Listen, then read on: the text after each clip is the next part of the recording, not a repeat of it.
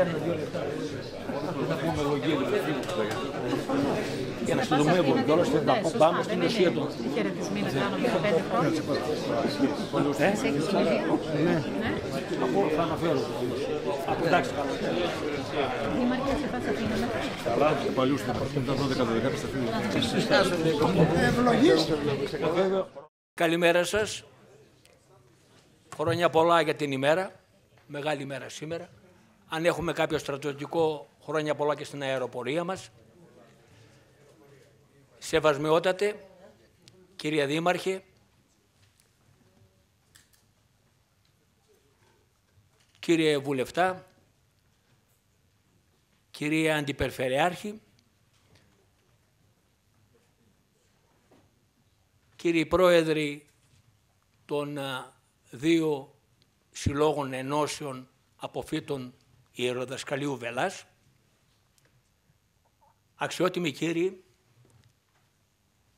εισηγητές, οι οποίοι μόχθησαν για να παρουσιάσω σήμερα τις 8, θέλω να πιστεύω και όπως θα αποδεχτεί από τη διαδικασία ενδιαφέρουσες προτάσεις, Κυρίες και κύριοι, καταχάρη αδελφοί Βελαΐτες, αγωνία των Βελαΐτών, αλλά θέλω να πιστεύω και όλων μας, είναι το μέλλον μιας σχολής η οποία διέγραψε μια λαμπρή εκατονταετή πορεία.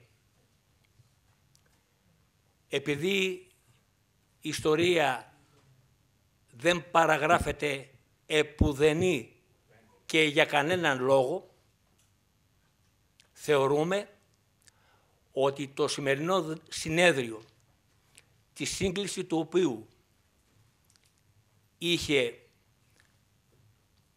ο Σύλλογος Αποφύτων Ιεροδασκαλίου Βελάσιου Ιωνίνων και αυτός των Αθηνών, θα ανοίξει προοπτικές για το μέλλον της ιστορικής αυτής σχολής. Πρόθεσή μας είναι να συμβάλλουμε στις αποφάσεις οι οποίες μέχρι τώρα έχουν ληφθεί και γιατί όχι σεβασμότατε και στην ημερική ή ολική αναθεώρησή τους εφόσον συναντηθούν με τις προτάσεις που θα ακούσουμε σήμερα. Δεν είμαστε δογματικοί και προφανώς ούτε θα βιαστούμε να εγγράψουμε το ιεροδοσκαλείο Βελάς στην μεταιστορία του. Το ιεροδοσκαλείο Βελάς έχει μια ιστορία και θα συνεχίσει την ιστορία του αυτή. Θέλω να πιστεύω ότι και οι φορείς της πολιτείας και της εκκλησίας είναι σύμφωνοι με αυτό, επομένως από την άποψη αυτή το συνέδριό μας αποκτά εξαιρετικό ενδιαφέρον. Να μην σας κουράζω άλλο με τη δική μου εισαγωγή, θα παρακαλέσω το σεβασμιότατο Μητροπολίτη Ιωνίνων, κύριο κύριο Μάξιμο, να ευλογήσει την έναρξη του συνεδρίου μας και φυσικά να χαιρετήσει τους συνέδρους. Κύριε Δήμαρχε, κύριε Βουλευτά, κύριε Αντιπεριφερειάρχη, σεβαστό Προεδρείο του Συνεδρίου και σεβαστή Πρόεδροι των Βελαϊτών, αγαπητοί και αγαπητές σύνεδροι, ευχαριστώ καταρχήν και για την πρωτοβουλία σας αυτή, αλλά και για την πρόσκληση, την τιμητική πρόσκληση, να βρίσκομαι εδώ και να χαιρετήσω και να ευλογήσω αυτό το συνέδριο. Και βεβαίως μοιράζομαι την αγωνία σας και θα έλεγα ότι ως ο πνευματικά υπεύθυνος πατέρας της Εκκλησίας σε αυτή την περιοχή, ότι πονώ ιδιαίτερα για το ότι έχει συμβεί τα δύο τελευταία χρόνια στη Βέλα. Δηλαδή για την απόφαση να κλείσει η Ακαδημία και το Λύκειο, το Εκκλησιαστικό της Βελάς Και δυστυχώς το τελευταίο χρόνο η Βελάνα είναι κλειστή σε ό,τι αφορά αυτές τις δύο σχολές και τις δραστηριότητες της ακαδημαϊκές. Ίσως να γνωρίζετε ότι τα τελευταία χρόνια και ιδιαίτερα με τη βοήθεια του Περιφερειάρχη ότι ανακαινήσαμε όλη τη Βελά. Όλη δηλαδή αυτή τη σχολική μονάδα. Βοήθησε σε εισαγωγικά σε αυτό και ο σεισμός που έγινε το 2016. Είχαμε πολλές ζημιές, το επίκεντρο ήταν εκεί και αναγκαστικά θα έπρεπε να γίνουν πάρα πολλές εργασίες.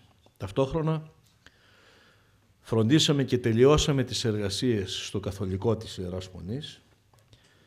Έγιναν και οι σωστικές εργασίες των αγιογραφιών και ήδη συζητούμε με την αρχαιολογική υπηρεσία να αρχίσει μια νέα εργασία χρονολόγησης των μελών του καθολικού της Ιεράς Μονής Βελάς, πράγμα το οποίο θα συμβάλλει να γνωρίζουμε καλύτερα την ιστορία, την πνευματική ιστορία αυτού του τόπου. Γνωρίζετε επίσης ότι τα τελευταία χρόνια, έξι χρόνια, κάνουμε μια προσπάθεια εκεί να γίνει και μια μονάδα αξιοποίησης των γεωργοκτηνοτροφικών δυνατοτήτων που υπάρχουν, όχι για να κάνουμε εμπόριο όπως νόμιζαν ή έγραψαν κάποιοι, αλλά διότι μας ενδιαφέρει πολύ να βρούμε έναν τρόπο να κρατήσουμε τα νιάτα, τα παιδιά μας στην περιοχή και να τους δώσουμε τη δυνατότητα να μάθουν με όσο καλύτερο εμπεριστατωμένο και επιστημονικό τρόπο, αλλά και πρακτικό τρόπο αυτά τα γεωργοκτηνοτροφικά επαγγέλματα. Όμως, δεν ξεχνούμε ότι η Βελά είναι καταρχήν μοναστήρι, με μακραίωνη ιστορία. Και δεύτερον, ότι τα 100 χρόνια που πέρασαν, 100 και πλέον χρόνια, ότι η Βελά ήταν ένα εργαστήριο για τις ιερατικές κλήσεις. Πέστε, πέστε φωναχτά αυτό που θέλετε να πείτε, πέστε. Πέστε το, μην τρέπεστε, πέστε για τα γίδια. Ποιος είναι, μην κρύβεστε, πέστε το. Τρέπεστε να το πείτε.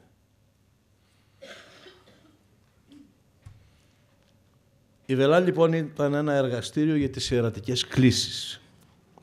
Ιδιαιτέρως έδωσε όμως την ευκαιρία και σε πολλούς ανθρώπους οι οποίοι δεν ήθελαν να ακολουθήσουν την ιεροσύνη να μάθουν γράμματα και να ακολουθήσουν τις ιδιαίτερες κλήσεις τους αργότερα με άλλες σπουδές ή αναλαμβάνοντας έναν προσωπικό αγώνα στον επαγγελματικό στίβο.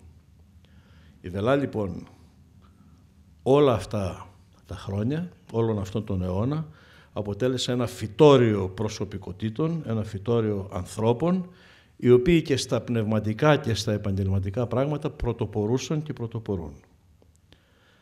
Και βεβαίως για αυτό έχουμε ευγνωμοσύνη στους εκκλησιαστικούς ταγούς της εποχής με πρώτο τον Σπυρίδωνα, τον Λάχο, ο οποίος, τουλάχιστον για τα δικά μου δεδομένα, υπήρξε μια προσωπικότητα με όραμα έναν αιώνα μπροστά από την εποχή του και ένας άνθρωπος ο οποίος αγάπησε και τον τόπο, αγάπησε και την Βελά, αγάπησε και τους υπηρώτες και έκανε ό,τι ήταν δυνατόν ως Εκκλησία, ως Μητροπολίτης, ως πνευματικός άνθρωπος να δώσει δυνατότητες και να ζωντανέψει τον τόπο αυτό.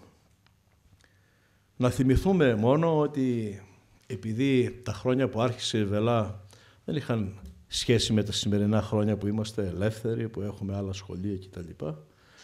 Ότι ο Σπυρίδων τότε που ήταν τουρκοκρατία ακόμα και έψαχνε να βρει τρόπο να γίνουν ιερείς άνθρωποι και να μπορούν να ζουν, ότι τους έδωσε μια διτή δυνατότητα. Δηλαδή, αφενός μεν έκανε μια γεωργική σχολή, διότι οι πιο πολλοί από τους παπάδες της επαρχίας τότε ήταν όπως όλοι οι άνθρωποι, ήταν αγρότες, γεωργοί και κτηνοτρόφοι. Αλλά επίσης τους έδωσε και τη δυνατότητα να μαθαίνουν και τα ιερά γράμματα. Δηλαδή, να είναι άνθρωποι έτοιμοι εάν έχουν πραγματικά την κλίση, να πάνε να υπηρετήσουν σε ένα χωριό, να μπορούν να ζήσουν και με τα γεωροκτηνοτροφικά και με τη στήριξη των άλλων ανθρώπων, διότι τότε δεν υπήρχε μισθός όπως υπάρχει σήμερα. Αυτό μεταξελίχθηκε μετά στο ιεροδιδασκαλείο, πήρε τις νομικές μορφές που γνωρίζουμε κτλ. Μια σπουδαία πορεία, όπως είπατε, μια λαμπρή πορεία με σπουδαία κοινωνικά αποτελέσματα. Θα ήθελα να πω ότι μετά από το κλείσιμο της Βελάς και την αγωνία που περάσαμε και πρώτα από όλους εγώ, ότι ακούστηκαν διάφορα πράγματα. Και ένα από τα πράγματα που ακούστηκε ήταν ότι εγώ δεν ενδιαφέρθηκα όσο έπρεπε για να μην κλείσει η Βέλα. Αυτό δεν είναι αλήθεια. Αλλά δυστυχώς δεν είχα ούτε την ενημέρωση που θα έπρεπε να, να έχω και δυστυχέστατα δεν μου είπε τίποτα ούτε και ο ίδιος ο Αρχιεπίσκοπος, ούτε και η Συνοδική Επιτροπή που ασχολείται με τα εκκλησιαστικά εκπαιδευτικά θέματα. Αποτέλεσμα, όπως και οι περισσότεροι από εσάς, να μάθω τα πράγματα όταν ήδη είχαν λάβει χώρα, προς μεγάλη έκπληξη και με πολύ μεγάλο πόνο. Εδώ έγραψαν κάποιοι, δικαίως δεν τους κατηγορώ, ότι μας κοροϊδεύει ο Δεσπότης. Είναι δυνατόν με τη σχέση που έχει με τον Αρχιεπίσκοπο να μην γνωρίζει ότι θα κλείσει η βέλα. Ναι, αγαπητοί μου, είναι, είναι δυνατόν δυστυχώς. Και αν εσάς σας πονά αυτό το πράγμα μια φορά, εμένα για τη σχέση που είχα με τον Αρχιεπίσκοπο με πονά εκατό φορές. Ήταν πολύ δραματικές οι μέρες και οι μήνες που πέρασα όταν ανακοινώθηκε αυτό το πράγμα. Όμως, αυτό είναι παρελθόν, έγινε. Το θέμα είναι τι κάνουμε τώρα. Τώρα λοιπόν έχουμε αναλάβει δύο αγώνες παράλληλους. Ο ένας αγώνας έχει να κάνει με το να γίνουν τα ΣΜΙΚ, οι λεγόμενες δηλαδή σχολές μαθητείας υποψηφίων κληρικών. Η πρόβλεψη του νόμου είναι οι ΣΜΙΚ, ήταν μάλλον οι ΣΜΙΚ να ανοίξουν από τον Οκτώβρη που μας πέρασε. Δεν έγινε αυτό το πράγμα. Και δεν έγινε διότι όπως διαπιστώσαμε και ιδιαίτερα όπως διαπίστωσα φέτος που είμαι συνοδικός, δηλαδή ανήκω στην ομάδα των 12 Μητροπολιτών που αποτελούν την κεντρική διοίκηση της Εκκλησίας της Ελλάδος, δεν είχε γραφτεί ούτε μία γραμμή σε ό,τι αφορά τους κανονισμούς λειτουργίας των σχολών, αλλά και τα προγράμματα σπουδών και τα αναλυτικά προγράμματα. Ούτε μία γραμμή. Αυτό που έλεγα μετά από τη λειτουργία της 16 Αυγούστου στα κανάλια εδώ τα τοπικά, ισχύει. Το διεπίστωσε η διεισόμαση. Δεν είχε γραφτεί ούτε μία γραμμή. Όταν λοιπόν άρχισε η συνοδική περίοδος, έθεσα αμέσως αυτό το θέμα μέσα στη σύνοδο. Είπα μακαριότατε, ο νόμος προέβλεπε αυτό. Τι έγινε, γιατί δεν ανοίγουν οι σχολές, τι συμβαίνει. Και είπε ο Αρχιεπίσκοπος ότι ξέρετε έχουμε κάποια έγγραφα, έχουν γίνει κάποιες αλληλογραφίες, δυστυχώς δεν έχουν γίνει οι εργασίες που έπρεπε να γίνουν και σας παρακαλώ πολύ, σε μένα απευθυνόμενος, να αναλάβετε κι εσείς ευθύνη, να βοηθήσετε έτσι ώστε να επιταχυνθεί αυτή η διαδικασία. Εγώ είπα αμέσως πολύ ευχαρίστως, θα το κάνω. Και αφού ζήτησα μαζί μου να είναι και ο Μητροπολίτης Ιερισσού Αρδαμερίου και Αγίου Όρους, κύριος Θεόκλητος, και ο Διευθυντής του Ιδρύματος Πνευματικής Επιμορφώσεως Αρχιεπισκοπής Αθηνών, ο κύριος Θολόγος Αλεξανδράκης, κάναμε μια ομάδα που μέσα σε δύο μήνες συσκέφτηκε περισσότερες από 20 φορές. Γράψαμε ένα υπόμνημα και το παρουσιάσαμε στη, στη Σύνοδο. Που λέγαμε ακριβώς τι θα έπρεπε να κάνουμε και πώς θα έπρεπε να το κάνουμε για να μπορούν να λειτουργήσουν οι σχολές μαθητείας υποψηφίων κληρικών, οι οποίες θα είναι μεταδευτεροβάθμιας εκπαίδευσης, όχι όμως ανώτατης εκπαίδευσης. Θα είναι δηλαδή όπως ήταν οι ακαδημίες πριν να γίνουν ανώτατες, με το δικαίωμα οι απόφοιτοι μετά από δύο χρόνια να μπορούν με κατατακτήριες να μπαίνουν ή στις ανώτατες εκκλησιαστικές ακαδημίες ή στο πανεπιστήμιο, δηλαδή στις θεολογικές σχολές. Η πρόταση την οποία κάναμε συζητήθηκε σε τρεις συσκέψεις που έγιναν. Είχαμε πολλές αντιγκλήσεις όμως αποφασίστηκε να συνεχίσουμε με αυτά τα οποία προβλέπει ο νόμος, δηλαδή να γίνει η εκκλησιαστική σχολή στη Βελά και οπωσδήποτε το επόμενο έτος να χρησιμοποιηθεί όποιο πρόσφορο υλικό υπάρχει πιστοποιημένο, δηλαδή βιβλία σχετικά είτε πανεπιστημιακά είτε αυτά τα οποία χρησιμοποιούνται στην εκκλησιαστική εκπαίδευση γενικότερα, έτσι ώστε να ανοίξουν και να λειτουργήσουν οι σχολές. Αυτό είναι νόμος ούτως ή άλλως, και η επιθυμία όλων, όπως εκφράστηκε τουλάχιστον μέχρι πριν από μερικές ημέρες που ήμασταν στη Σύνοδο είναι να ανοίξει η σχολή αυτή, να ανοίξουν και οι άλλες δύο, η μία θα είναι στη Ριζάριο και η άλλη θα είναι στα Χανιά της Κρήτης, στην Ακαδημία της Κρήτης δηλαδή, η οποία και εκείνη έκλεισε, δεν λειτουργεί ως ανώτατη Ακαδημία πλέον. Ή μάλλον λειτουργεί αλλά με δύο άτομα. Πέρασαν μόνο δύο άτομα. Είναι πολύ σημαντικό από ό,τι είπαν και από το Υπουργείο και από την Εκκλησία να λειτουργήσουν αυτές οι σχολές, διότι είναι ο μόνος τρόπος να τροφοδοτήσουμε και τις εκκλησιαστικές ακαδημίες. Δυστυχώς, πέρσι στις ακαδημίες πέρασαν τρία άτομα και φέτος στις ακαδημίες πέρασαν δύο άτομα. Και τεράστια κρίση περνούν και οι θεολογικές σχολές. Θα πρέπει να σας ενημερώσω ότι από τον προβλεπόμενο αριθμό εισακτέων στις θεολογικές σχολές της πατρίδας μας δεν κατελήφθη ούτε το 40% των θέσεων. Είναι λιγότερο το ποσοστό, ανάλογα με τη σχολή και πολύ χαμηλότερο ακόμα. Καταλαβαίνετε λοιπόν ότι περνούμε μια κρίση με αυτό το πράγμα. Αυτό λοιπόν είναι το ένα κομμάτι, ο αγώνας που κάνουμε να ανοίξει η σχολή μαθητείας υποψηφίων κληρικών στη Βελά. Το θεωρούμε θετικό βήμα και θα πρέπει να γνωρίζετε, ιδιαίτερα εκείνοι που αμφισβητούσαν αν ήξερα ή δεν ήξερα, ότι η Σύνοδος πρόπερση έκανε αγώνα να μην γίνει η σχολή της Βελάς. Αυτό το ΣΜΙΚ δηλαδή. Η πρότασή τους ήταν να μην γίνει ούτε αυτό στη Βέλα. Το Υπουργείο με δική μας παρέμβαση επέμεινε και παρέμεινε η πρόταση αυτή και μπήκε στον νόμο η Σχολή Μαθητείας Υποψηφίων Κληρικών να είναι στη Βέλα. Δεν ήθελαν από την Εκκλησία ούτε αυτό να είναι στη Βέλα. Τι μπορεί να σημαίνει αυτό, ας το σκεφτεί ο καθένας. Το δεύτερο τώρα κομμάτι που μας ενδιαφέρει. Τι άλλο μπορεί να κάνει η Βέλα έτσι ώστε να έχει μια ακαδημαϊκή περιοπή επάξια της πορείας της και της ιστορίας της. Μας ενδιαφέρει όλους πάρα πολύ αυτό το πράγμα. Αυτό λοιπόν το οποίο θα μπορούσε να κάνει η Βελά κατά την δική μας άποψη θα ήταν να δημιουργήσει ένα νομικό πρόσωπο το οποίο θα έχει να κάνει με την εκπαίδευση, θα είναι πιστοποιημένο, με τέτοιον τρόπο ώστε αυτό το νομικό πρόσωπο να μπορεί να συνάπτει συμφωνίες με πανεπιστήμια, με άλλα εκπαιδευτικά κέντρα και εκεί να γίνονται διάφορες δραστηριότητες ακαδημαϊκού επίπεδου. Αυτό τι σημαίνει; Αυτό σημαίνει ότι θα πρέπει να γίνει αυτό το νομικό κέλυφος, έτσι, αυτό το κέντρο διαβίου μάθησης ας πούμε, το οποίο θα μπορεί να κάνει ένα μνημόνιο συνεργασίας με το Πανεπιστήμιο Ιωαννίνων για παράδειγμα. Πανεπιστήμιο της Θεσσαλονίκης, με μια θεολογική σχολή, με μια άλλη σχολή επίσης. Άλλο ενδιαφέροντος. Είδα εδώ τις προτάσεις για τα γεωπονικά και τα λοιπά. Θα ήταν ευχής έργο και θα το θέλαμε πάρα πολύ να έχουμε μια συνεργασία και να γίνονται στη Βελά μεταπτυχιακά μαθήματα πιστοποιημένα σε συνεργασία, σε συνέργεια με ένα από τα πανεπιστήμια της Ελλάδας ή του εξωτερικού.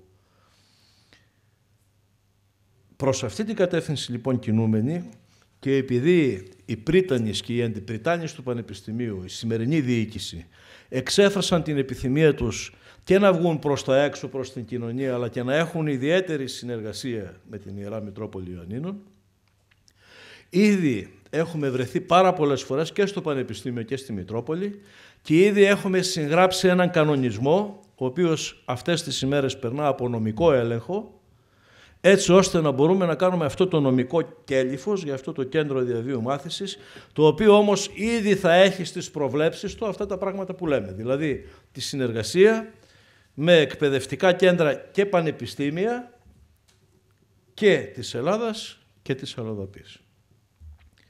Είχα πει και σε μια άλλη ευκαιρία ότι ήδη έχουμε κάνει κάποιες συζητήσεις με κάποια πανεπιστήμια του εξωτερικού. Για παράδειγμα, τη Θεολογική Σχολή του Μονάχου, που έχουμε ορθόδοξη σχολή και ορθόδοξο τμήμα, αλλά επίσης και με τον Αρχιεπίσκοπο Αμερικής κύριο Ελπιδοφόρο που μας συνδέει μια ιδιαίτερη φιλία, ο οποίος μάλιστα μου είπε ότι θα με ενδιέφερε πολύ αν έχετε ένα νομιμοποιημένο εκπαιδευτικό ίδρυμα, το οποίο είναι αναγνωρισμένο από το κράτος δηλαδή ως τέτοιο, έχει νομική υπόσταση, θα με ενδιέφερε πάρα πολύ να στέλνω εγώ δικά μου παιδιά από εδώ ή ιερείς, να μείνουν ένα-δύο χρόνια, όσο χρειάζεται, να μάθουν καλά ελληνικά, να μάθουν τη λειτουργική τάξη της Εκκλησίας κτλ.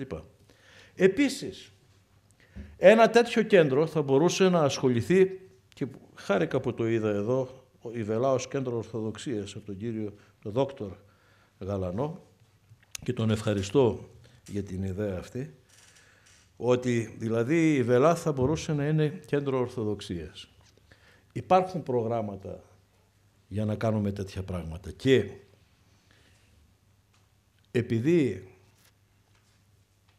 μέσω αυτών των ευρωπαϊκών ή των διακρατικών προγραμμάτων που υπάρχουν θα μπορούσαν να γίνουν πράγματα και με το Πανεπιστήμιο και με άλλους φορείς, θα μπορούσαμε να δούμε και πράγματα που σχετίζονται με την Εκκλησία. Δηλαδή έχουμε τόσα κοιμήλια, έχουμε τόσα μοναστήρια, έχουμε εικόνες που είναι παρατημένες κτλ.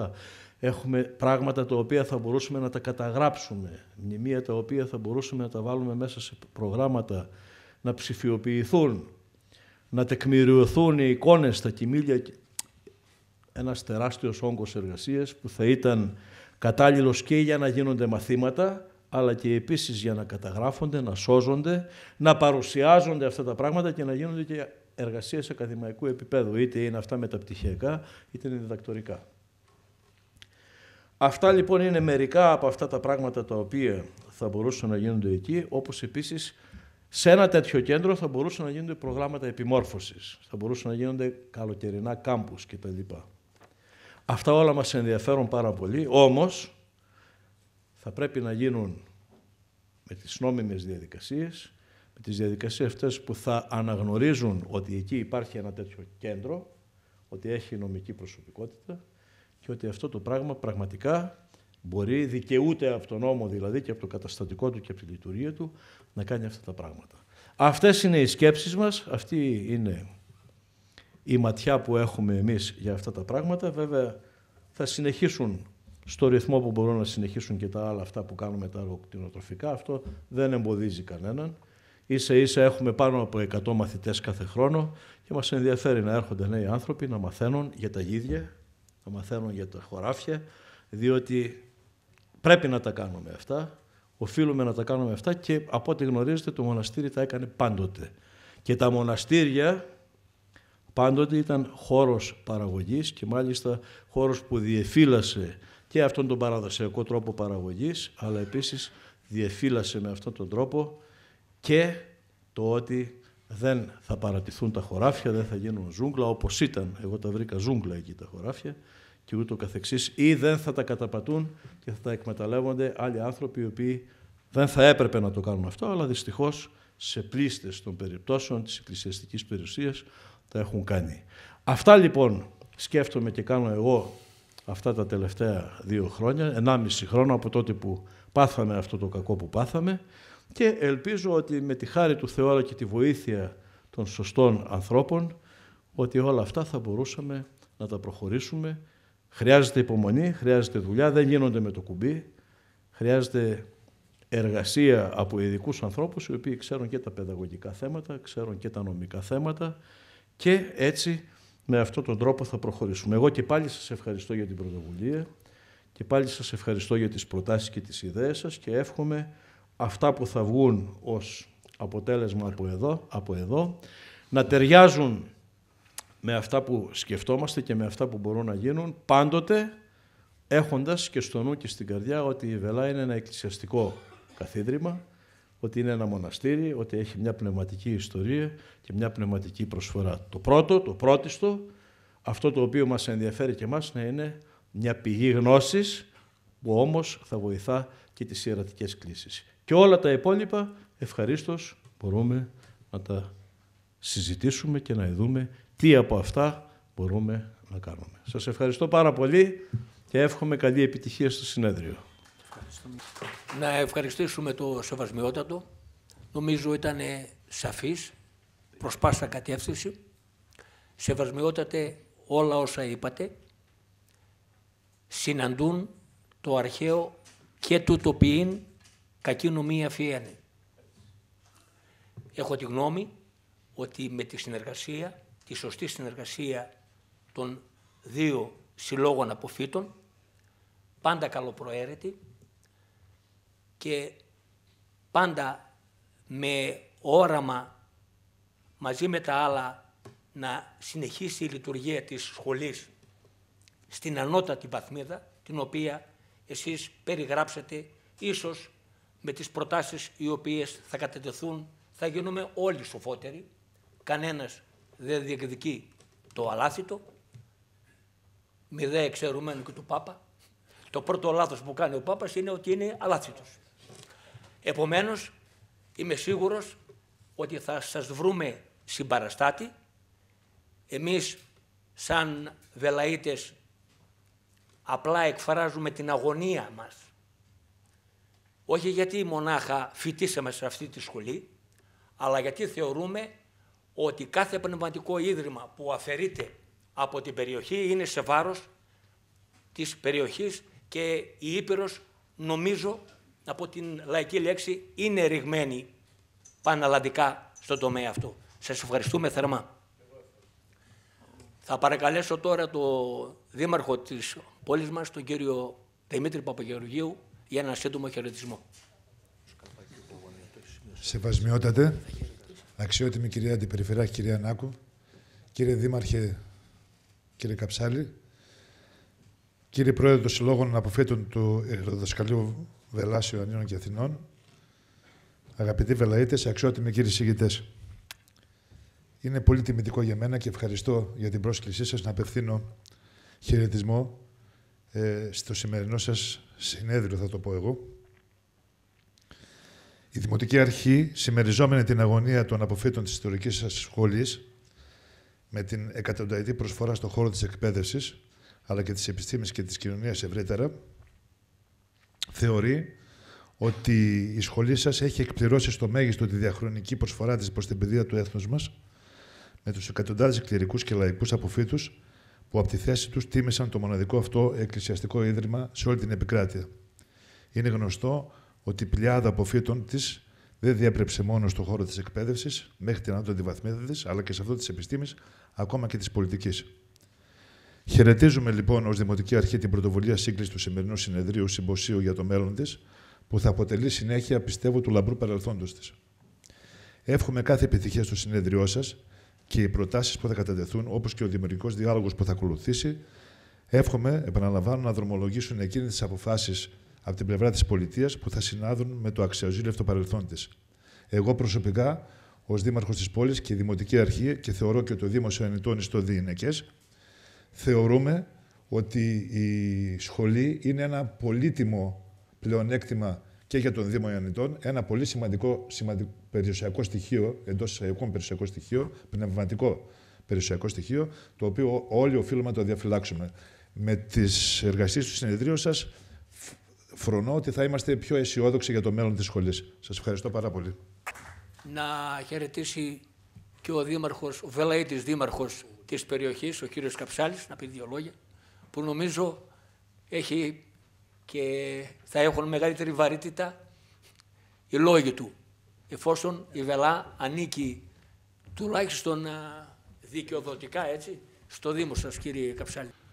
Σεβασμιότατε, Σεβαστό Προεδρείο, αξιότιμοι καθηγητές, αγαπητοί δελαΐτες.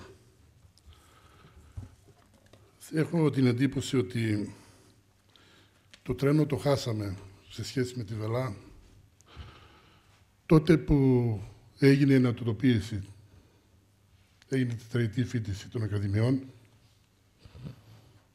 τότε θέλω να πιστεύω ότι, και δεν, ρίχνω, δεν υπηρείπτω ευθύνη σε κανέναν, αλλά τότε έπρεπε να είχαμε δώσει ανάλογη βαρύτητα το τι μέλη γενέστε για αυτή τη σχολή. Βεβαίως έχουν γίνει κάποια τμήματα μουσικολογίας και το ποιμαντικό, που όπως αποδείχτηκαν όμως στην πράξη δεν μπορούσε να λειτουργήσει ως ανώτατη σχολή. Εν πάση περιπτώσει, αυτό εκτιμήσαμε εκείνη την περίοδο. Ήταν ανώτατη ανώτατα τμήματα τα οποία αποφυτούσαν μαθητές και δυστυχώς έμπαιναν με τις Πανελλήνες 60 παιδιά περίπου το χρόνο και αποφυτούσαν 2, 3, 5. Από μόνο του απομειώθηκε δηλαδή η ίδια η σχολή. Και δυστυχώς στην Ελλάδα ισχύει ότι όταν θέλουμε κάτι να το κλείσουμε, πρώτα το απαξιώνουμε και μετά το κλείνουμε. Έτσι συνέβη και με την ε, σχολή. Εν πάση περιπτώσει όμως θέλω, θεωρώ ότι και τώρα δεν είναι αργά. Μπορούμε όλοι μαζί ενωμένοι με προεξάρχοντα τον Μητροπολίτη μας, ο οποίος κάνει τεράστια προσπάθεια στη Βελά, πέραν από το ποιμαντικό έργο και δίνει ιδιαίτερη βαρύτητα, και αν σήμερα τα κτίρια αυτά είναι σε καλή κατάσταση, είναι γιατί κάποιος θα επιμελείται. Και θα μπορούν να φιλοξενήσουν άμεσα να γίνουν να ανοίξουν κάποιες σχολές. Όλοι μαζί ενωμένοι μπορούμε να πετύχουμε. Εγώ από τη δική μου πλευρά θα βοηθήσω προς πάσα κατεύθυνση γιατί δεν αφορά μόνο την περιοχή, την περιοχή αφορά όλη την Βόρεια Ήπειρο, αφορά όλη την Αλβανία, όλη την Ελλάδα. Γιατί αυτή η σχολή γεννήθηκε από τον μακαριστό Σπυρίδωνα και έπαιξε ένα σημαντικό ρόλο όχι μόνο για τη χώρα μας, αλλά και για, κυρίως για τη Βόρειο Ήπειρο. Να βγαίνουν δάσκαλοι και κληρικοί, να φωτίζουν την γειτονική μας Αλβανία. Θα είμαι κοντά και θα προσπαθήσω γι' αυτό και κάθε καλοκαίρι κάνουμε την κυρία εκδήλωση που κάνουμε, την κύρια εκδήλωση τι κάνουμε στη σχολή. Και δεν την κάνουμε έτσι πέρα από το διασκεδαστικό να περάσουμε μια όμορφη βραδιά, τι κάνουμε να περάσουμε κάποια μηνύματα. Τα μηνύματα αυτά που μια ιστορία 110 χρόνων κάποιοι έβαλαν κλειδί και να αναθεωρήσουν τις απόψεις τους και να λειτουργήσουν ως παιδαγωγικά τμήματα ή κάποια ανώτατα τμήματα τα οποία εδώ θα συζητήσουμε. Εγώ πάντως θα, είμαι, θα συμμετέχω και θα βοηθήσω προς πάσα κατεύθυνση για πολλούς λόγους, πέρα ότι είμαι ντόπιος εκεί της περιοχής, πέρα ότι είμαι ευελαΐτης και έχω αποφυτίσει ως δάσκαλος από την Ακαδημία, θα συνεισφέρω τα μέγιστα δυνατά από την πλευρά μου. Σας ευχαριστώ πολύ και εύχομαι καλή επιτυχία στο συνέδριο. Εγώ λίγο θα διαφωνήσω ως προς το απεσιόδοξο της συνέχισης της ιστορίας, σεβασμότατε η πίστη μας τουλάχιστον θεωρεί ότι η αισιοδοξία είναι ταυτόσιμη της ζωής ή η ζωή είναι ταυτόσιμη της αισιοδοξίας. Έγιναν κάποια λάθη το 89, δεν ξέρω τι έγιναν, αλλά αυτό δεν σημαίνει ότι δεν υπάρχει προοπτική λειτουργίας της σχολής όπως την θέλουν οι Βελαΐτες, όπως τη θέλουν οι Γενιώτες, όπως τη θέλουν οι Υπηρώτες. Σεβασμότητα. Νομίζω ότι δεν είναι απεσιόδοξο ο Δήμαρχος. Απλά λέει ότι έγινε ένα λάθος και δεν ήταν πραγματικά παραγωγικές αυτές οι σχολές. Αυτό δεν σημαίνει ότι πρέπει να συνεχίζεται. Αυτό δεν σημαίνει ότι έπρεπε να τις κλείσουν, σημαίνει ότι έπρεπε να τις φτιάξουν. Ωραία. Ευχαριστούμε για την παρέμβαση, συμπαρμότητα.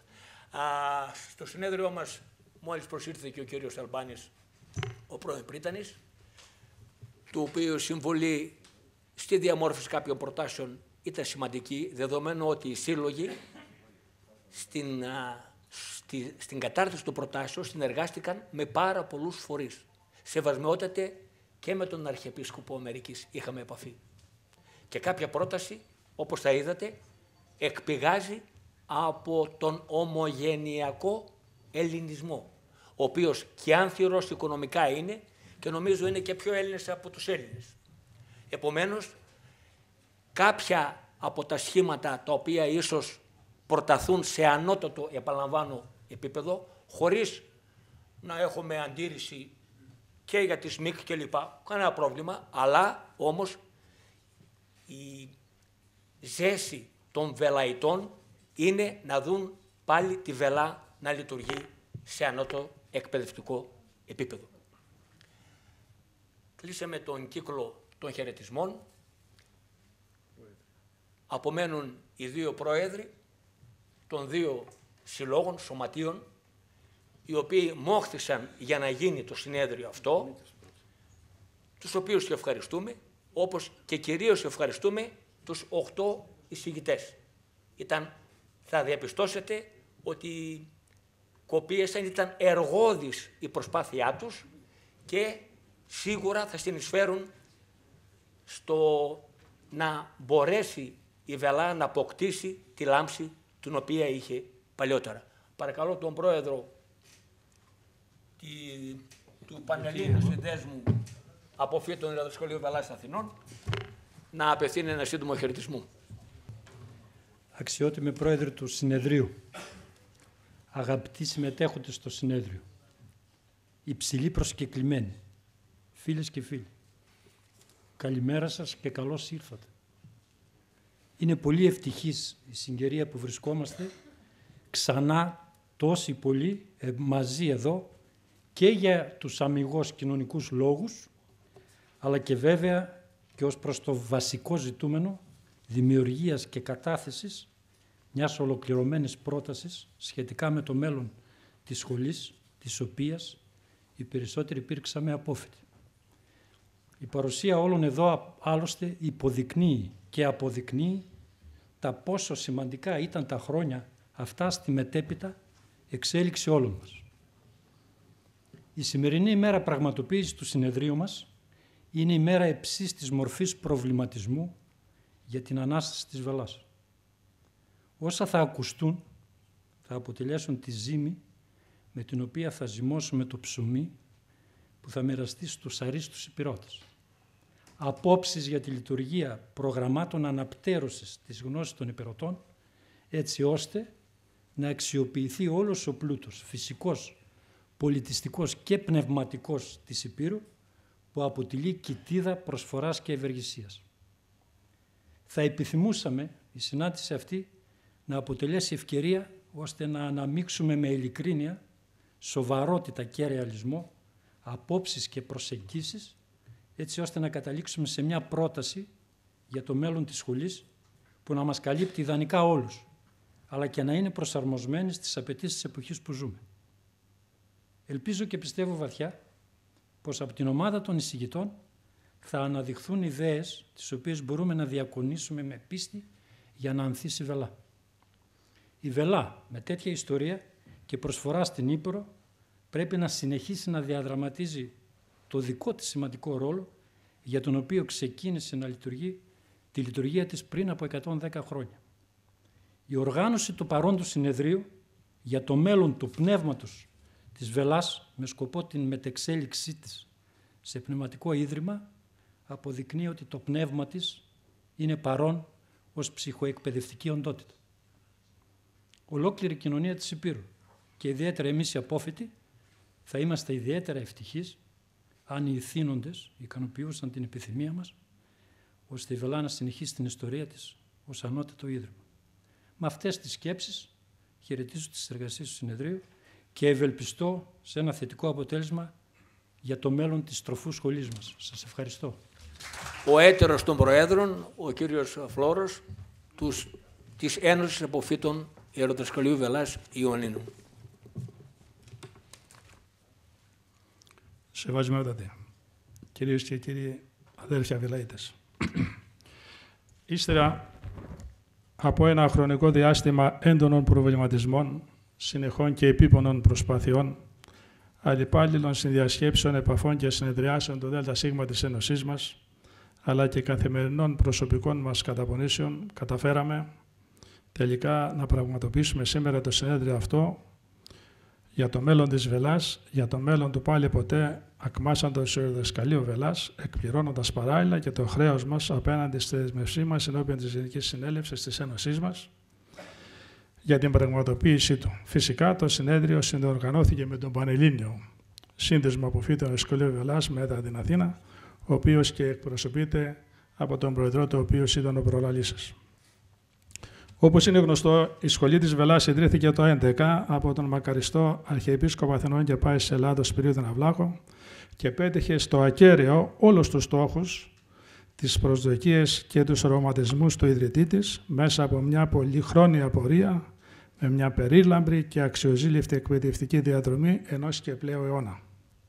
Σήμερα όλοι εμείς οι αποφετήτες, παλιότεροι και μεταγενέστεροι, είναι φυσικό να επερόμαστε γι' αυτό όχι μόνο για τους ακατάλληλους συναισθηματικούς μας δεσμούς της μεταξύ μας δημιουργήθης και δημιουργηθήσας αδελφικής σχέσης, θα έλεγα και την παρασχεθήσα παιδεία στη διάρκεια της εκεί φοιτησής μας, αλλά και για όλα εκείνα τα πραγματικά κυρίως εφόδια που αφιδός μας έδωσε για την μετέπειτα στα ιδεοδρομία μας και τη διαμόρφωση της προσωπικότητάς μας και του χαρακτήρα μας με την ενεργή και μεστή περιεχομένο και προσφοράς παρουσία μας σε πλήστους όλους όσους τομείς της επαγγελματικής μας σταδιοδρομίας, σε όλους τους χώρους των επιστημών, του δημόσιου βίου αλλά και της ιδιωτικής επιχειρηματικής πρωτοβουλίας. Έτσι το μεγάλο αυτό πανεπηρετικό πνευματικό καθίδρυμα επί χρόνους πολλούς συνέχιζε να μεσορανεί με την πνευματική παιδευτική του ακτινοβολία και να αποτελεί την εργόδια εκείνη κυψέλη με την ιδιομορφία του χαρακτήρα της και με τις ιδιαίτερες συνθήκες λειτουργίας της, η οποία εξέθρεφε και εφοδίαζε τα μελλοντικά στελέχη της, Εκκλησία, της ελληνικής κοινωνίας σε όλους τους τομείς. Σήμερα δυστυχώς η Βελά, όπως είναι σε όλους μας γνωστό, βρίσκεται στην κατάσταση που όλοι μας γνωρίζουμε. Για το λόγο αυτό λοιπόν άλλωστε διοργανώσαμε και το παρόν συνέδριο. Δεν έχουμε διοικητικές αρμοδιότητες, ούτε εξουσία λήψης αποφάσεων. Ήρθαμε όμως εδώ να ενώσουμε τη φωνή μας και να συμπράξουμε όλοι μας προς μία συγκεκριμένη κατεύθυνση, προς την ανάκτηση της παλιότερης, ε, της παλιότερης έγκλης και του κύρους της σχολής αυτής, αλλά και της αξιοποίησης του τεραστίων κτηριακών εγκαταστάσεων με την μετατροπή τους σε μια σύγχρονης κατεύθυνσης ανώτατη πανεπιστημιακή σχολή. Προσκαλέσαμε προς τούτο τις αρχές του τόπου μας. Προσκαλέσαμε όλους τους αποφύτους. Προσκαλέσαμε και κάθε άλλον ενδιαφερόμενο προκειμένου όσοι επιθυμούν να καταθέσουν σχετικά με το μέλλον της Βελάς προτάσεις στο σημερινό μας συνέδριο, ευελπιστώντας ότι θα εκλωθεί το ανάλογο ενδιαφέρον. Πράγμα για το οποίο δεν διαψευστήκαμε, δεδομένου ότι έχουμε ήδη αρκετές προτάσεις, οι οποίες και θα ανακοινωθούν στη συνέχεια από τους συντάξαντες αυτές. Επιπλέον, το Διοικητικό μας Συμβούλιο αποφάσισε να γίνουν δεκτέ από το Προεδρείο και όσε τυχόν προτάσεις ή τοποθετήσεις ή παρεμβάσεις υποβληθούν κατά τη διάρκεια του συνεδρίου, ώστε να μην αποκλειστεί κανένας. Αποφασίσαμε επίσης να καταγραφούν και ηχητικά όλες οι προτάσεις, όλες οι τοποθετήσεις και όλες οι παρεμβάσεις που θα ακουστούν κατά τη διάρκεια του συνεδρίου με σκοπό να δημοσιευτούν στη συνέχεια σε ειδικό έντυπο που θα εκδώσουμε. Θεωρούμε δε αυτονόητο ότι μας παρέχει χωρίτε αυτό το δικαίωμα μέχρι εκ μέρους όλων των ομιλητών. Ω πρόεδρος της Ένωσης Αποφύτων του Βελάς, του διδασκαλείου Βελάς Ιωαννίνων, ευχαριστώ όλους όσους εκδήλωσαν ή πρόκειται να εκδηλώσουν ενδιαφέρον για ανακοίνωση των προτασιών τους ή των τοποθεσιών τους. Ευχαριστώ όλους εσάς τους παριστάμενους και όσους ακόμη πρόκειται να, να παραβρεθούν, θεωρώντας ότι το σημερινό συνέδριο θα διεξαχθεί σε επίπεδο της ευπρέπειας και της κοσμιότητας που μας αρμόζει και θα έχει έσαι έκβεση ότι κάτι το θετικό θα προκύψει για το μέλλον της Βελάς. Σας ευχαριστώ πολύ. Ευχαριστούμε. Το συνέδριό μας χαιρετίζει η Υπουργός Κοινωνικής Συνοχής και Οικογένειας, η κυρία Κεφάλα, η οποία εξαιτίας συνειλημμένων κοινοβουλευτικών υποχρεώσεων στην Αθήνα δεν μπορεί να παραστεί.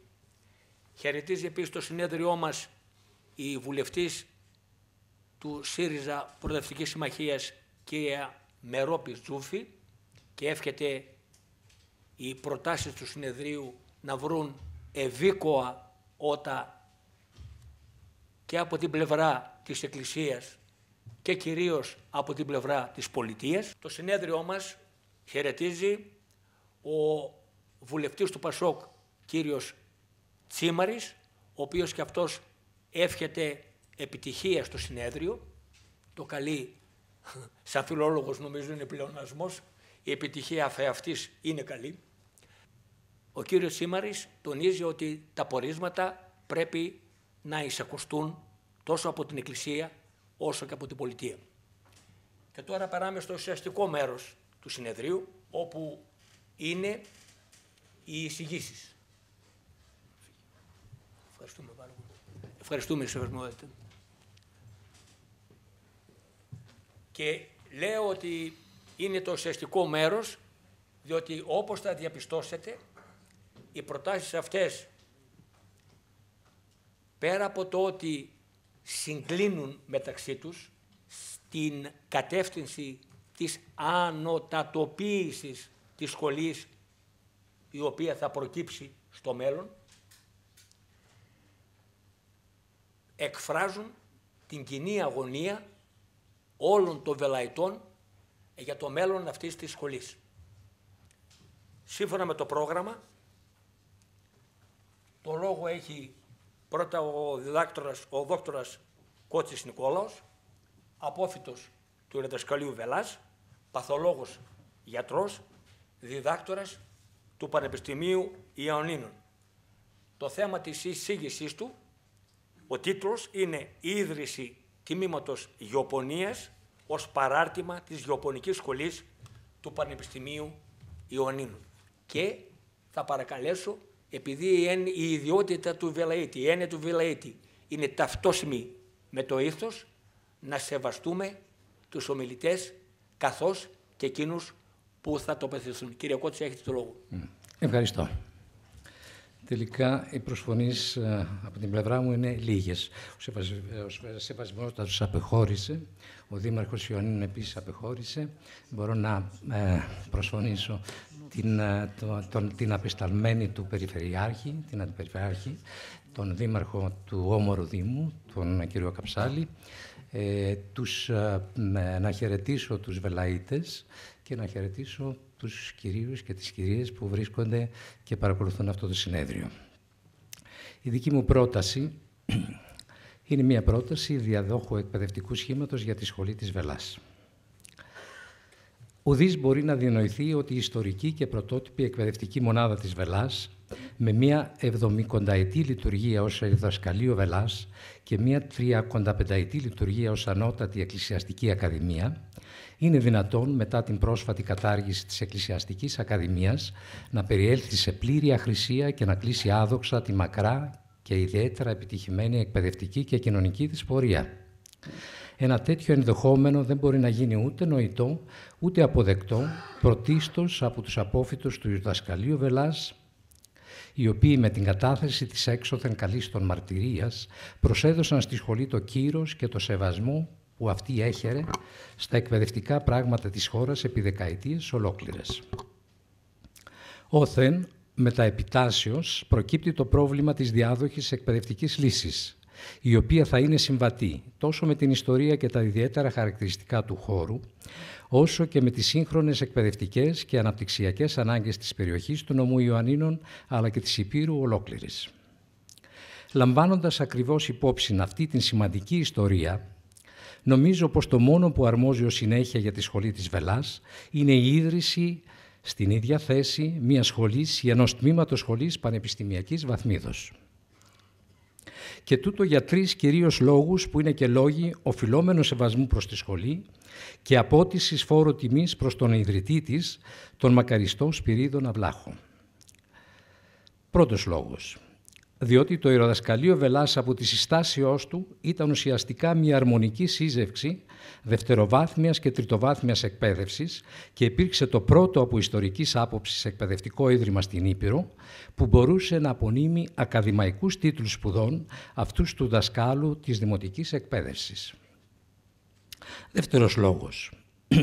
Διότι μέχρι προσφάτως και επί 35 χρόνια πριν, με τη μορφή της Ανώτατης Εκκλησιαστικής Ακαδημίας, τόσο τυπικά όσο και ουσιαστικά, η σχολή αυτή ανήκει επισήμως στην τριτοβάθμια εκπαίδευση και απένει με τίτλους Ανώτατης Εκπαίδευσης.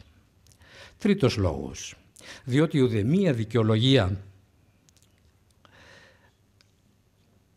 αναγκαστικής υποβάθμισης του επίπεδου αυτής της σχολής μπορεί να υπάρξει, την στιγμή που είναι διαθέσιμες εφικτές και βιώσιμες λύσεις οι οποίες επιτρέπουν τη συνέχιση της ακαδημαϊκής της πορείας. Μία λύση προς αυτή την κατεύθυνση θα προσπαθήσω να σας παρουσιάσω.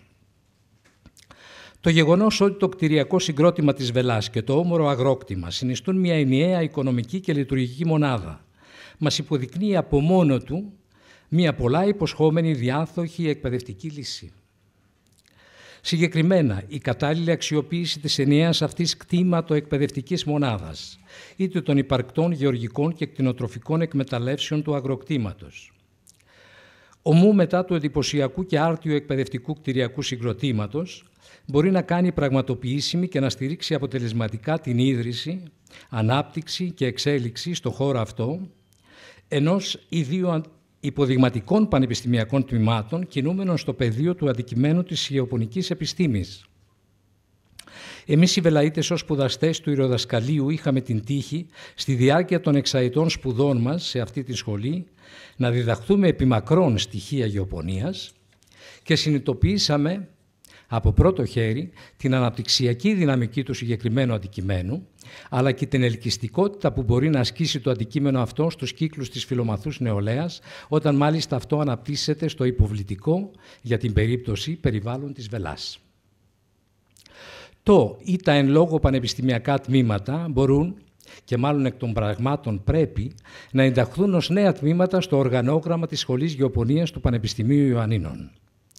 Βεβαίως, η τελική επιλογή του εξειδικευμένου χαρακτήρα του ή των πανεπιστημιακών τμήματων του οσάνου επιστημονικού πεδίου δεν μπορεί να γίνει ερήμην των αναπτυξιακών σχεδίων της ίδιας Σχολής Γεωπονίας του Πανεπιστημίου Ιωαννίνων, η οποία δικαιούται να έχει τον πρώτο και τελευταίο επί του προκειμένου λόγου.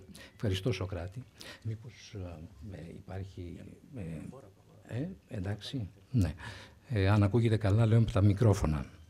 Το μικρόφωνο. Η οποία δικαιούται να έχει τον πρώτο και τελευταίο επί το προκειμένο λόγο. Ωστόσο, για να φέρει το τεκμήριο της ολοκληρωμένης πρότασης, η υποσυζήτηση πρόταση οφείλει να είναι συγκεκριμένη και αρκούντος τεκμηριωμένη, ταυτόχρονα όμως να είναι και επιδεκτική διόρθωσης και αναπροσαρμογής στη βάση κάποιας εκλεπτισμένης και ανατροφοδοτούμενης διαβούλευσης.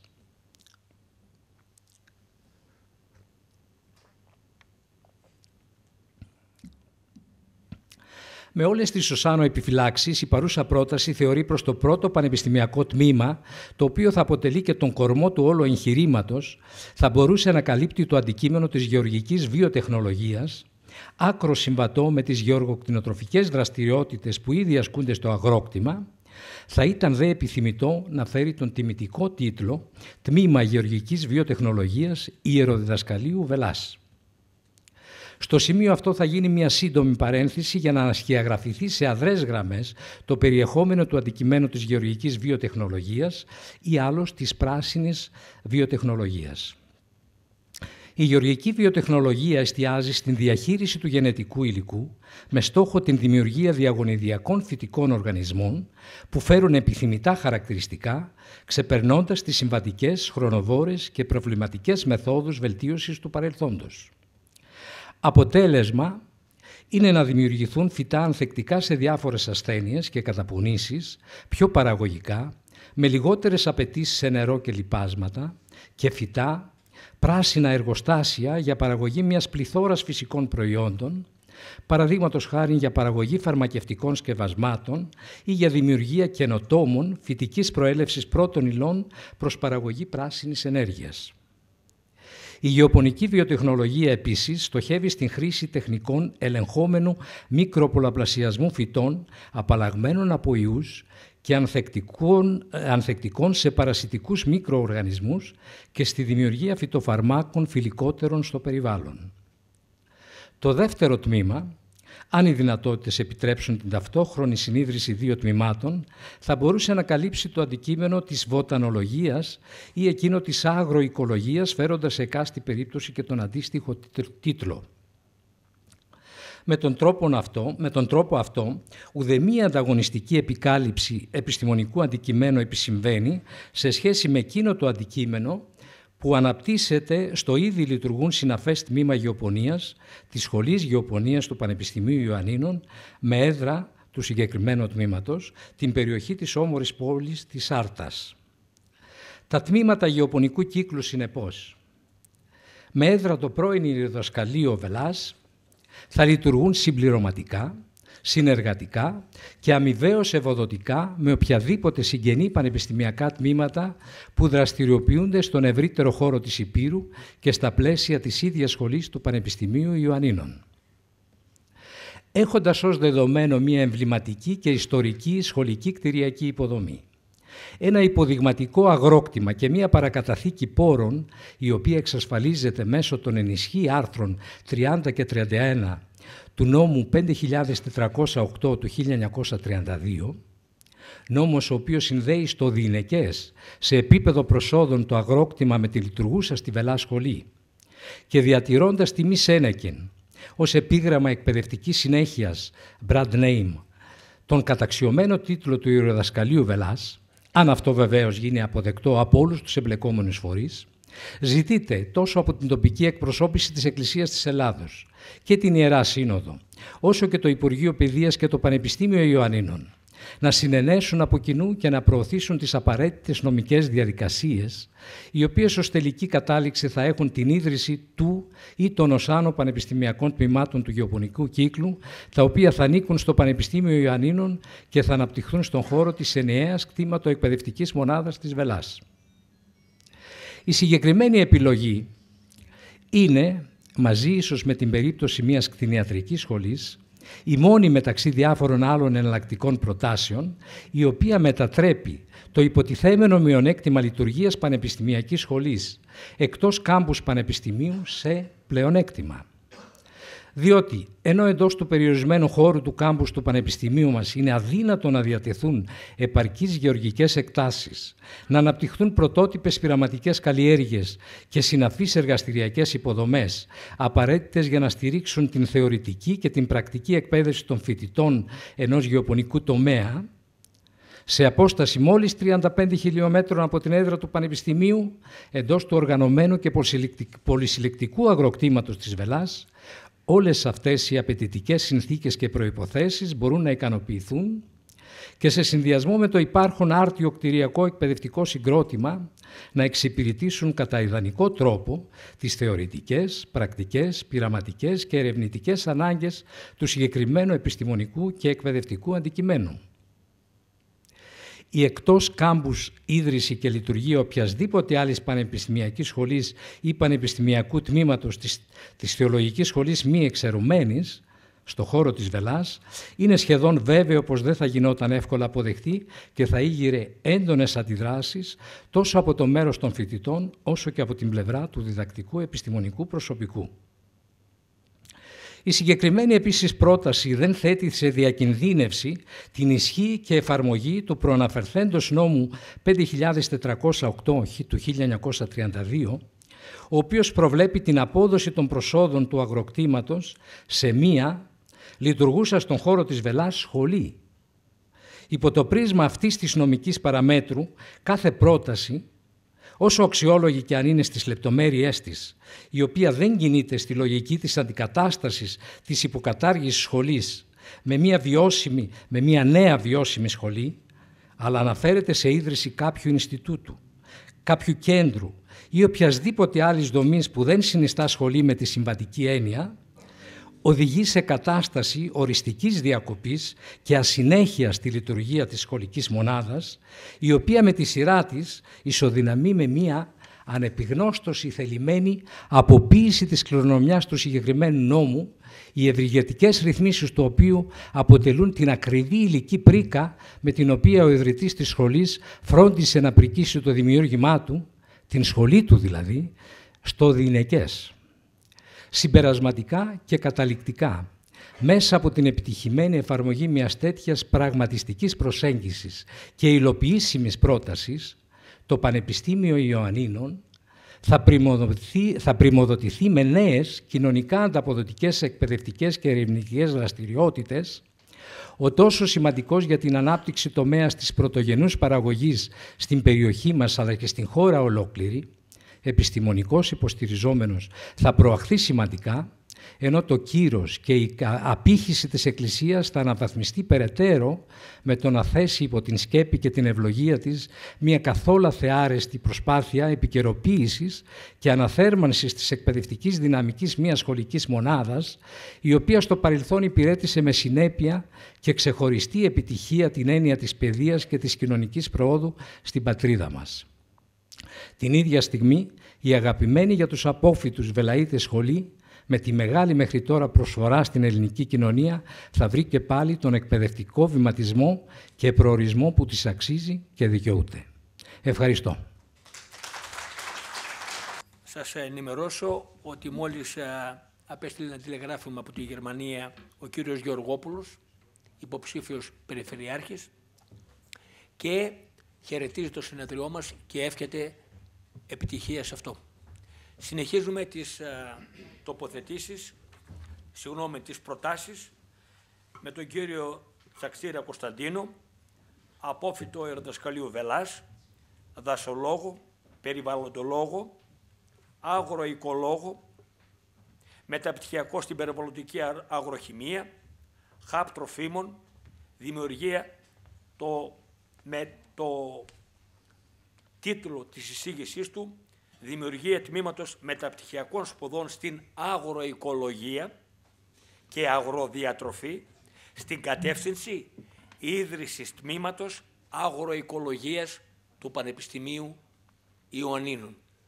Νομίζω υπάρχει συνάφεια, αγαπητέ Κώστα, με την τοποθέτηση εισήγηση του κύριου Κότση και αυτό μας ευχαριστεί διότι όπως θα διαπιστώσουμε υπάρχουν συγκλίνουσες αρκετές μεταξύ των προτάσεων. Αυτό θα διευκολύνει και το, την εξαγωγή των πορισμάτων και νομίζω θα διευκολύνει και τους φορείς αρκεί να υπάρχει η βούληση. Προϋπόθεση όλων είναι η βούληση. Ο Σεβασμάτωτος την εξέφρασε. Είδομεν. Κύριε Ταξίρα. Να μην συνεχίσω τους χαιρετισμούς γιατί πιστεύω ότι πήρατε αρκετούς μέχρι τώρα για να μην σας κουράζω. Το Πνευματικό Κέντρο του Ιρεδασκαλίου Βελάς μετά από μια σειρά διαφοροποιήσεις σχετικά με τη συνέχεια λειτουργίας του κατέληξε να απομακρύνεται ουσιαστικά από τον εκπαιδευτικό πνευματικό σκοπό του να συντηρεί και εκπαιδεύει σπουδαστές που με την εξαητή φοιτησή τους αυτό προσέφερε στην κοινωνία ικανούς ιερείς και δασκάλους, μεγάλος αριθμός από τους οποίους διέπρεψαν μετά από σπουδές σε άλλες κατευθύνσεις και επιστημονικές ειδικότητες. Η ανάγκη αξιοποίησης των υποδομών της σχολής, όπως και η κατάλληλη ουσιαστική και πλήρης αξιοποίηση του κτήματος της Βελάς, στα συνέχεια της έγκλησης και της προσφοράς της στην κοινωνία της Επίρου, αλλά και πανελλαδικά, επιβάλλει σε εμάς τους αποφύτου της να προστατεύσουμε και αξιοποιήσουμε με τον καλύτερο τρόπο αρμονικά με το παρελθόν, όπως και με τις συγκεκριμένες κλιματιδαφικές συνθήκες και το περιβάλλον, την υπόστασή της, έτσι ώστε να δώσει στην κοινωνία μας ό,τι καλύτερο μπορεί, ανταποκρινόμενη στον ιστορικό σκοπό της και πάντα στα πλαίσια των νέων συνθήκων και αναγκών όπως αυτές εξελίσσονται. Έτσι θεωρήθηκε ότι ο καλύτερος τρόπος αξιοποίησης της σχολής της Βελάς στο σύνολό της είναι να πορευτεί ο σκοπός και ο ρόλος της στην ίδια γενική κατεύθυνση με χαρακτηριστικό τον επιστημονικό εκπαιδευτικό πνευματικό χαρακτήρα, ώστε να καλύψει επιστημονικές ανάγκες των καιρών που μέχρι σήμερα επιχειρήθηκε θετικά με ένα από το Πανεπιστήμιο Ιωαννίνων, αλλά με έναν αποσπασματικό χρονικό χαρακτήρα, καθότι εντάχθηκε σε πρόγραμμα σπουδών επιλογής.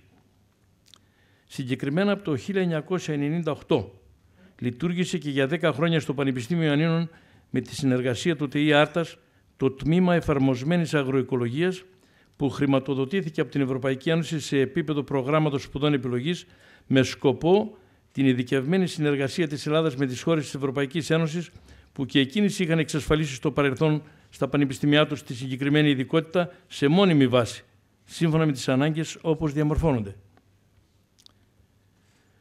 Προτεργάτης και πρόεδρος του τμήματος ήταν ο πρώην πρίτανης του Πανεπιστημίου Ιωαννίνων κύριος Τριαντάφυλλος Αλμπάνης, ο οποίος και οργάνωσε τη λειτουργία του τμήματος με υποδηματικό τρόπο. Τυχαίνει να είναι παρόν. Η φίτηση του τμήματος ήταν πενταετής, με πρακτική εξάσκηση το τελευταίο έτος. Αρκετοί από τους αποφύτους έκαναν μεταπτυχιακά. Στην περιβαλλοντική αγροχημία και στις βιολογικές καλλιέργειες. Άλλοι συνέχισαν σε διδακτορικές διατριβές. Με βάση το αναλυτικό πρόγραμμα σπουδών και σύμφωνα με απόφαση της συγκλήτου του Πανεπιστημίου Ιωαννίνων, το τμήμα αγροοικολογίας υπερκαλύπτει τις γεωπονικές σπουδές και ως εκ τούτου όχι μόνο δεν υστερεί αλλά παρουσιάζει επιπλέον επιστημονικές ιδιαιτερότητες ώστε να χαρακτηρίζεται ιδιαίτερο επιστημονικά τμήμα έχει εργαστήρια, επιμέρους ασκήσεις και ερευνητικές ασκήσεις στο πεδίο. Οι καθηγητές που δίδασκαν ήταν καθηγητές από τις σχολές του Πανεπιστημίου στα αντίστοιχα μαθήματα με συνδρομή και καθηγητών των ΤΕΗ Άρτας. Οι απόφοιτοι αξιοποιούνται πολύπλευρα ως αγροοικολόγοι, περιβαλλοντολόγοι, μελετητές σε αντικείμενα των σπουδών τους, ελεγκτές και επιθεωρητές παραγωγής τροφίμων και αγροτικών εγκαταστάσεων, σύμβουλοι αγροτικών εκμεταλλεύσεων, επιθεωρητές ελεγκτές βιολογικών εγκαταστάσεων και βιολογικών προϊόντων και με μεγάλη γκάμα επιστημονικών δυνατοτήτων στην αγροτική οικονομία. Η αγροοικολογία είναι αναγκαία επιστήμη για το σήμερα της κλιματικής αλλαγής. Με αυτές τις σκέψεις θεωρούμε ότι η καταλληλότερη αξιοποίηση της Βελάς είναι να φιλοξενήσει το τμήμα αγροοικολογίας ενταγμένο στο Πανεπιστήμιο Ιαννίνων. Απαιτείται καταρχήν η συνένεση της Πανεπιστημιακής Συγκλήτου και η έγκριση του Υπουργείου Παιδείας για τη δημιουργία του Τμήματος Αγροοικολογίας και η συνένεση της Μητροπόλης Ιωαννίνων σε συνεργασία με το Πανεπιστήμιο Ιωαννίνων. Σε επίπεδο οργάνωσης και αναγκών λειτουργίας προτείνουμε όπως λειτουργήσε και στο Πανεπιστήμιο Ιωαννίνων εισαγωγή 40 φοιτητών κάθε έτος, είτε με την πλήρη πενταετή φοιτηση θα έχει 200 τροφίμους όσοι ήταν περίπου οι τρόφιμοι σπουδαστές στο παρελθόν. Η διαμονή θα είναι στη σχολή όπως και η σύντηση. Θα αξιοποιηθούν τα εργαστήρια του Πανεπιστημίου με μεταφορά των φοιτητών σε αυτά με λεωφορείο της σχολής που θα εξυπηρετεί και άλλες ανάγκες. Μέρος του κτήματος θα αξιοποιηθεί για τη δημιουργία πρότυπου βοτανικού κήπου και θα αποτελέσει χώρο για την επιστημονική έρευνα και εξάσκηση των φοιτητών και φορέα ευρύτερη επιστημονικής αναζήτησης και ενημέρωσης, βοηθώντας και στην τουριστική αναβάθμιση της περιοχής. Στην κατεύθυνση αυτή θεωρείται απαραίτητο για την ορίμανση της πρότασης να προηγηθεί η ίδρυση προγράμματος μεταπτυχιακών σπουδών του Πανεπιστημίου Ανίνων στο κτήμα του Ερδασκαλείου με τίτλο «Αγροοικολογία και αγροδιατροφή» με την παρακάτω όσο γίνεται επί του παρόντος αναλυτική κατανοητή αναφορά. Οι απόφοιτοι θα αξιοποιηθούν σε όλους τους παραγωγικούς τομείς που σχετίζονται με τα αντίστοιχα γνωστικά αντικείμενα. Τα τμήματα Πανεπιστημίου Ιωαννίνων, Χημίας, Βιολογικών Εφαρμογών και Τεχνολογιών, καθώς και Γεωπονικής, θα μπορούσαν να υποστηρίξουν από κοινού ένα νέο πρόγραμμα μεταπτυχιακών σπουδών με τίτλο Αγροοικολογία και Αγροδιατροφή. Το πρόγραμμα μεταπτυχιακών σπουδών θα έχει ως αντικείμενο την παροχή εκπαίδευσης μεταπτυχιακού επίπεδου στα διεπιστημονικά πεδία των επιστημών της οικολογίας, του περιβάλλοντος και της αγροδιατροφής, έτσι ώστε οι πτυχιούχοι του προγράμματος να αποκτήσουν ισχυρό επιστημονικό υπόβαθρο εμπειρία και τεχνολογία για την υιοθέτηση βέλτιστων λύσεων και εφαρμογών στη ζωική και φυτική παραγωγή και την προστασία του περιβάλλοντος. Η βασική σκοπή του προγράμματος σπουδών είναι η εξής. Η παροχή υψηλού επίπεδου μεταπτυχιακών σπουδών. Η παροχή γνώσης της σύγχρονης εξελίξης των επιστημών του περιβάλλοντος και της αγροδιατροφής με έμφαση στην αγροχημία και τα φαρμακευτικά φυτά. Η βελτίωση και εφαρμογή τεχνικών και μεθοδολογιών στους τομείς αναλυτικές τεχνικές ελέγχου ρήπανσης και εκτίμησης επιπτώσεων στην τροφική αλυσίδα και τον άνθρωπο. Μελέτες για την ανάπτυξη μεθοδολογιών και τεχνολογιών προστασίας και αποκατάστασης του περιβάλλοντος. Ανάπτυξη και εφαρμογή αναλυτικών τεχνικών για τον έλεγχο ποιότητας και ασφάλειας των γεωργικών προϊόντων. Καλλιέργειας φυτικών και εκτροφής παραγωγικών ζώων σε συνθήκες αηφορίας για την ανάπτυξη ποιοτικών χαρακτηριστικών στα τελικά τους προϊόντα ανάπτυξη διατροφικών μεθόδων μειωμένων περιβαλλοντικού αποτυπώματος στη ζωική παραγωγή, με παράλληλη έμφαση στην υγιεινή διατροφή με απουσία χρήσης χημικών πρόσθετων. Μεταποίηση τροφίμων. Αρχές και εφαρμογές κυκλικής παραγωγής και οικονομίας. Συστήματα διαχείρισης αποβλήτων από βιομηχανίες μεταποίησης ζωικών προϊόντων και βιομηχανικών τροφίμων. Θερμοκηπιακές καλλιέργειες φρούτων και λαχανικών. Φαρμακευτικά φυτά και αποστάγματα και δημιουργία επιστημόνων με τις απαιτούμενες δεξιότητες για επιτυχή σταδιοδρομία σε όλους τους παραγωγικούς τομείς του γνωστικού τους αντικειμένου.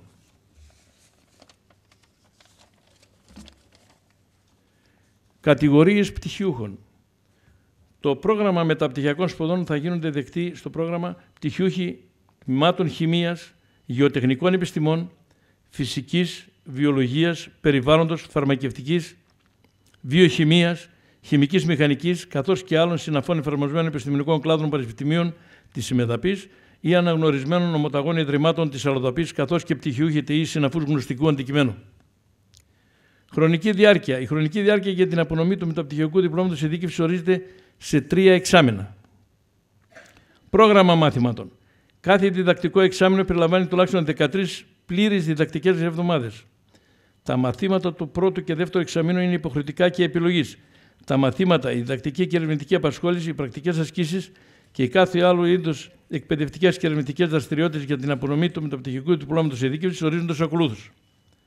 για την απονομή του μεταπτυχιακού διπλώματος ειδίκευσης. Απαιτείται η υποχρεωτική παρακολούθηση και επιτυχής εξέταση σε 8 θεωρητικά μαθήματα και 2 εργαστηριακά μαθήματα του πρώτου και δευτέρου εξαμήνου σπουδών, καθώς και όλες τις εργαστηριακές και ερευνητικές δραστηριότητες του δεύτερου και τρίτου εξαμήνου σπουδών.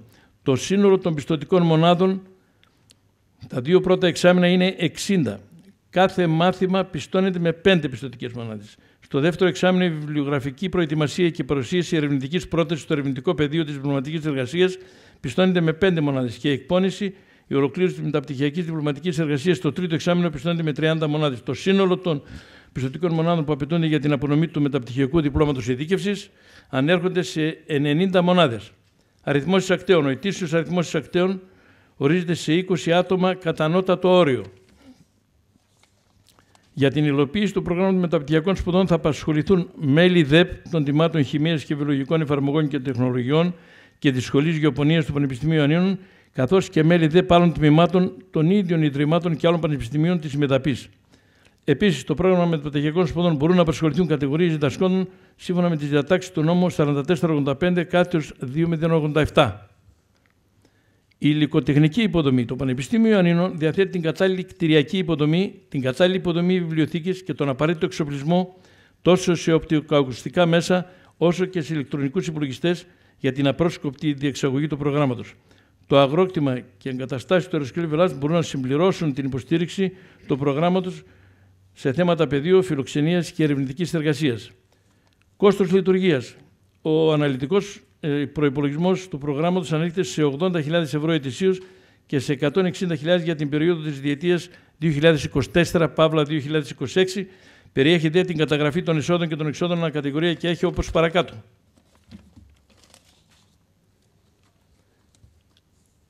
Προϋπολογισμός από ανώτατα εκπαιδευτικά ιδρύματα 20.000 από το Υπουργείο Παιδείας 100.000. Από δωρεές παροχές κληροτήματος σε κάθε είδους χορηγής φορέων του δημοσίου τομέα 15.000. Πόροι από ερευνητικά προγράμματα 5.000. Πόροι από προγράμματα της Ευρωπαϊκής Ένωσης ή άλλων ευρωπαϊκών οργανισμών 5.000. Κάθε άλλη νόμιμη αιτία και χορηγής 15.000. Οι δαπάνες αναφέρονται σε δαπάνες εξοπλισμού και δαπάνες λογισμικού 20.000, δαπάνες χορήγησης υποτροφιών 15, δαπάνες αναλωσίμων 70.000, δαπάνες μετακινήσεων διδασκόντων 15.000, αμοιβές διδασκαλίας τακτικού προσωπικού των ΑΕΗ ερευνητικών κέντρων και Ινστιτούτων που μετέχουν στη λειτουργία του προγράμματος 10.000. Αμοιβές έκτακτου τακτικού προσωπικού που μετέχουν στην οργάνωση του προγράμματος 10.000, αμοιβές προσωπικού διδασκαλίας παραγράφου 4485 του 17 5.000. Αμοιβές διοικητικής και τεχνικής υποστήριξης 10.000. Λοιπές δαπάνες, έξοδα δημοσιότητας προβολής αγοράς εκπαιδευτικού υλικού διοργάνωση συνεδρίων 5.000. Ισοσκελίζεται λοιπόν ο προπολογισμό. Βέβαια το σκέλος του μεταπτυχιακού προγράμματος σαν παρουσίαση προήρθε από συνεργασία με δασκάλους του Πανεπιστημίου Ιωαννίνου και Θεσσαλονίκης. Εν κατακλείδη, με αυτόν τον τρόπο η Βελά θα ανακτήσει την έγκλη, το κύρος και την αξία που της ανήκει και θα προσφέρει στην κοινωνία ό,τι καλύτερο στους καιρούς που περνάνε. Σας ευχαριστώ. Ευχαριστούμε τον κύριο Τσαξίρα για την αναλυτικότατη, όχι απλά αναλυτική κατάθεση πρότασής του, κοστολογημένη όπως είδατε. Και περνάμε στον κύριο Κοσμά Θεοχάρη, Βελαΐτη, ομότιμο καθηγητή τμήματος Φυσικής Πανεπιστημίου Ιωαννίνων, με τίτλο στην εισήγησή του Κέντρος Σπουδής και Έρευνας Βιολογίας Φυτών με πυλώνα σύγχρονο βοτανικό κήπο Βελάς. Ε, πριν ξεκινήσω την ομιλία μου θα ήθελα να ευχαριστήσω την Οργανωτική Επιτροπή που, ε, γίνεται, που ε, γίνεται με τη συνεργασία των δύο συλλόγων και να ευχαριστήσω και εσάς που προσήλθατε για να ακούσετε μεταξύ των άλλων και τη δική μου ομιλία, η οποία, της οποίας ο τίτλος έχει ανακοινωθεί. Θα μου επιτρέψετε να καθίσω.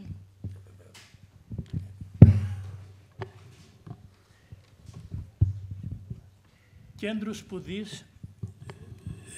Ε, ε, η πρότασή μου αφορά την ε, δημιουργία, την ίδρυση ενός κέντρου σπουδής και έρευνας στη βιολογία των φυτών, η οποία ε, θα στηρίζεται πάνω στη δημιουργία, στην ίδρυση, στην κατασκευή ενός σύγχρονου βοτανικού κήπου. Συνοπτικά, ε, συνοπτικά προτείνεται να ιδρυθεί και να λειτουργήσει στη Βελά ένας σύγχρονος υψηλού επίπεδου βοτανικός κήπος, ο οποίος σε σύνδεση και συνεργασία με το Πανεπιστήμιο Ιωαννίνων θα υποστηρίζει τη σπουδή και την έρευνα της βιολογίας φυτών καθώς και συναφών επιστημονικών αντικειμένων. Ο βοτανικός κήπος ε, θα προετοιμάσει την ανάπτυξη προγραμμάτων μεταπτυχιακών σπουδών και συναφών πεδίων, καθώς και την ίδρυση αντίστοιχων πανεπιστημιακών τμήματων, η πρωτοβουλία βέβαια των οποίων ανήκει στο Πανεπιστήμιο Ιωαννίνων. Κατά αυτόν τον τρόπο η Βελά θα γίνει κέντρο σπουδής και έρευνας, δηλαδή ε, ελπίζουμε ότι θα κινείται αρκετός φοιτητό κόσμος εκεί και μαθητό κόσμος και αυτό το κέντρο θα βοηθήσει στο να κερδίσει το κύρος της η Βελά που ήταν κορυφαίο για κάποιες δεκαετίες όπως προαναφέρθηκε. Η έμπνευση της πρότασης ε, προήλθε από τα βιώματα, τις εμπειρίες και την πολύπλευρη επιρροή που είχε στην ψυχοπνευματική μου και σωματική οντότητα το εξαίσιο φυσικό περιβάλλον, πρώτα στο χωριό μου, στα ποτιστικά του Βορείου Τζουμέρκων. Στη συνέχεια ε, σπούδασα στο Γυμνάσιο Μετσόβου, επίσης έξοχο φυσικό περιβάλλον. Η σχολή της Βελάς για έξι χρόνια, αλλά κυρίως με ενέπνευσε ο βοτανικός κήπος του Πανεπιστημίου της Στιβίνκη στη Γερμανία. Ε, είχα μία ε, συνεργασία με το Πανεπιστήμιο Τύπηγεν για περίπου δύο-τρεις δεκαετίες, αλλά συνολικά έχω καθίσει ε, περίπου τέσσερα-πέντε χρόνια και κάθε μέρα διέσκιζα αυτό τον βοτανικό κήπο, του οποίου ε, αρκετές εικόνες θα δείτε στη συνέχεια.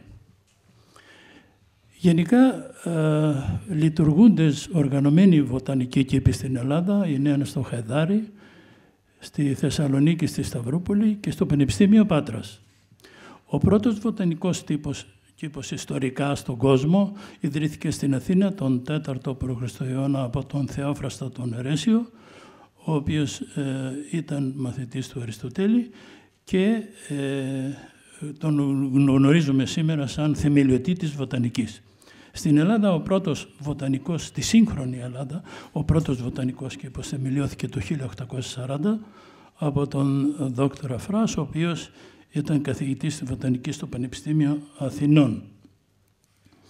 Ο μεγαλύτερος βοτανικός κήπος της Ανατολικής Μεσογείου λειτουργεί στο Χαϊδάρι και είναι γνωστός ως βοτανικός κήπος Ιουλίας και Αλεξάνδρου Διομήδους.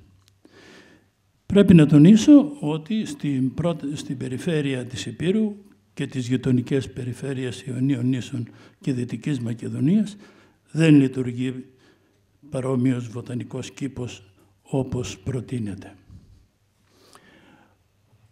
Η λειτουργία του βοτανικού κήπου θα εναρμονίζεται με τους σκοπούς των άλλων βοτανικών κήπων της Ελλάδος, αλλά και εκείνων των χωρών του εξωτερικού και η ιδιαίτερη έμφαση θα πρέπει να δοθεί στη συνεργασία με τέτοιες χώρες του εξωτερικού. Και ε, αναφέρω εδώ ε, το Πανεπιστήμιο της Στιβίνγκης και το Πανεπιστήμιο του Κέμπριτ, θα δείτε μερικές εικόνες στη συνέχεια, ε, και ε, άλλες χώρες. Ε, και αυτό ε, πρέπει να γίνει επίσης με έμφαση στις προπτυχιακές σπουδές, τις μεταπτυχιακές και τις διδακτορικές και μεταδιδακτορικές σπουδές. Η συμβολή ενός τέτοιου βοτανικού κήπου στην εκπλήρωση των στόχων που προανέφερα ε, θα είναι μεγάλη και, και θα γίνεται ε, με τη συλλογή, καλλιέργεια και αξιοποίηση στην έρευνα και την εκπαίδευση φυτικών ειδών της χώρας μας, χωρών πρώτα της Επίρου εννοείται, χωρών των Βαλκανίων, της Ευρώπης και ε, αναφέρομαι στα φυτά γενικού ενδιαφέροντος αλλά και ειδικού ενδιαφέροντος όπως είναι φαρμακευτικά, αρωματικά και εκκλησιαστικά φυτά. Ε, επίσης θα γίνεται αξιοποίηση της υπηρετικής ελληνικής χλωρίδας ε, στην εκπαίδευση των φοιτητών του Πανεπιστημίου Ιωνίνων αλλά και των μαθητών πρωτοβάθμιας και δευτεροβάθμιας εκπαίδευσης, κυρίως της Υπήρου. Ε, επίσης θα γίνεται ε, με, μέσα στον βοτανικό κήπο προστασία, τον θα παρέχει επομένως, προστασία φυτικών ειδών που απειλούνται με εξαφάνιση, καθώς και προστασία της γνωστής βιοπικιλότητας της χλωρίδας από αλλίωση. Ε, κατά αυτόν τον τρόπο το κοινό της Υπήρου και ιδιαίτερα οι νέοι θα αποκτήσουν μια ευαισθητοποίηση στη διατήρηση των φυτών και του περιφερειακού οικοσυστήματος καθώς και την προστασία του περιβάλλοντος. Ο, ο βοτανικός κήπος ε, θα έχει επισκεψιμότητα και προφανώς ε, θα έχουν τη δυνατότητα να τον επισκέπτονται σε καθημερινή βάση μαθητές διαφόρων σχολείων, πρωτοβάθμιας και δευτεροβάθμιας εκπαίδευσης Υπήρου, αλλά και όλης της Ελλάδος, φοιτητές πρώτα του Πανεπιστημίου Ιωνίνων, αλλά και άλλων πανεπιστημίων της Ελλάδος και του εξωτερικού, εφόσον ε, αποκτήσει φήμη. Ε, και η, η επισκεψιμότητα αυτή μπορεί να επεκταθεί και στο ευρύ κοινό ε, Ελλάδος και εξωτερικού, οπότε μπορεί να προκύψει και οικονομικό όφελος για, τους, ε, για τον τόπο και, αλλά και για την περιοχή ευρύτερα. Τώρα, ε, η εκπαίδευση μαθητών και φοιτητών βλέπετε στις εικόνες που εδώ πέρα από οργανωμένους υψηλού επίπεδου κήπους ε, είναι και το τύπικεν ακόμα και παιδιά βλέπετε του Δημοτικού Σχολείου ε, παίρνουν μηνύματα από ε, πρώτη άποψη σε αυτούς τους βοτανικούς κήπους. Έτσι λοιπόν, ο βοτανικός κήπος, στο βοτανικό αυτό κήπο θα λαμβάνουν χώρα διάφορες μαθητικές και φοιτητικές εκπαιδευτικές, εκπαιδευτικού τύπου δραστηριότητες. Η πρακτική άσκηση μπορεί να γίνεται ε, φοιτητών από το Πανεπιστήμιό μας, προπτυχιακών εννοείται, σε σχετικά μαθήματα, ε, βιολογία φυτών, αλλά και συναφή που απαιτούν εργαστήρια και ε, παραπέρα ε, εκπόνηση ε, διπλωματικών εργασιών προπτυχιακού επίπεδου που έχουν τα περισσότερα τμήματα, εκπόνηση ε, διπλωματικών εργασιών μεταπτυχιακού επίπεδου. Οπότε θα καλλιεργηθεί με αυτόν τον τρόπο το ενδιαφέρον των μαθητών και φοιτητών για σπουδές στη βιολογία των φυτών και τα συναφή παιδεία με τις προφανείς ευεργετικές επιδράσεις Όπως ε, τονίστηκε, ε, οι φοιτητές θα μοιηθούν στην επιστημονική σκέψη και θα οδηγηθούν στο να ε, διεξάγουν και επιστημονική έρευνα στο βοτανικό κήπο, στη βιολογία των φυτών που είναι η πρόταση κατά κύριο λόγο, αλλά και τα συνεφή παιδεία. Δηλαδή θα γίνεται εκπόνηση διδακτορικών διατριβών. Βλέπετε εδώ με το σημειωματάριο και το στυλό ε, όλοι οι φοιτητές. Αυτή εδώ είναι μια πολύ εντυπωσιακή ε, από το Cambridge, από τον βοτανικό κήπο του Cambridge ε, και ε, με, με την εκπόνηση διδακτορικών διατριβών και μεταδιδακτορικής έρευνας μπορεί να συμβάλλει στη σύνδεση του βοτανικού κήπου με την πανεπιστημιακή εκπαίδευση αλλά την έρευνα σε πολλά συναφή ερευνητικά υποπεδία. Η ευξανόμενη τώρα δραστηριότητα, δεν συζητάμε ότι θα γίνει αυτό μέσα σε μία εβδομάδα, ε, ε, πρέπει να γίνει γνωστός, λίγο-λίγο να ε, αυξάνονται και οι υποδομές τοπικά. Αυτή λοιπόν η αυξανόμενη δραστηριότητα φοιτητών και ερευνητών θα είναι εκείνη που θα δημιουργήσει ένα κέντρο σπουδής και έρευνας της βιολογίας φυτών με προφανή πλεονεκτήματα. Δεν αναφέρομαι εδώ για το νομικό κομμάτι της πρότασης. Αυτό ε, πιο πολύ το ουσιαστικό τονίζεται εδώ. Ε, μάλιστα η πρόταση έχει γραφεί εδώ και περίπου τρία χρόνια, άρα υπάρχει, όπως μας ενημέρωσε και ο Σεβός Μεότοτος, εξέλιξη και στο ε, σημείο ε, το, νομικό. αυτό λοιπόν έτσι θα δημιουργηθούν οι προϋποθέσεις ίδρυσης στο Πανεπιστήμιο Ιωνίνων νέων κατευθύνσεων, μιλάμε για κατευθύνσεων αρχικά, που να σχετίζονται με τη βοτανική, την εδαφολογία, αλλά και άλλους τομείς όπου η βιολογία ως πρώτο συνθετικό επισέρχεται. Ε, εδώ εννοείται ότι ε, θα πρέπει να υπάρχει σύνδεση, συνεργασία ε, και συνεννοήσεις και οι Βελαΐτες το ε, έχουν το δικαίωμα να διεκδικούν κάπως πιο έντονα την ίδρυση στις κατευθύνσεις που ε, αναφέρομαι και εγώ, αλλά και οι πρώτοι οικούμενοι ομιλητές αναφέρθηκαν. Ε, η πρότασή μου, όπως τη βλέπω εγώ τουλάχιστον, αφορά εκπαιδευτικής και ερευνητικής φύσεως δραστηριότητες και είναι οραματική, καινοτόμως και πρωτοποριακή. Για την παρούσα συγκυρία, ε, βρισκόμαστε ε, μετά την κατάργηση της Ανωτάτης Εκκλησιαστικής Ακαδημίας αποτελεί μια προσιτή και εφικτή λύση συνέχισης μιας αξιόλογης εκπαιδευτικής δραστηριότητας στη Βελά ε, υψηλού επίπεδου. Γιατί ε, συνέχεια στην Ανωτάτη Εκκλησιαστική Ακαδημία αντικαθιστώντας αυτή τη σχολή με άλλη σχολή δεδομένου του νέου νομικού καθεστώτος, είναι αδύνατη. Περνάει μέσα από τα πανεπιστήμια. Ε, επίσης, η ε, ίδρυση ε, ιδιωτικού πανεπιστημίου ε, ή σχολής βελάς αποκλειστικά ε, μπορεί να γίνει μόνο από, όταν, από ένα ιδιωτικό πανεπιστήμιο που όμως η, εκκλησία, η ελληνική εκκλησία σε μένα φαίνεται απίθανο να γίνει. Η ίδρυση του βοτανικού κήπου μπορεί να δημιουργήσει τις προϋποθέσεις λειτουργίας πανεπιστημιακού επίπεδου ε, τμήματος ή σχολής στο Πανεπιστήμιο Ιωαννίνων, το οποίο έχει και σύμφωνα με το καθεστώς το απόλυτο, ε, την απόλυτη προτεραιότητα σε αυτό.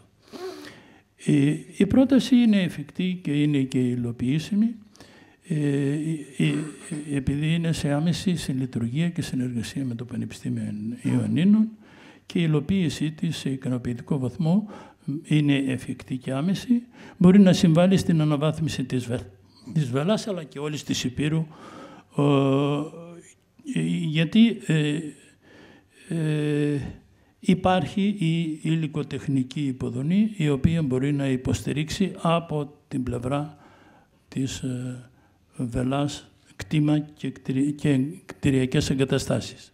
Η πρότασή μου επίσης δεν αντιπαρατήθεται ε, με καμιά άλλη πρόταση και που ε, ακούστηκαν σήμερα και θα ακουστούν και πάλι.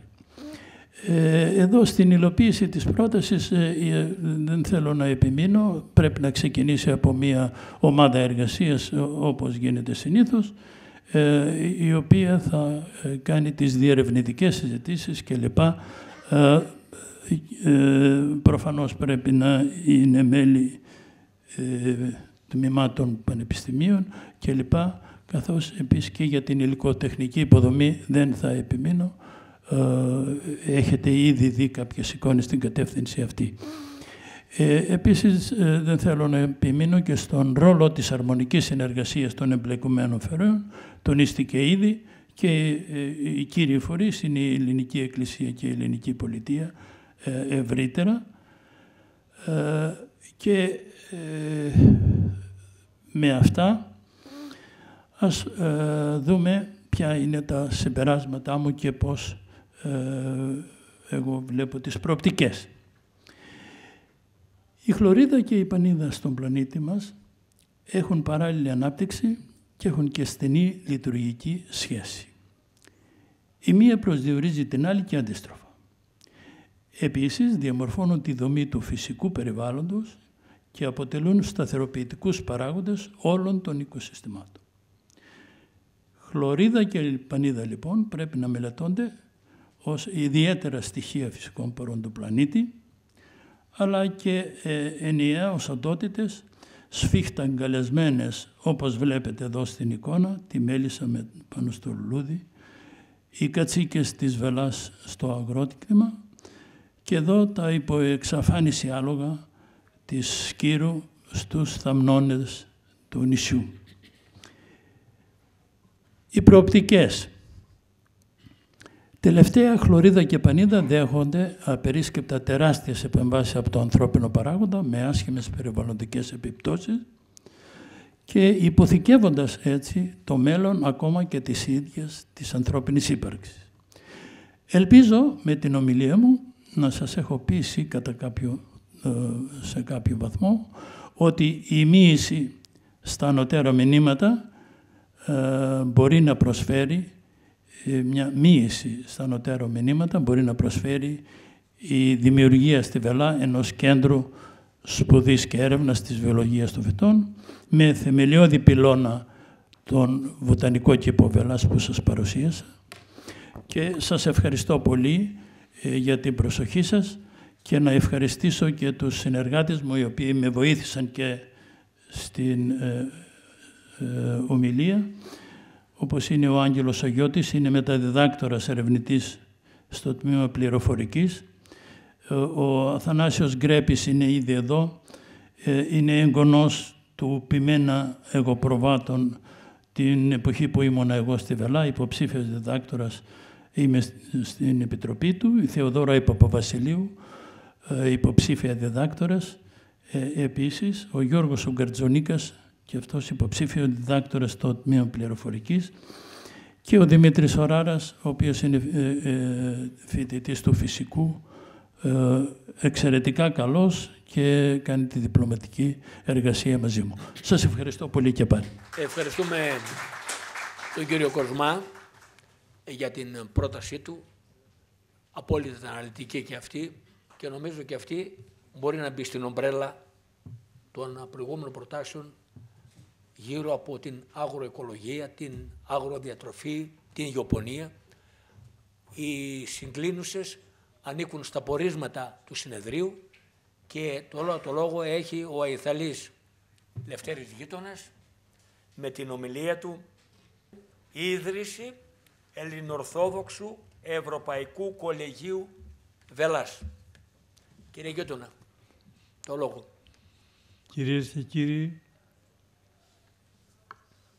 νιώθω ότι σήμερα πήρα ένα μεταπτυχιακό μετά από τις τρεις καταπληκτικές ομιλίες και εισηγήσεις των Κότσι, του Κότσι Νικόλαου, του Τσαξίρα Κωνσταντίνου και του Κοσμά Θεοχάρη.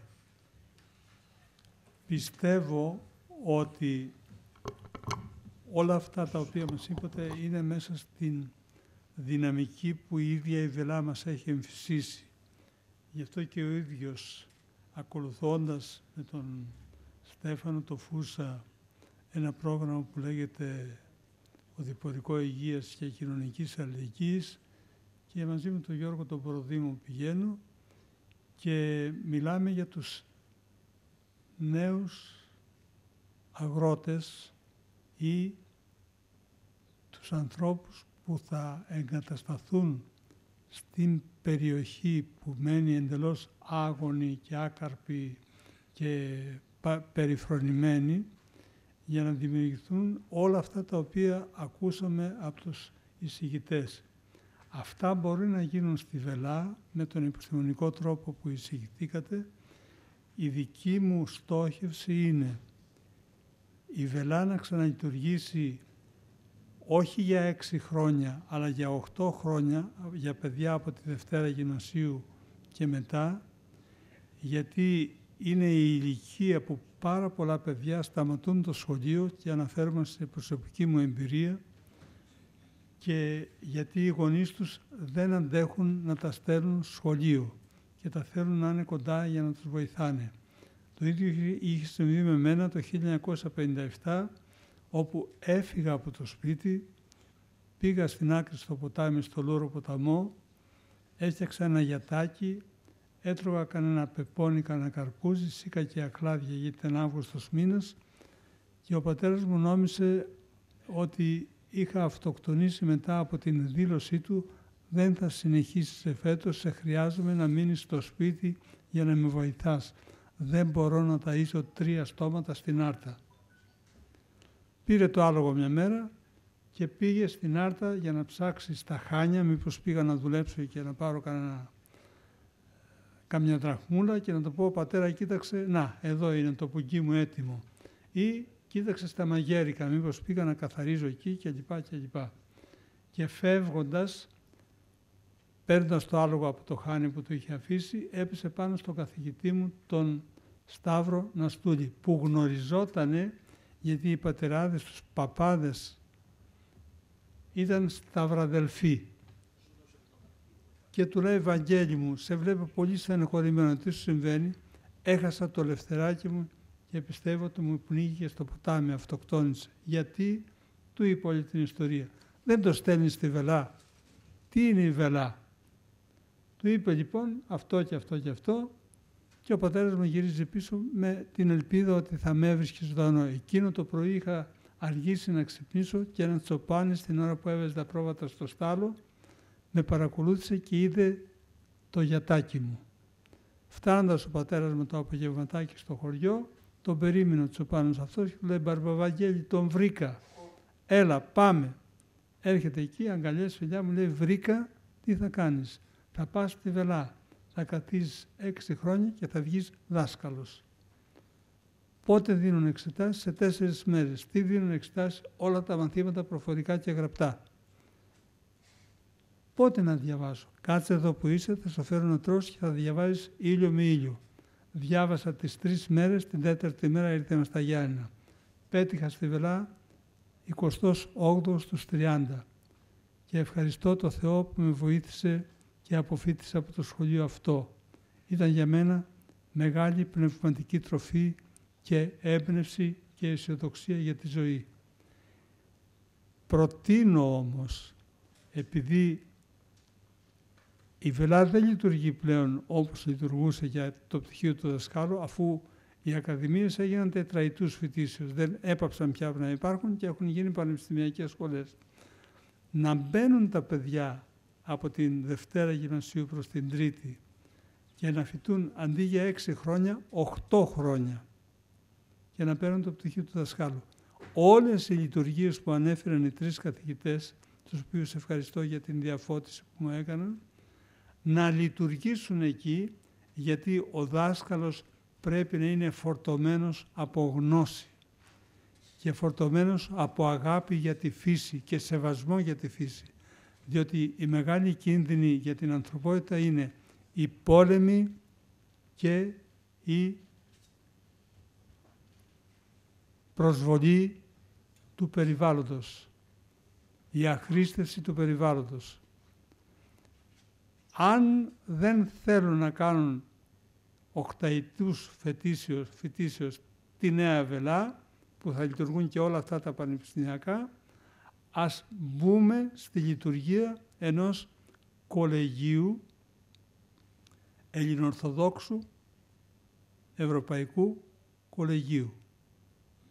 Να έρχονται παιδιά από όλη την Ελλάδα και από όλη την Ευρώπη, του αποδήμου και από την Αμερική και από τη Βόρειο Ήπειρο που αποτελεί τον κύριο, την κύρια στόχευση ίδρυσης της Βελάς τα παιδιά της Βορείου Υπήρου ακόμη μας έχουν ανάγκη. Και το βλέπουμε αυτό από τον Μπελέρη, τον εκλεγμένο δήμαρχο της Χιμάρας, που τον έχουν κλείσει στη φυλακή. Η Βόρειος Ήπειρος μας χρειάζεται ακόμη. Θέλει τη στήριξή μας, θέλει την αγάπη μας, θέλει την αφοσίωσή μας. Κάνοντας αυτό το Ελληνοορθόδοξο Ευρωπαϊκό Κολέγιο μπορεί να λειτουργήσει παράλληλα με την οκταετή φίτηση των άλλων που θα μπουν με εξετάσεις. Έτσι θα απλώσει η βελά τα φτερά της και θα αγκαλιάσει ολόκληρο τον ελληνισμό του κόσμου. Σας ευχαριστώ πάρα πολύ και αισθάνομαι ιδιαίτερα συγκινημένος και υποχρεωμένος που είμαι κοντά σας. Περνάμε τώρα στην επόμενη πρόταση από τον κύριο Γαλατά Ζώη, Περιφερειακό Σύμβουλο Περιφέρειας Υπήρου και προϊστάμενο του Τμήματος Τοπικής Οικονομικής Ανάπτυξης του Δήμου Ζήτσας. Εφαρμογή νέων τεχνολογιών για την επαναλειτουργία της σχολής Βελάς. Κύριε Γαλατά, έχετε το λόγο. Καλησπέρα. Ευχαριστώ για τη φιλοξενία. Συγχαρητήρια για την πρωτοβουλία για τις συνεδριακές εργασίες σας. Θα αποτυπώσουν, πιστεύω, πολλά θετικά στην περιοχή μας. Ε, συνηθίζω να μιλάω απ' έξω, αλλά για συντομία χρόνου θα με συγχωρέσετε. Αναγκαστικά θα περιοριστώ μέσα στα, στα στενά όρια μιας σελίδας. Ε, ξεκινάω λοιπόν λέγοντας ότι θα πρέπει να ξεκαθαρίσουμε πρώτα απ' όλα ότι δεν χωράει κανένας πεσιμισμός και παρέτηση. Δεν έκλεισε ο κύκλος για τη Μονή Βελάς. Με μια υπογραφή, για παράδειγμα, συμφωνία συνεργασίας μεταξύ του Εθνικού Καποδιστριακού Πανεπιστημίου Αθηνών και του Δήμου Αθηναίων για τους χώρους του Μαρασλίου Διδασκαλίου, επιτεύχθηκε η χρήση των κτηρίων του Μαρασλίου Διδασκαλίου, εκκρεμότητα η οποία είχε διάρκεια 25 ετών. Ενδεικτικό ότι τίποτα δεν κλείνει θεσμικά.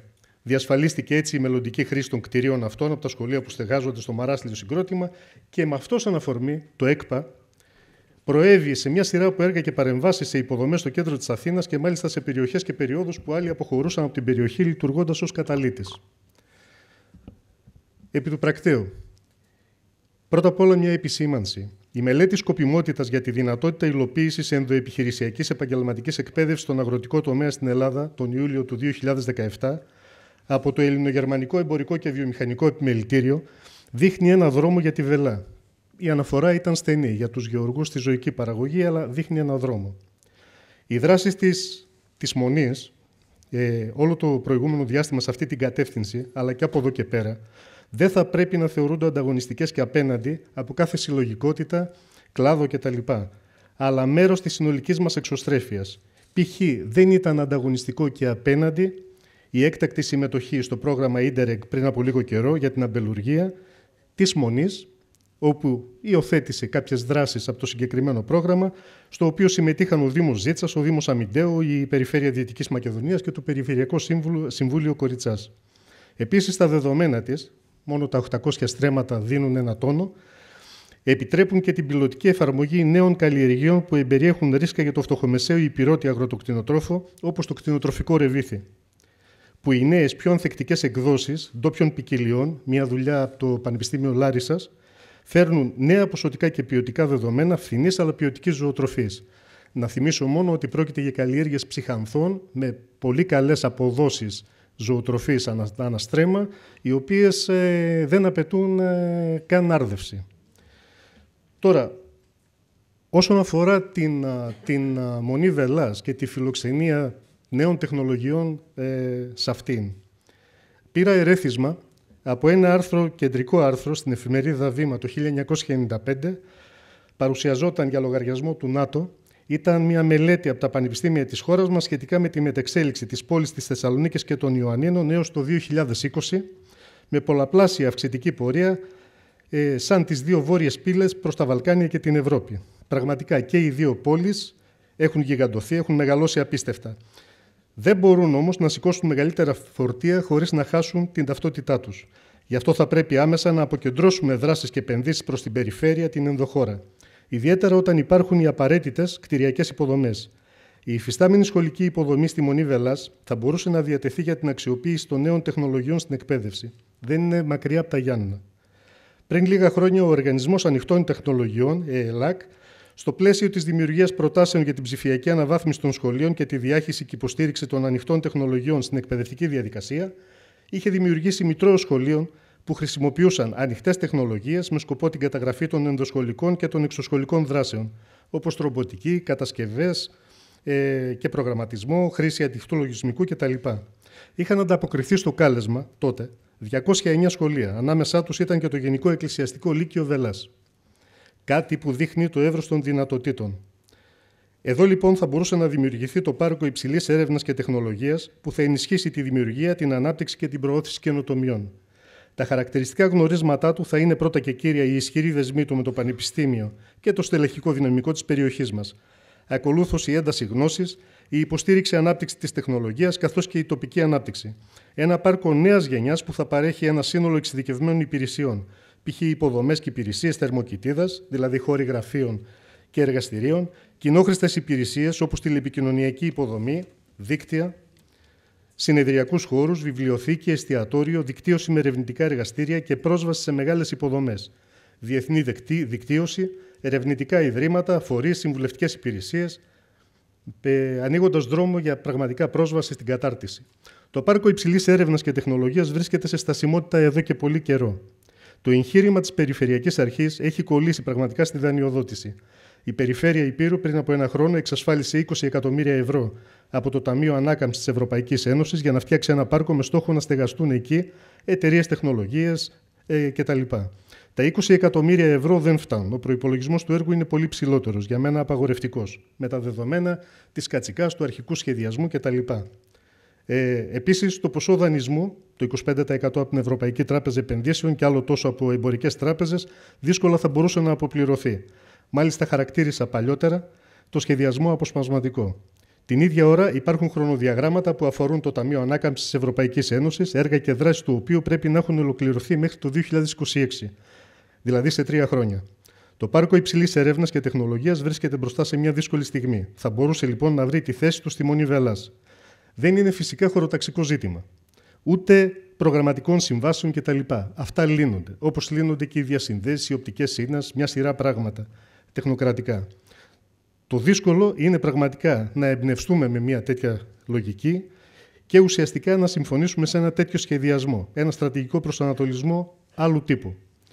Ένα πάρκο τεχνολογίας, λοιπόν, με χρήματα φορολογούμενων πολιτών στη γη της Βελάς, οφείλει να προωθεί την πολυφωνία και να υπηρετεί την τοπική κοινωνία.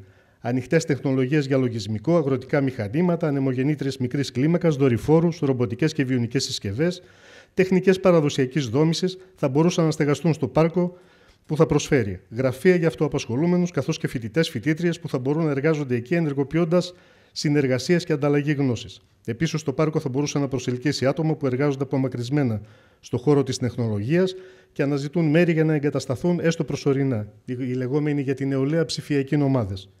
Κοινόχρηστο εργαστήριο κατασκευών, όπου οι πολίτες θα μπορούν να έχουν πρόσβαση με προτεραιότητα στα σχολεία και στο πανεπιστήμιο. Η σύνδεση του κοινόχρηστου εργαστηρίου με την τοπική οικονομία, π.χ. αγροτική παραγωγή, εινοποιία κτλ., μπορεί να δώσει διέξοδο στην πρωτογενή παραγωγή σε λύσεις αυτοματισμού, ελέγχου και ψηφιακής μετάβασης. Η γνώση θα παράγεται τοπικά και θα δημιουργεί υπεραξία για την περιοχή. Α μην λησμονούμε ότι οι εκπαιδευτικές προεκτάσεις τέτοιων χώρων είναι σημαντικές. Π.χ. η πρόταση πάλι της ΕΕΛΑΚ για τα ανοιχτά εργαστήρια εκπαιδευτικής καινοτομίας. Την ίδια στιγμή, στήριξη σε φορείς κοινωνικής και αλληλέγγυας κοινωνικής οικονομίας, οι γνωστές κινσέ που υπάρχουν, που απασχολούνται ευρύτερα με την τεχνολογία. Τέτοιες επιχειρήσεις έχουν συνεργατικές συμμετοχικές δομές και σημαντικό αποτύπωμα στην τοπική οικονομία. Και μην ξεχνάμε ότι τα εκπαιδευτικά σεμινάρια για τους αγρότες και παραγωγούς της Υπήρου θα ήταν πάντα μια καλή αρχή για ένα τέτοιο ξεκίνημα.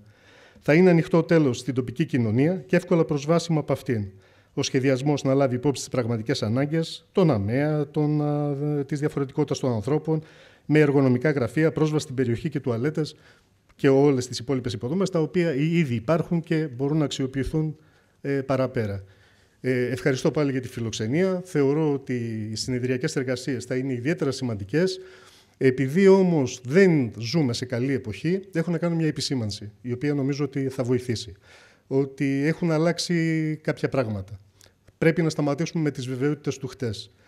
Ε, θα ανατείλει πραγματικά καλύτερη μέρα για την Ήπειρο, για τη χώρα, για όλο τον κόσμο, όταν σε εργασίες συνεδριακές κάποιοι θα, ε, δεν θα περνάνε μόνο ε, βραχυπρόθεσμα, απλά να χαιρετήσουν, να καταγραφούν ότι συμμετείχαν και αυτοί στην, στη διαδικασία, αλλά ότι καθίσαν, αφουγκραστήκαν και κερδίσαν τη γνώση. Γιατί η γνώση δεν ανήκει σε κανέναν, ανήκει σε όλους μας και όλοι πρέπει να την αποζητούμε ε, στη λογική της συλλογικής ε, ε, δράσης, ανάπτυξης, προοπτικής, καλύτερων ημερών για τον τόπο μας. Ευχαριστώ. Ευχαριστούμε τον κύριο Γαλατά.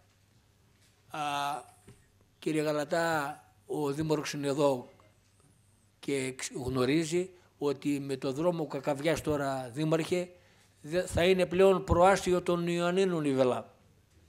Εννοώ από απόψεως αποστάσεως.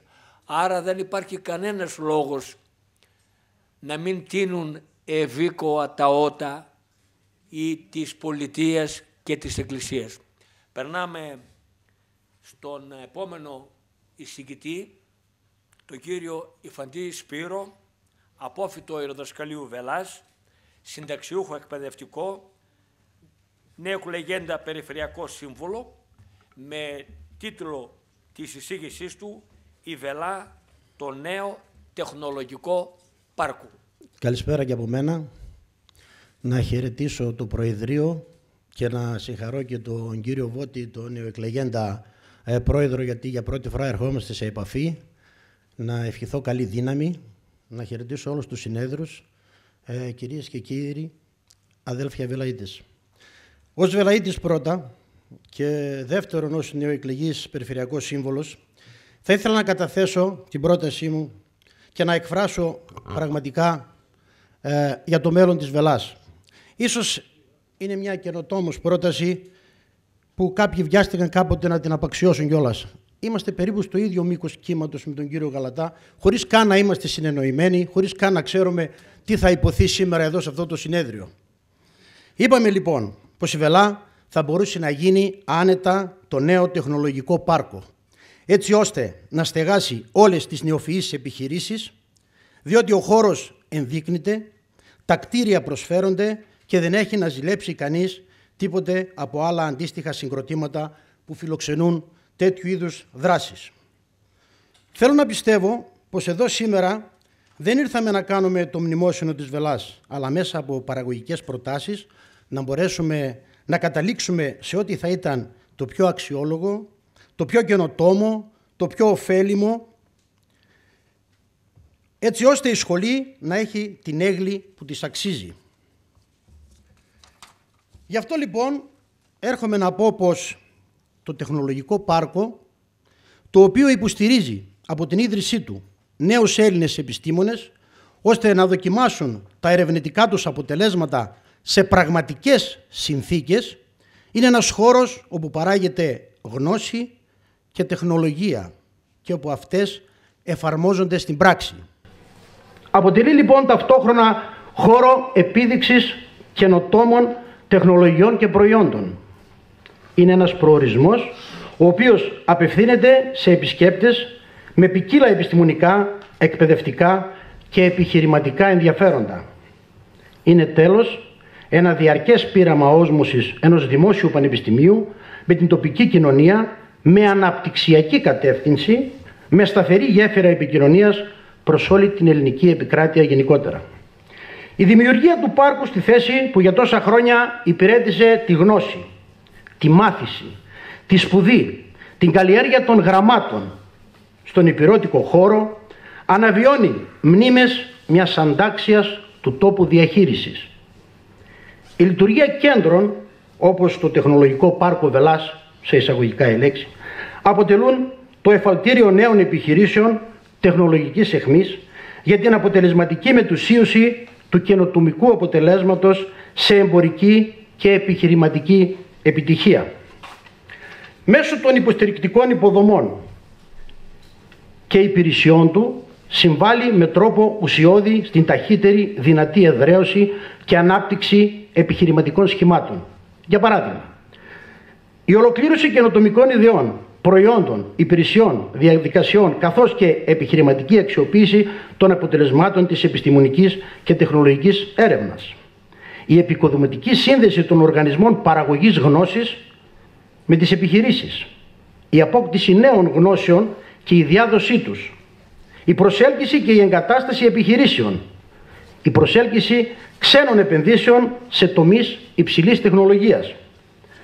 Στα κέντρα καινοτομίας, όπως τα αποκαλούμε, εντάσσονται συνήθως πρόσφατα ιδρυθήσεις ή υποσύσταση μονάδες, προκειμένου να συγκροτηθούν και να εξελιχθούν οργανωτικά, να ολοκληρώσουν και να κατοχυρώσουν το καινοτομικό αποτέλεσμά τους, να καταρτήσουν και να δοκιμάσουν το σχέδιο εκμετάλλευσης της καινοτομίας, να υλοποιήσουν το σχέδιο εκμετάλλευσης της καινοτομίας.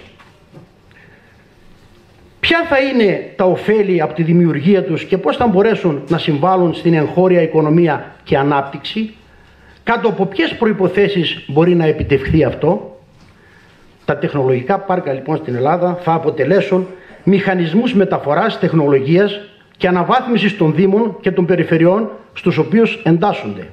Καθώς εκεί θα μπορούν να οργανώνονται διάφορες εκδηλώσεις σχετικές με την επιχειρηματικότητα, ενώ παράλληλα θα ανοίξουν το δρόμο για τη δημιουργία νέων ποιοτικών και καλά αμοιβόμενων θέσεων εργασίας.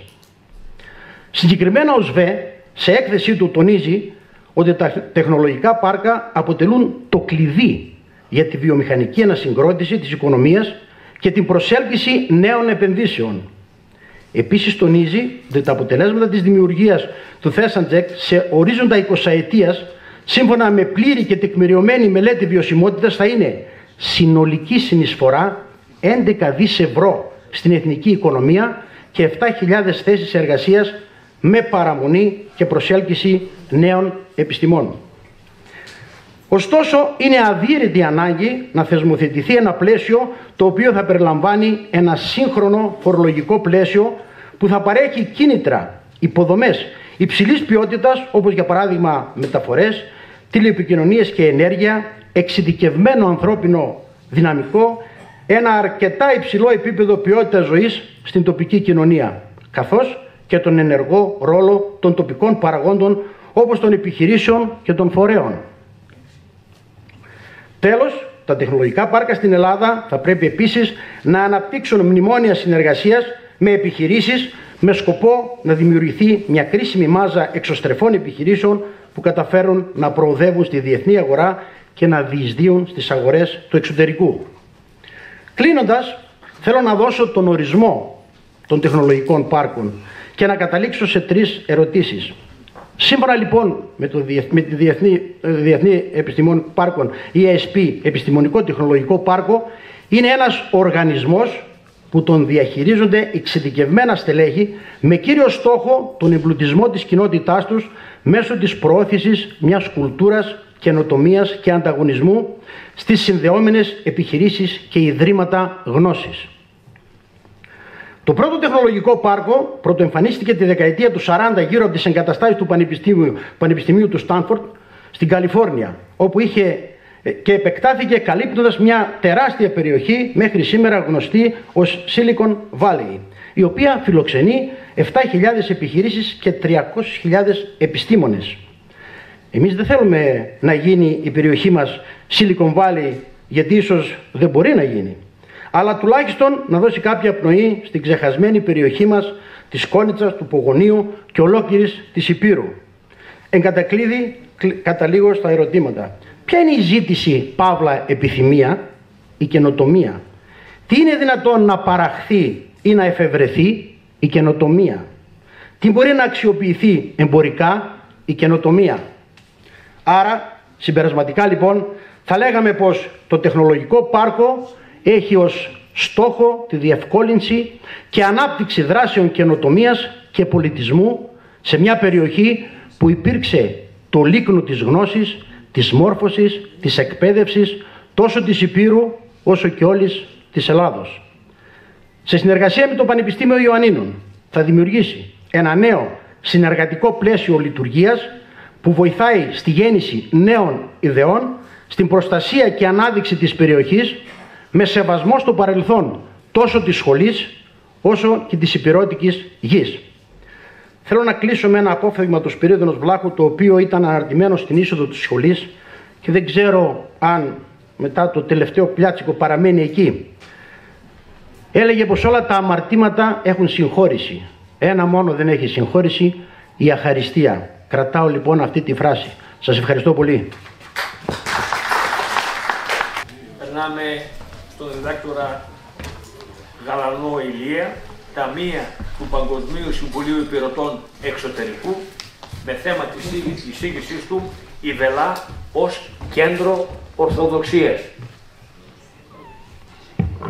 Εκλεκτοί καλεσμένοι, κύριοι πρόεδροι, σεβαστό Προεδρείο, κυρίες και κύριοι. Ως απόδημος υπερώτης από το 1969, βιολόγος στο επάγγελμα, γιατί δεν το δήλωσα γρηγότερα, είμαι βιολόγος από τη Γερμανία, θα μου επιτρέψετε να μεταφέρω τους θερμούς χαιρετισμούς του Προέδρου μας, του Προέδρου του Παγκόσμιου Συμβουλίου Υπηρετών Εξωτερικού, του Χρυσόστομου Δήμου, του Δικικού Συμβουλίου και όλων των απόδημων υπηρετών που ζουν και εργάζονται σε όλα τα μήκη και πλάτη της γης. Στο τέλος. Επειδή είναι βελαίτης θα το πω στο τέλος.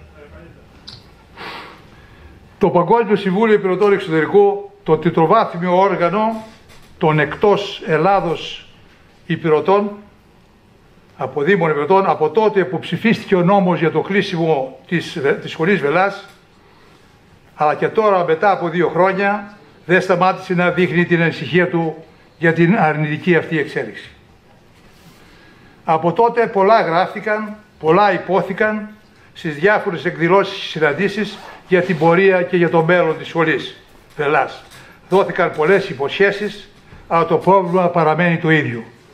Η ιστορική σχολή της Βελάς παραμένει κλειστή. Εμείς οι απότιμοι πυρώτες στη γενική μας συνέλευση το 2021 ζητήσαμε ψήφισμα και το ενέκρινε η Ολομέλεια Παμψηφή και προτείναμε να αρχίσει ο διάλογος μεταξύ των διαφόρων φορέων που εμπλέκονται για, για το θέμα της σχολής Βελάς και να βρεθεί ο καλύτερος τρόπος για να ε, παραλειτουργήσει ή και να αξιοποιηθεί η σχολή. Θα σας καταθέσω το ψήφισμα, αν δεν το έχετε, το έχω μαζί μου. Με το ψήφισμα, με το ψήφισμά μας καλούσαμε τότε την ελληνική κυβέρνηση να μην, δια, να μην δεχτεί ελαφρά την καρδία το κλείσιμο της σχολής. Καλούσαμε τις υπηρώτησες και υπηρώτες πολιτικούς, την τοπική αυτοδιοίκηση, τους φορείς της Υπήρου, αλλά και κάθε πολίτη υπηρώτη να υψώσει τη φωνή του και να μην προχωρήσει αυτή η αρνητική εξέλιξη το κλείσιμο της σχολής. Δυστυχώς μέχρι σήμερα δεν έγινε τίποτε. Είναι θετικό σήμερα ότι οι πρόεδροι και οι σύλλογοι κάνουν αυτό το συνέδριο και μπορούμε να μεταφέρουμε σε αυτό το συνέδριο της γνώμη και τι μπορεί να, να, να προσφέρει ο καθένας ή να προτείνει για το μέλλον της σχολής. Αναφέρθηκαν πολύ για το έργο της σχολής, εγώ δεν θα αναφερθώ, θα είμαι σύντομος και θα περάσω στα θέματα που είναι επίκαιρα, τι προτείνουμε για το μέλλον της σχολής της Βελάς. Ακούσαμε αρκετούς και πολλές ομιλίες και συγγύσεις συμπίπτων.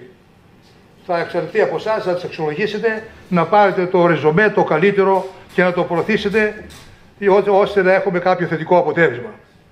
Το Παγκόσμιο Συμβούλιο Υπηρετών Εξωτερικού είναι της γνώμης ότι στις εγκαταστάσεις της σχολή Βελάς πρέπει να, να δημιουργηθεί ένα κέντρο Ορθοδοξίας. Στο οποίο να ενσωματωθούν μέσα πρώτον Θεολογική σχολή που να υπάγεται στο Πανεπιστήμιο Ιωαννίνων. Δεύτερον, Εκκλησιαστική Ακαδημία για κληρικούς που θα πλησιώνουν τις συνορίες στην Ελλάδα. Τρίτον, Σχολή Βυζαντινής Μουσικής. Τέταρτον, να επιδιωχθεί συνεργασία με ανώτατες θεολογικές σχολές του εξωτερικού. Ο Σεβασμιώτος ανέφερε τη σχολή, τη θεολογική σχολή του Πονάχου. Υπάρχει η ανώτατη θεολογική σχολή της Βοστόνης στην Αμερική η οποία το θέμα αυτό το έχει επεξεργαστεί ο πρόεδρος του, της Παρεπολιτικής Ομοσπονδίας Αμερικής ε, και μπορούμε πούμε, σε νεότερες επαφές να σας προτείνουμε περισσότερα για αυτή τη σχολή της Βοστόνης.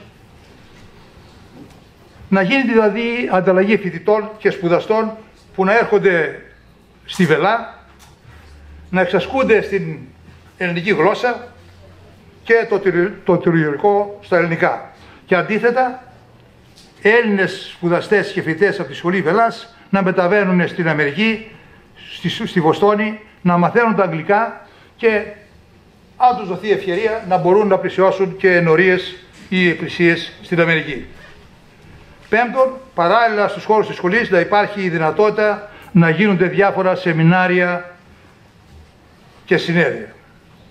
Με τον τρόπο αυτό νομίζω ότι θα ξαναζωντανέψει η περιοχή και θα, θα ξαναποκτήσει η Σχολή Βελάς την έγκληξη.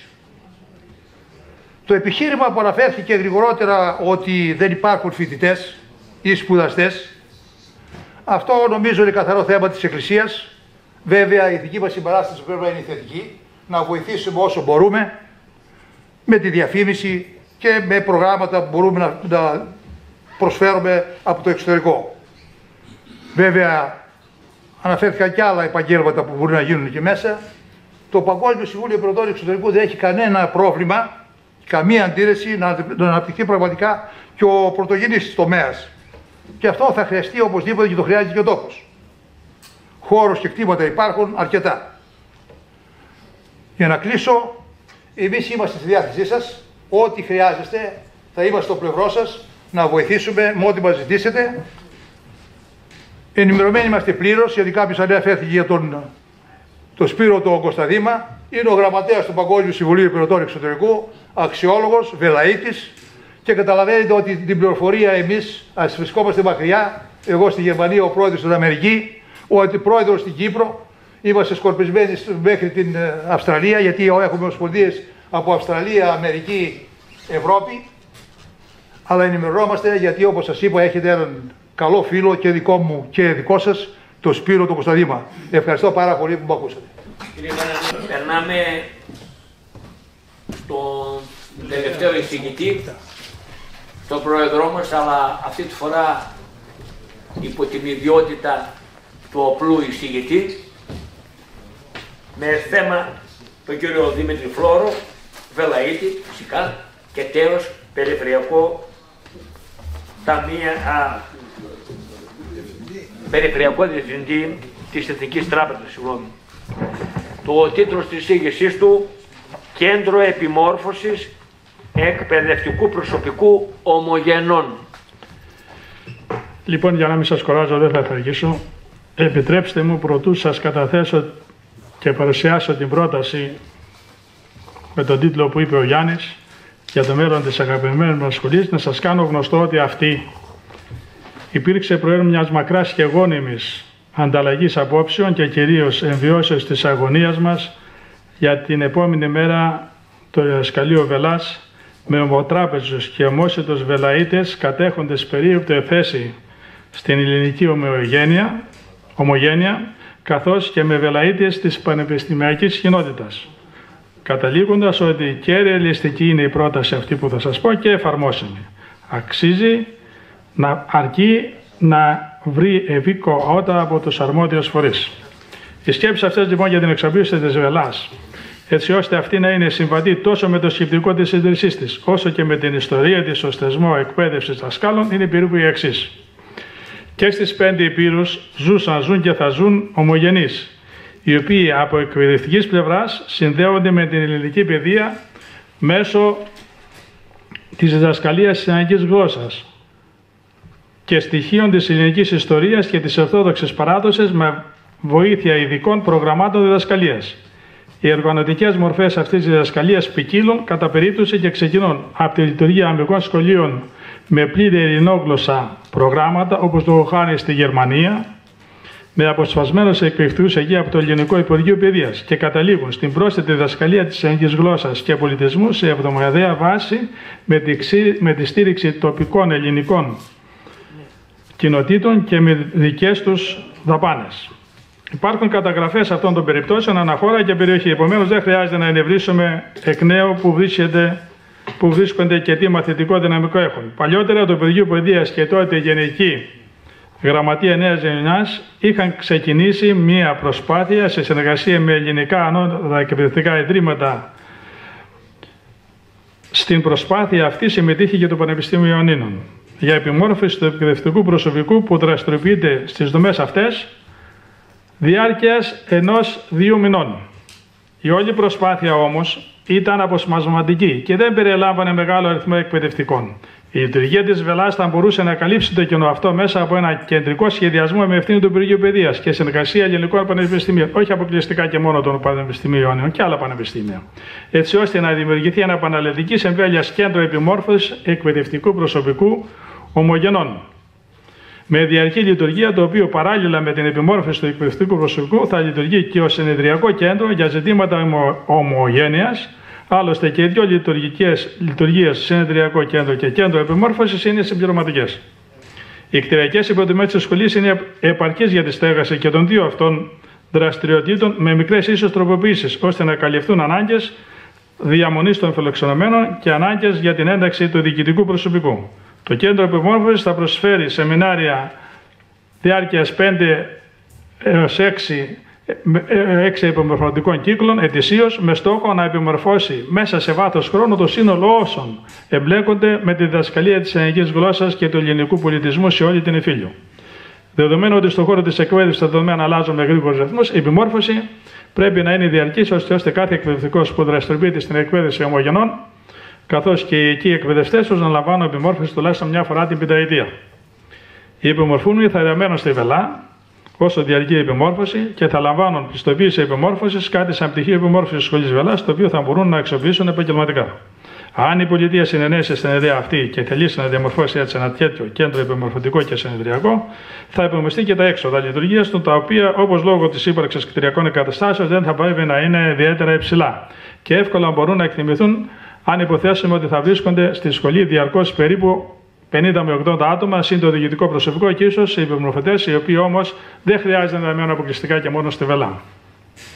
Προποθέσει. Το Υπουργείο Παιδείας και πριν από όλα ένας σημαντικός παράγοντας όπως είναι ο Πρωθυπουργός ή ο, ο πρόεδρος της Βουλής πρέπει να πιστέψουν στην ιδέα ότι η Ελλάδα χρειάζεται ένα τέτοιο υπομορφωτικό κέντρο, ουσιαστικά να πιστέψει, να το αξιοποιήσει για την ομο, ομογένεια.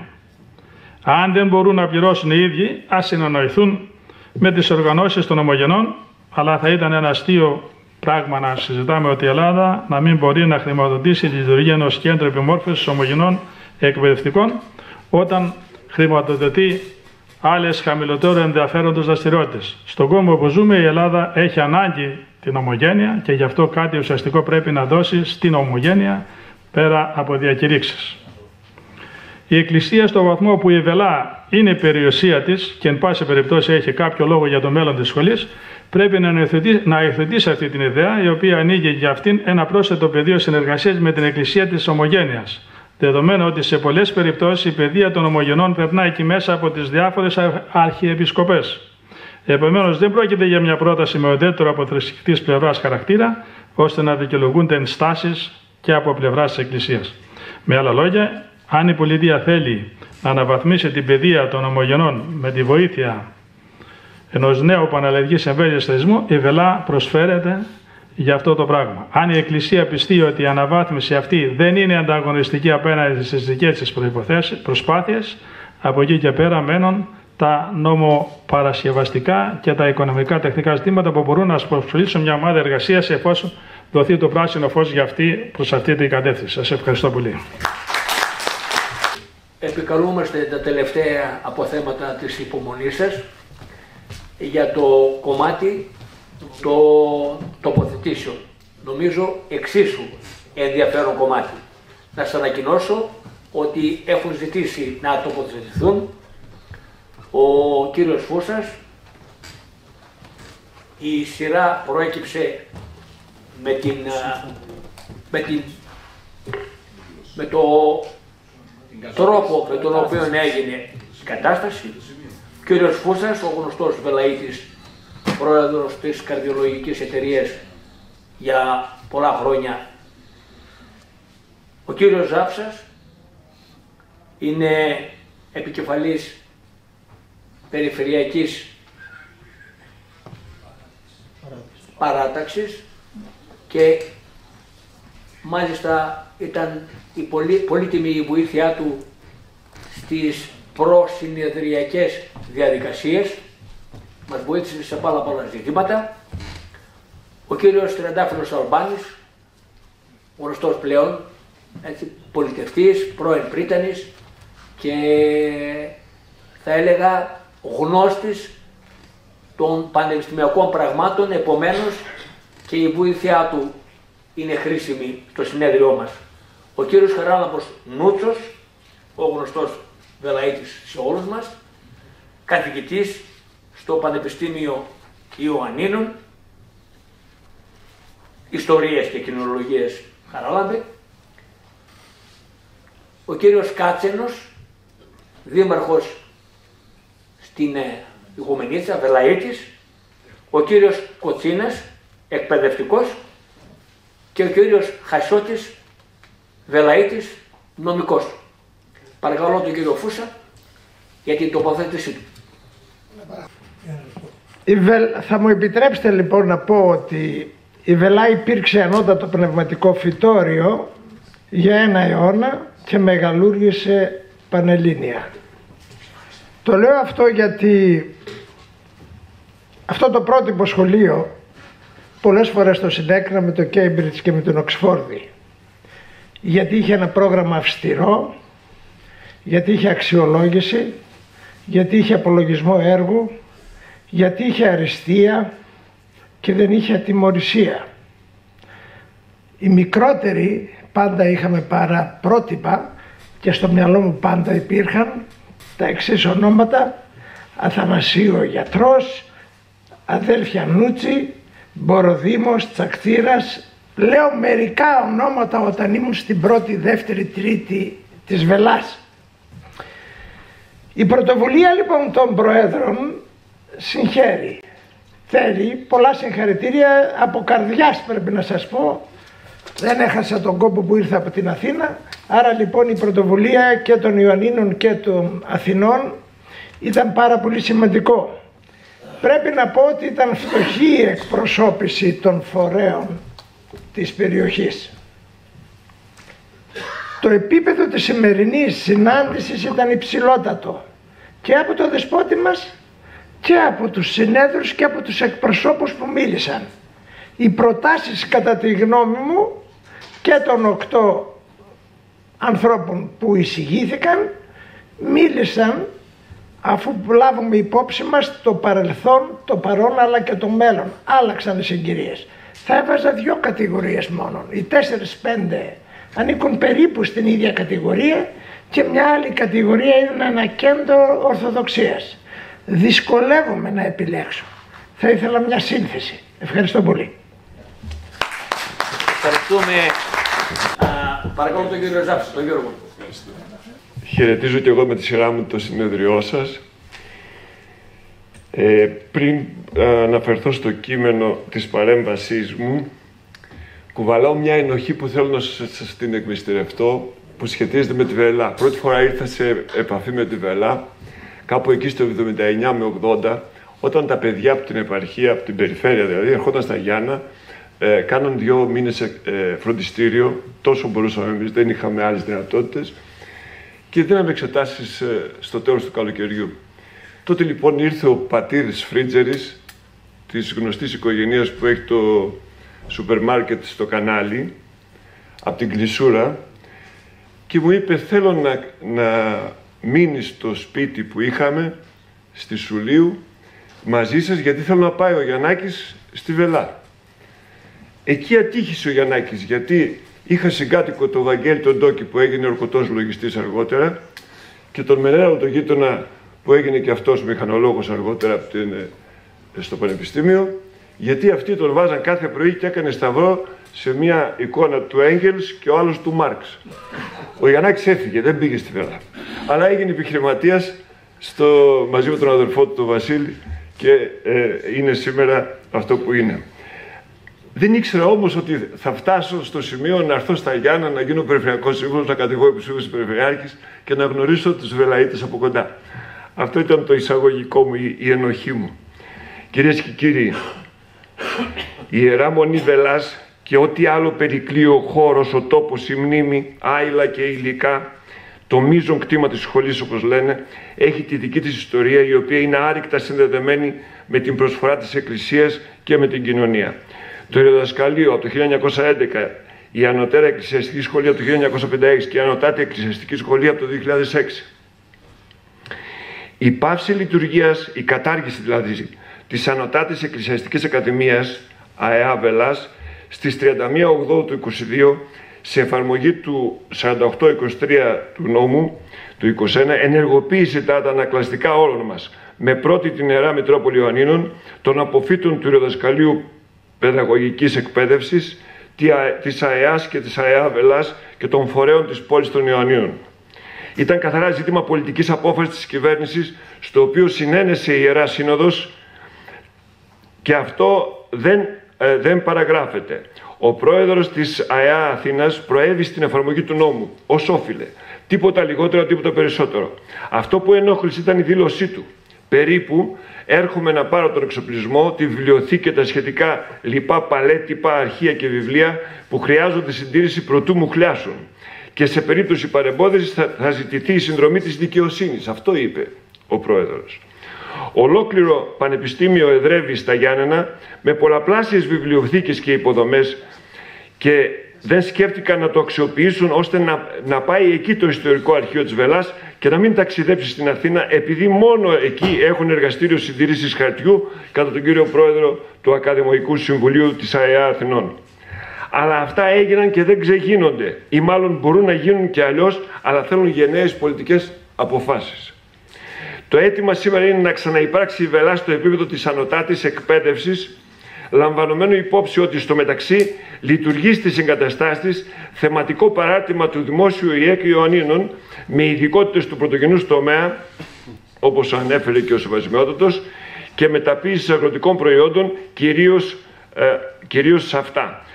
Δοθέντος, η λειτουργία του Πανεπιστημιακού Τμήματος με αυτή την κυβέρνηση αποκλείεται. Δοθέντως ότι με πρόσφατη κυβερνητική απόφαση καταργούνται 36 πανεπιστημιακά τμήματα, τα τρία εξ αυτών του Πανεπιστημίου Ιωαννίνων. Απομένει η δυνατότητα δημιουργίας και λειτουργίας προγράμματος μεταπτυχιακών σπουδών με αντικείμενο συγγενές αλλά και ευρύτερο της υπάρχουσας δραστηριότητας του ΔΙΕΚ στους κόλπους της Γεωπονικής Σχολής του Πανεπιστημίου ή άλλης σχολής φυσικοχημικής κατεύθυνσης ή, ή της βιολογίας.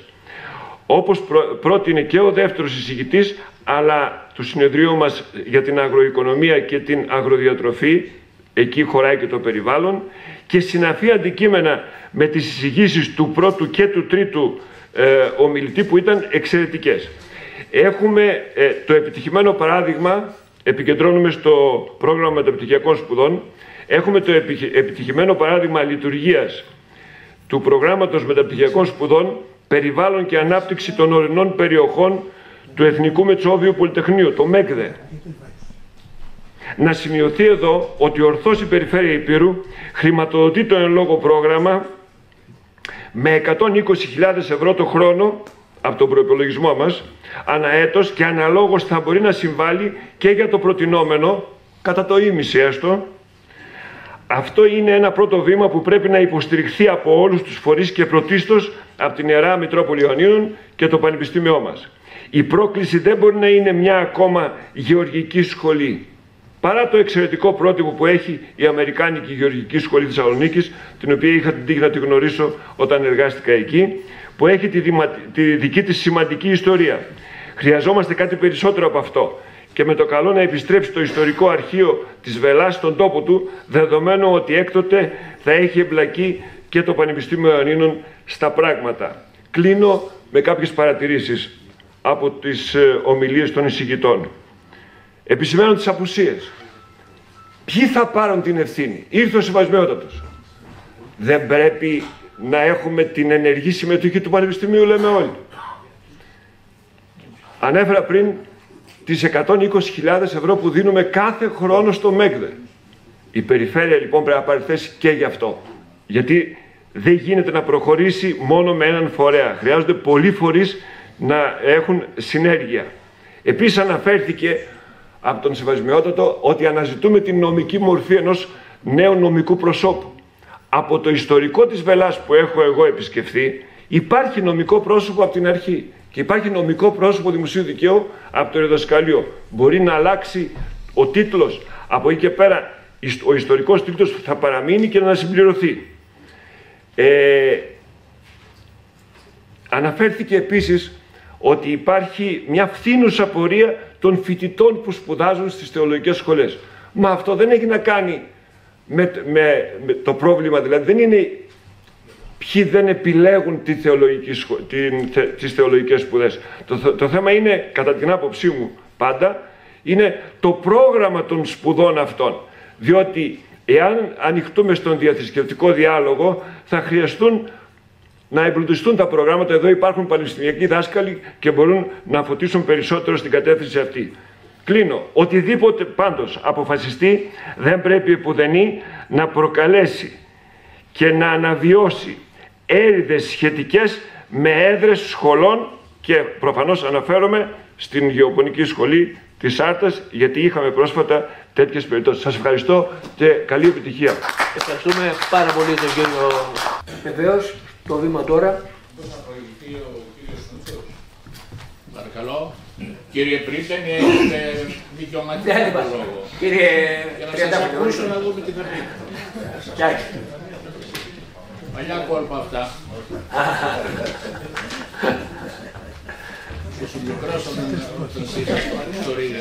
Καλησπέρα σε όλους. Ε, μισή χρόνια στη διοίκηση του Πανεπιστημίου πλέον δεν εκπροσωπώ τίποτα εκτός το ότι είμαι αφιπηρητής σας πρόσφατα αφιπηρητής σας. Είμαι στον τρίτο μήνα προηγής ε, αγαπητέ Μπάμπη. Τιμή σε Ένεκεν. Λοιπόν, ε, καταρχήν να, να ευχαριστήσω για την πρόσκληση. Ένα ενδιαφέρον συνέδριο αγαπητοί παριστάμενοι βελαΐτες.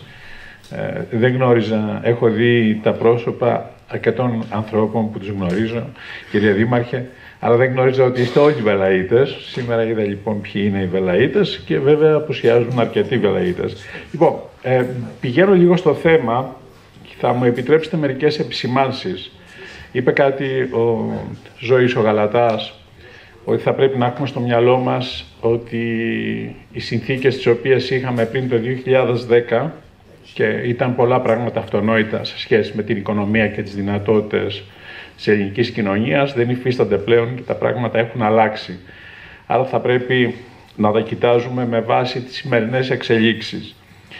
Ε, έχω την εντύπωση ότι οι προτάσεις που παρουσιάστηκαν πολλές μοιάζουν πολλές αλληλοσυμπληρώνονται. Ουσιαστικά είναι τρεις διαφορετικές κατευθύνσεις. Η μία κατεύθυνση είναι σε πανεπιστημιακό τμήμα, το οποίο θα έχει αγροδιατροφικό, αγροοικολογικό χαρακτήρα. Η πρόταση του αγαπητού του Κώστα, του Τσαξίρα, ο οποίος διατέλεσε και φοιτητής μου και χαίρομαι γι' αυτό ότι είχα ένα φοιτητή ο οποίος είχε καλύτερη γνώση σε αρκετά πράγματα από μένα, τουλάχιστον σε αυτό το αντικείμενο ε, όπως η πρόταση του κυρίου Νικολάου, ε, του κυρίου Κότσι, του κυρίου Τσακτσίρα, ακόμη και, του, και η πρόταση του αγαπητού του Θεοχάρη του Κοσμά, θα μπορούσαν να πάνε και να συμπληρώσουν ε, ένα πλαίσιο. Η πρόταση του κυρίου Γείτονα ε, με την πρόταση του κυρίου Γαλανού ενδεχόμενα και με το κέντρο επιμόρφωσης θα μπορούσαν να πάνε επίσης και υπάρχει και η δεύτερη, η δεύτερη ομάδα προτάσεων του κυρίου Ιφαντή και του κυρίου Γαλατά που μιλάνε κυρίως για τεχνολογικό πάρκο, άρα ανάπτυξη καινοτομίας τεχνολογίας, ε, οι οποίες έχουν ένα πιο αναπτυξιακό χαρακτήρα σε σχέση με την Ήπειρο. Κοιτάξτε όμως λίγο ε, ποιος είναι, ποιες είναι οι συνθήκες. Ήδη στην παιδεία έχουμε μία συρρήκνωση, ε, όχι μόνο λόγω της οικονομικής κρίσης, το 2013 με το σχέδιο Αθηνά καταργήθηκαν, όχι μόνο στην Ήπειρο, στην Ήπειρο καταργήθηκαν έξι τμήματα του ΤΕΗ. Ε, πήγαινε για κατάργηση ένα τμήμα του Πανεπιστημίου το οποίο περισσώθηκε. Ε, Υπουργός Παιδείας ήταν ο κ. Αρβανιδόπουλος τότε. Μιλάω 2013, όταν έχει ξεκινήσει η κρίση και έχουμε φτάσει στο δεύτερο μνημόνιο.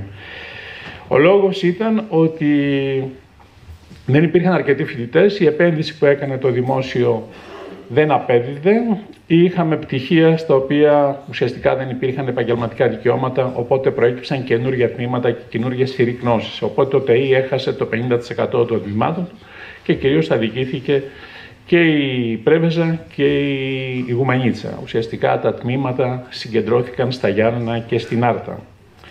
Ακολούθησε το 2018 η πρόταση ότι πλέον τα τεχνολογικά ιδρύματα, τα ΤΕΗ, δεν ασχολούνται με τεχνολογία, αλλά ασχολούνται με κανονικές επιστήμες. Ας πούμε, το τμήμα λογιστικής χρηματοοικονομικής δεν είναι τεχνολογικό. Το τμήμα ε, νο, ε, νοσηλευτικής δεν είναι τεχνολογικό, διότι υπήρχαν ήδη τμήματα αντίστοιχα. Άρα θέλω να πω το τμήμα γεωτεχνολογίας, γεωπονίας ήταν ουσιαστικά γεωπονικό. Άρα είχαν αποκτήσει ε, χαρακτήρα ε, πανεπιστημιακό και ε, τεχνολογικό ε, σε επίπεδο πανεπιστημίου. Θέλω να πω λοιπόν ότι με το σχέδιο με το οποίο το πρώην ΤΕΗ πέρασε στο Πανεπιστήμιο με βελτιώσεις στα προγράμματα σπουδών και το ότι έγινε πανεπιστημιακό, ουσιαστικά έγινε μια προσπάθεια να περιοριστεί ο αριθμός τμήματων και να, και να πάμε σε πιο σύγχρονα θέματα. Ε, αυτό επιτέχθηκε στο Πανεπιστήμιο Ιωαννίνων. Ήρθε όμως το σχέδιο Αθηνά. Το σχέδιο Αθηνά είναι, έδινε δυνατότητα στα πανεπιστήμια και στο Υπουργείο να βάζουν τη βάση.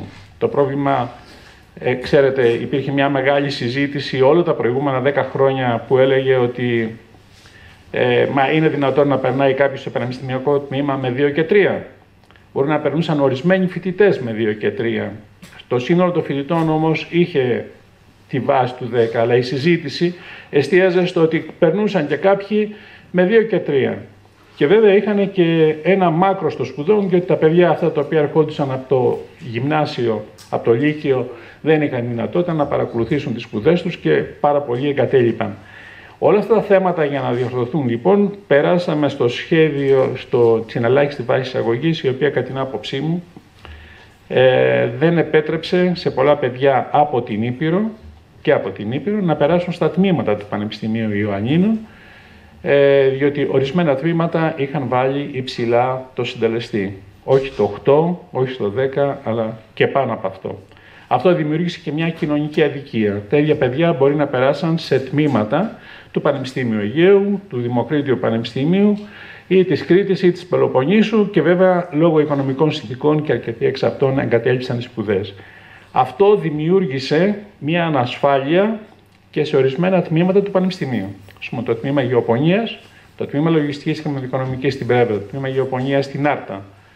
Έτσι, έχουν ένα πρόβλημα επιβίωσης και δεν σας κρύβω και γι' αυτό είχα συζητήσει και με τον πρόεδρο, με τον κύριο Φλόρο, σε μια συνάντηση που είχαμε, ότι οι συνθήκες ίδρυσης νέου τμήματος είναι φοβερά δύσκολες. Ήδη ο Γιώργος Οζάψη ανέφερε κάτι το οποίο ξέρετε, ότι 37 τμήματα, 37 τμήματα αυτά είχαν ιδρυθεί το 2018 σε όλη την Ελλάδα. Στο Πανεπιστήμιο Ιωαννίνων ήταν με βάση το, το στρατηγικό σχεδιασμό. Το τμήμα μηχανολογίας, μηχανολόγων μηχανικών, ήταν να συμπληρώσει την Πολυτεχνική Σχολή. Η Πολυτεχνική Σχολή είναι μικρή, έχει τρία τμήματα. Θα έχει ένα τέταρτο τμήμα μηχανολόγων, το οποίο το χρειαζόμαστε. Οι μηχανολόγοι είναι οι μηχανικοί που έχουν περισσότερη δουλειά από τις άλλες ειδικότητες αυτή τη στιγμή στη χώρα διότι η ενέργεια είναι κάτι πάρα πολύ σημαντικό, η μηχανολογία εστιάζει στην ενέργεια. Το άλλο τμήμα ήταν το τροφίμων και διατροφής, το οποίο θα έμπαινε στη γεωπονική στην Άρτα. Αυτό καταργήθηκε και το τρίτο τμήμα, στο οποίο βέβαια διαφωνούσε και το Πανεπιστήμιο Ιωαννίνων για τον τρόπο που ιδρύθηκε το 18, που ήταν μετάφραση διερμηνίας, το οποίο ήταν εντελώς άχρηστο, θεωρούσαμε τις συνθήκες και το Πανεπιστήμιο δεν είχε καμία διάθεση να ξεκινήσει ένα τέτοιο τμήμα, πολυδάπανο, με πολύ μεγάλο πρόγραμμα, στο οποίο θα ξόδευε περισσότερα χρήματα από ό,τι ξοδεύει για την ιατρική σχολή. Οπότε υπήρχε μια διαφωνία. Αλλά αυτά βλέπετε ότι κατα... ε, μπήκαν σε αναστολή το 2019 το Δεκέμβριο και καταργήθηκαν μόλις προχθές.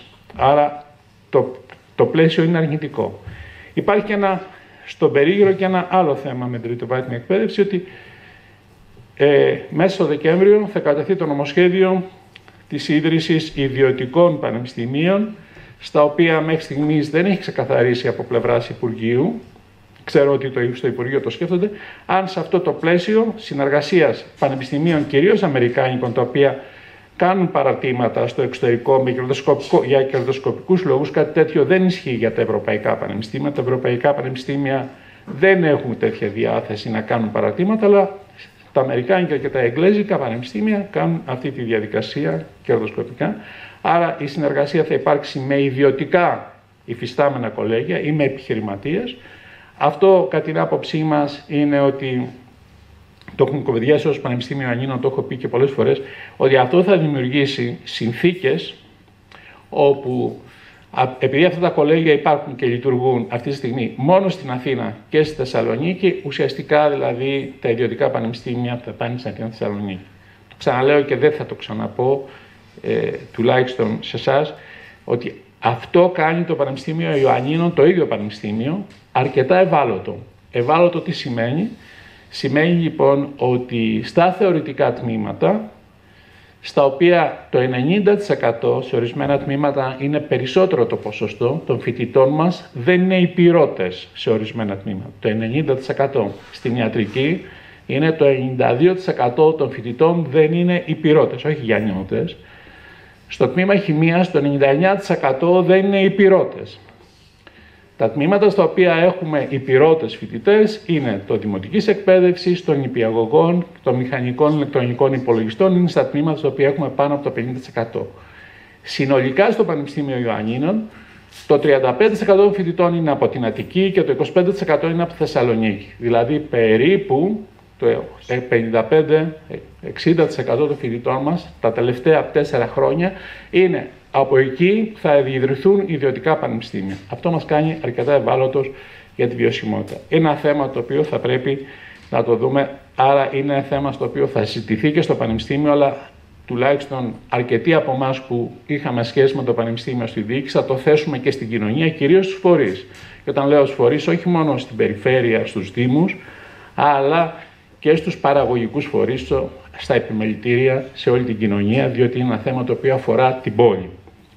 Εδώ λοιπόν τώρα έρχομαι στην πρόταση ότι σε αυτές τις συνθήκες είναι δυνατόν να υπάρξει ένα αγροδιοτροφικό σε προπτυχιακό επίπεδο και σε μεταπτυχιακό. Η άποψή μου είναι ναι.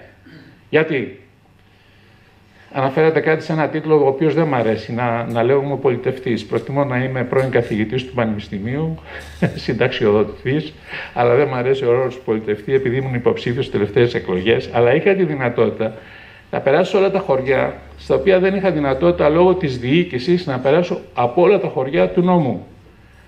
Είναι ένα σοκ του να βλέπεις εγκαταλειμμένες εγκαταστάσεις καινούργιες ή υποδομές δημόσιες, εκκλησία, σχολείο, ε, μικρό ιατρείο, τα οποία να, να μην λειτουργούν. Εκκλησίες στην Κυριακή να μην ανοίγουν. Όχι σε ένα χωριό, σε μια σειρά χωριών, ας πούμε, έτσι, στα οποία έχω επισκεφτεί και επιπλέον πολλές επιχειρήσεις να έχουν εγκαταλειφθεί. Και βέβαια υπάρχουν τα στοιχεία τα οποία δείχνουν μια εγκατάλειψη πολλών στρεμάτων, πλησιάζουν περίπου τις 900.000 στρέμματα σε όλη την Ήπειρο. Τα περισσότερα είναι στο νομό Ιωαννίνων. Εδώ λοιπόν δείχνει ότι υπάρχει ένα πρόβλημα, ε, διότι ο πρωτογενής τομέας και η μεταποίηση η οποία δίνει, δίνει προσθέμενη αξία και μπορεί να φέρει ανθρώπους και εδώ μου κάνει εντύπωση και η στάση της κοινωνίας. Η στάση της κοινωνίας είναι, όχι μόνο, αυτό συμβαίνει, ξέρετε, και στη Θεσσαλία και στην Κεντρική Μακεδονία, και στην Κεντρική Μακεδονία, υπάρχει αυτό το φαινόμενο της εγκατάλειψης. Ε, αποφεύγουν ε, την, ε, τον πρωτογενή τομέα τα παιδιά. Τα πράγματα έχουν αλλάξει και οι νέες τεχνολογίες μπορούν να δώσουν νέες ευκαιρίες. Υπάρχουν πολλά παραδείγματα η Ισπανία ή στις σκανδιναβικές χώρες που οι νέοι, οι μορφωμένοι νέοι, γυρίζουν στον πρωτογενή τομέα ή στον παραγωγικό με βάση τις νέες τεχνολογίες, οι οποίες μπορούν να κάνουν βιώσιμες επιχειρήσεις. Το πρόβλημα λοιπόν είναι αυτά τα μοντέλα είναι βιώσιμα; Αν είναι βιώσιμα λοιπόν χρειάζεται μελέτη, χρειάζεται σχεδιασμός. Η άποψή μου λοιπόν είναι ότι θα μπορούσε να γίνει αυτό. Το εγχείρημα όμως θα πρέπει να έχει στοιχεία βιωσιμότητας, διότι αν είναι να το στήσουμε, και να μην υπάρχει προσέλευση ή να μην βγαίνει οικονομικά, βιωσιμότητα σημαίνει ότι θα πρέπει να εξασφαλίσουμε τους πόρους, ανέφερε ο Γιώργος ο Ζάψας, ποιοι είναι οι πόροι, χρειαζόμαστε καταρχήν υποδομές. Εδώ έχουμε έτοιμες υποδομές. Χρειαζόμαστε προσωπικό.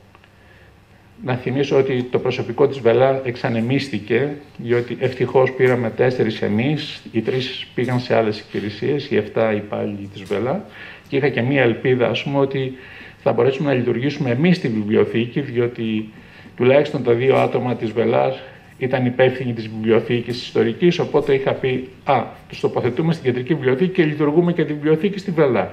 Αλλά είδατε, πήραμε εξώδικο και εμείς πανεπιστήμιο να μην τολμήσουμε να το κάνουμε. Εντάξει, OK, okay. σταματάω αυτή την κουβέντα, δεν θέλω, είναι πολύ σκληρή. Εδώ λοιπόν θα πρέπει να δούμε και να διασφαλίσουμε και τα έσοδα τα λειτουργικά. Ο Γιώργος ανέφερε, ο Ζάψας ανέφερε αυτό το οποίο κάνει το, μετα, το Μετσόβιο Πολυτεχνείο συνεργασία με την περιφέρεια στο Μέτσοβο, που είναι αρκετά πετυχημένο, διότι έρχονται τουλάχιστον δύο-τρει μήνες, μερικά παιδιά έξι μήνες και κάνουν τις διπλωματικές τους εργασίες εφαρμοσμένα κυρίως σε θέματα σωρινούς όγκους ή στην ανάπτυξη περιοχών. Έχουν ασχοληθεί με το Πογόνι, το Μέτσοβο, το Ζαγόρι. Πρόσφατα έχουν κάνει αρκετή δουλειά και στην, στον κάμπο της Άρτα. Κάτι τέτοιο μπορεί να το κάνει το Πανεπιστήμιο Ιωαννίνων. Να πω λίγο κάτι είπε ο, ο Σεβασμιότατος, το οποίο είναι πάρα πολύ σημαντικό. Θα πρέπει να βρεθεί η νομική φόρμα ε, το πώς το Πανεπιστήμιο με την ε, Μητρόπολη και με τη δομή, τη νομική, θα μπορέσουν να λειτουργήσουν. Υπάρχουν πολλά τέτοια παραδείγματα, ιδιαίτερα στο μεταπτυχιακό. Υπάρχουν πολλά παραδείγματα όπου φορείς διαφορετικοί μπορούν να συμπράξουν καθένας ώστε να λειτουργήσει ένα ε, τέτοιο ερευνητικό κέντρο.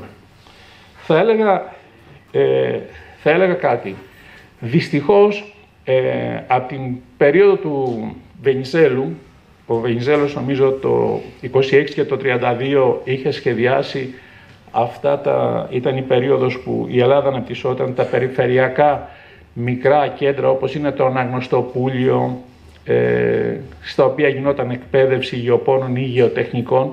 Αυτά προχώρησαν και δώσαν μια όθηση στην ελληνική γεωργία με αποτέλεσμα η γεωργία, η Ελλάδα που εισήγαγε πάντα τρόφιμα, τη δεκαετία του 60 άρχισε να εξάγει πρώτη φορά, πρώτη φορά να είναι εξαγωγικό χώρα η οποία εξάγει τρόφιμα. Άρα υπάρχει, υπάρχουν πολλές ανάλογες δομές οι οποίες λειτουργήσαν για πολλά χρόνια, όπως και στην Κατσικά, οι οποίες όμως ξαφνικά απαξιώθηκαν από το κράτος. Απαξιώθηκαν γιατί, είτε γιατί αλλάξαν οι συνθήκες, είτε γιατί αυτό το οποίο παρήγαν δεν είχε προσαρμοστεί στις νέες συνθήκες. Θεωρώ λοιπόν και κλείνω με αυτό ότι υπάρχει δυνατότητα με βάση την, στις νέες τεχνολογίες, τη νέα γνώση και την καινοτομία η οποία παράγεται στον αγροδιοτροφικό τομέα, διότι η κοινωνία ρούχα ή αυτοκίνητα μπορεί να κάνει οικονομία και να μην πάρει, αλλά τρόφιμα τα χρειάζεται συνέχεια. Και βέβαια αυτές οι επιχειρήσεις, οι αγροτροφικές, επειδή έχουμε και το σπάνιο κλίμα και την ποιότητα, ε, αν προσπαθήσουμε θα καταφέρουμε και κόσμο να επιστρέψουμε στα χωριά, αλλά και, ε, και η Βελά να παίξει ένα σημαντικό ρόλο, ένα ιστορικό ρόλο τον οποίο έχει. Σας ευχαριστώ και να είστε καλά. Ευχαριστούμε τον κύριο Αρμάνη. Ο κύριος Νούτσος έχει το λόγο ο έτερος των πανεπιστημιακών και αυτός αφιπηρετής σας. Θα προσπαθήσω να είμαι πολύ σύντομος, η ώρα είναι περασμένη και δεν θα μιλήσω για τη φθορά της υπαίθρου και των αγροτών μπροστά στην επέλαση του καπιταλισμού. Δεν είναι μόνο πολιτικό το ζήτημα, είναι βαθύτατα οικονομικό και παγκόσμιο αλλά περί αυτού θα μας πήγαινε πολύ μακρά η ανάλυση. Να πω δεύτερον ότι α, επειδή δίδασκα χρόνια ιστορία και κοινωνία της εκπαίδευσης, δεν ακούω πάντοτε λόγια και τα οποία με πείθουν υποτίθεται ευθύς εξ αρχής, αλλά τα, βάλω, τα βάζω όλα υπό την βάσανον της κριτικής Γι' αυτό, όπως λένε συχνά, δεν πρέπει να πιστεύουμε τι λέει κάποιος για τον εαυτό του. Ο νόνο ήτο. Ε, θα συνεισφέρω μερικές ιστορικού τύπου πληροφορίες για το Ερεδασκαλείο Βελάς. Το, το, οι οποίες έχουν σχέση με το φιλέτο. Ποιο είναι το φιλέτο; Η περιουσία. Γιατί γύρω από αυτό μιλάμε, αλλά δεν το φύγουμε το ζήτημα. Λοιπόν, οι όποιες προτάσεις θα μπορούσαμε να τις δούμε, να τις αξιολογήσουμε κλπ. Έχω και εγώ διάφορες προτάσεις, αλλά δεν έχει νόημα. Όπως είπε θαυμάσια ο, ο Τριαντάφυλλος, ζούμε σε μια νεοφιλελεύθερη πολιτική, οικονομική και εκπαιδευτική, μαζί με άλλα πράγματα. Άρα λοιπόν θα πρέπει να δούμε αν μπορούμε σε αυτές τις συνθήκες να προωθήσουμε τις προτάσεις μας. Δεν αρκεί μόνο να τις λέμε μεταξύ μας και με ποιες δυνάμεις θα πορευτούμε για να τις υλοποιήσουμε. Λοιπόν, στα 1926 είχαμε τη δικτατορία του Παγκάλου, ο οποίος είχε αρχίσει να απαλωτριώνει κτήματα α, της α, μονών που υπήρχαν τότε στην Ελλάδα. Ο πανέξυπνος τότε Μητροπολίτης Ιωαννίνων Σπυρίδων σκέφτηκε ότι μπορεί να χάσει την περιουσία της Δουρούτης εδώ και την περιουσία του της Βελάς. Έτσι λοιπόν, τι έκανε, τα έχω πάρει από την εργασία μου η οποία έχει τελειώσει για την ιστορία του διδασκαλίου Βελάς. Είναι 300 σελίδες, θα ψάξω κανέναν εκδότη, μήπως και την α, βρω και τη δημοσιεύσουν, διαφορετικά θα τη βγάλω με τα δικά μου έξοδα. Και όποιος θέλει, ας με βοηθήσει. Εκεί λοιπόν στο νομοθετικό, νομοθετικό διάταγμα του 1925 για τη Δουρούτη, τι λέει, λέει ότι θα λειτουργήσει ένα πρόσωπο δημοσίου α, δικαίου για να γίνει τι, για να γίνει μια σχολή α, γεωργική κατώτερη. Σε αυτό το νομικό πρόσωπο δημοσίου δικαίου το οποίο είναι η σχολή προσκυρούται η περιουσία της Μονής Δουρούτης. Επομένως, όταν έγινε το Πανεπιστήμιο το 63-64 για να βρεθεί χώρος, δεν μας το χάρισε καμία Μητρόπολη. Ήταν ήδη στο Υπουργείο της Παιδείας. Το ίδιο συνέβη και με τη Βελά. Στα 1926, έχω εδώ τα, τα σχετικά, δεν χρειάζεται να τα διαβάσω, α, όλη η περιουσία της Μονής Βελάς προσκυρούται στο νομικό πρόσωπο δημοσίου δικαίου, δημοσίου δικαίου, το οποίο είναι το διδασκαλείο Βελάς. Δεν υπάρχει λοιπόν μονή ως σχολή, υπάρχει το ιεροδιδασκαλείο Βελάς και η περιουσία ανήκει σε αυτήν, σε αυτό το ιεροδιδασκαλείο Βελάς. Προσπάθησε η δικτατορία στα χρόνια 67, η στρατιωτική δικτατορία 74 και πήρε όλη την εκκλησιαστική σχολή υπό την αιγίδα της α, α, ιεραρχίας της Εκκλησίας της Ελλάδος. Όμως, με τη μεταπολίτευση, ο Υπουργός Παιδείας ο Γεώργιος Ράλης, σοφά πράτων, εψήφισε διαμέσου της Βουλής ένα νόμο, είναι ο νόμος 476 του 1976, όπου οι αρμοδιότητες υπάγονται στις αρμοδιότητες του Υπουργείου της Παιδείας όλες οι εκκλησιαστικές σχολές, ακούστε τι λέει παρακάτω, μαζί με την περιουσία και τον τεχνικό εξοπλισμό τους. Έκανε διάφορες προσφυγές ο μετέπειτα Μητροπολίτης εδώ, ο Θεόκλητος κλπ. για να πάρει το κομμάτι της περιουσίας, αλλά στο Συμβούλιο της Επικρατείας απερίφθησαν. Αυτά είναι γνωστά πράγματα. Άρα λοιπόν, με το ίδιο σκεπτικό, όπως έγινε το Πανεπιστήμιο Ιωαννίνων δια της Δουρούτης μπορεί πολύ εύκολα να οποιαδήποτε πρόταση να γίνει μια πρόταση με οποιαδήποτε σχολή προς, με το Πανεπιστήμιο Ιωαννίνων.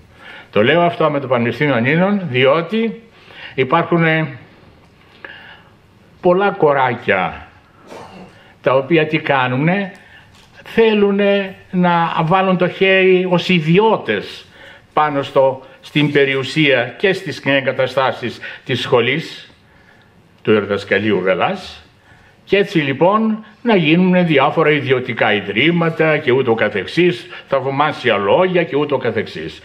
Η, η μοναδική πρόταση την οποία έχω να κάνω η γενική είναι ότι ο δημόσιος χαρακτήρας αυτών των οποιονδήποτε προτάσεων αφορά τη σύνδεσή τους με το Πανεπιστήμιο.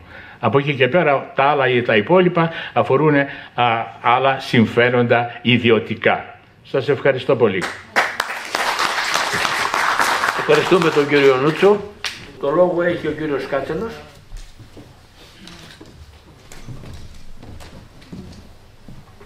Βελαγίτης και αυτός. Και με τη συντομία του οδοντιδιάτρου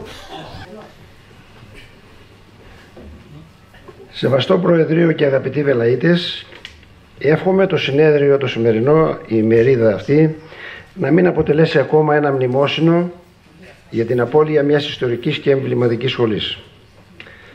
Σήμερα πρέπει να αποδοθούν και οι ευθύνες οι οποίες μέχρι τώρα, κατά την άποψή μου, έχουν αποκριβεί και αλληλομετατεθεί.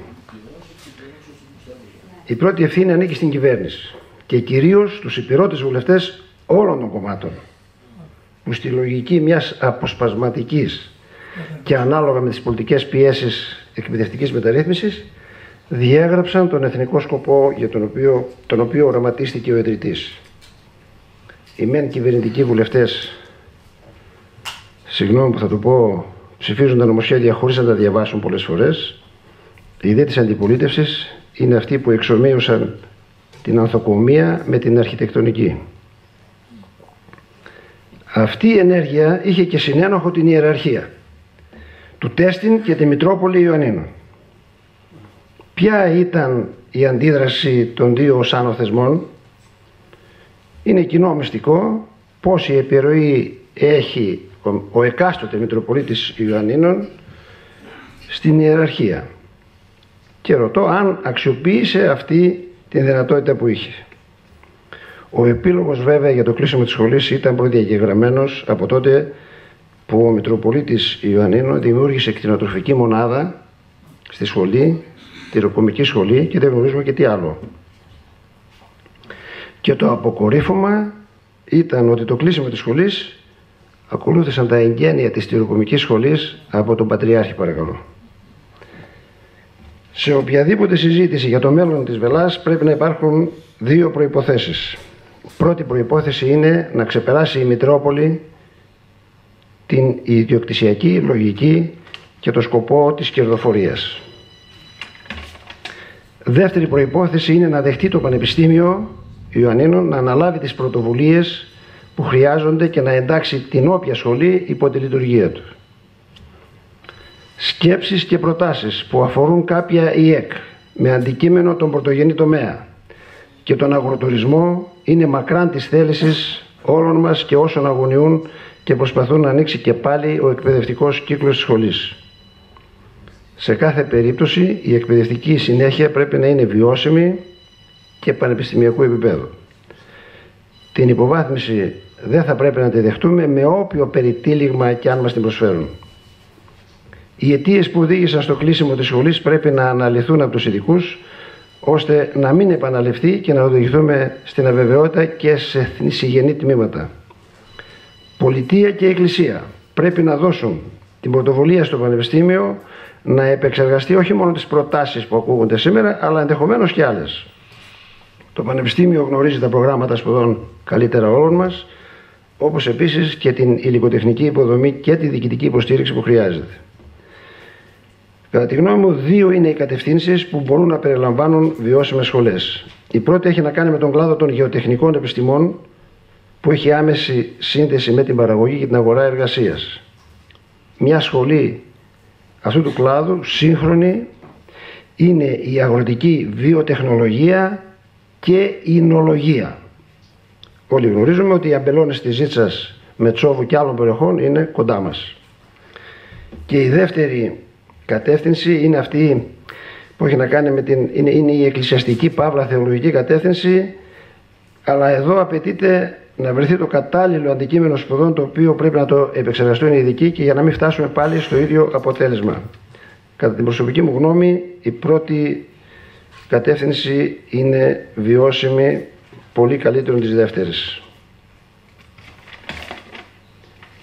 Ένα ζήτημα όμως που ανακύπτει είναι αν η όποια σχολή επιλεγεί θα λειτουργήσει σε οικοτροφιακό περιβάλλον ή θα γίνεται μεταφορά φοιτητών από τα Γιάννενα οι αποστάσεις μειώνονται ήδη με τον τρόπο που θα γίνει ή να είναι και μεικτού τύπου.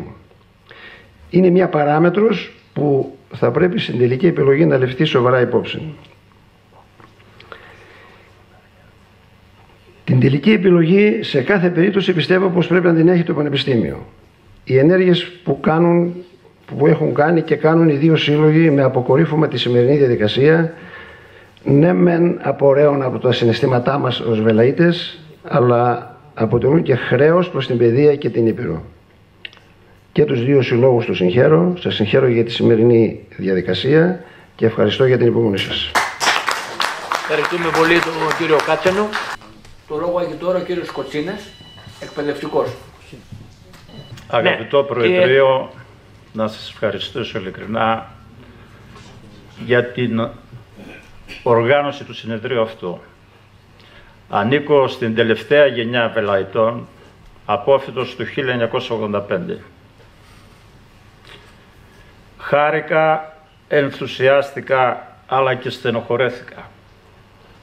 Είδα λαμπρούς επιστήμονες, πανεπιστημιακούς δασκάλους, να αναφέρονται. Όλα αυτά εμείς οι Βελαΐτες τα έχουμε ζήσει μέσα στη σχολή. Με τις διαμαρτυρίες μας, με τις μελέτες μας και με όλα τα βιώματά μας.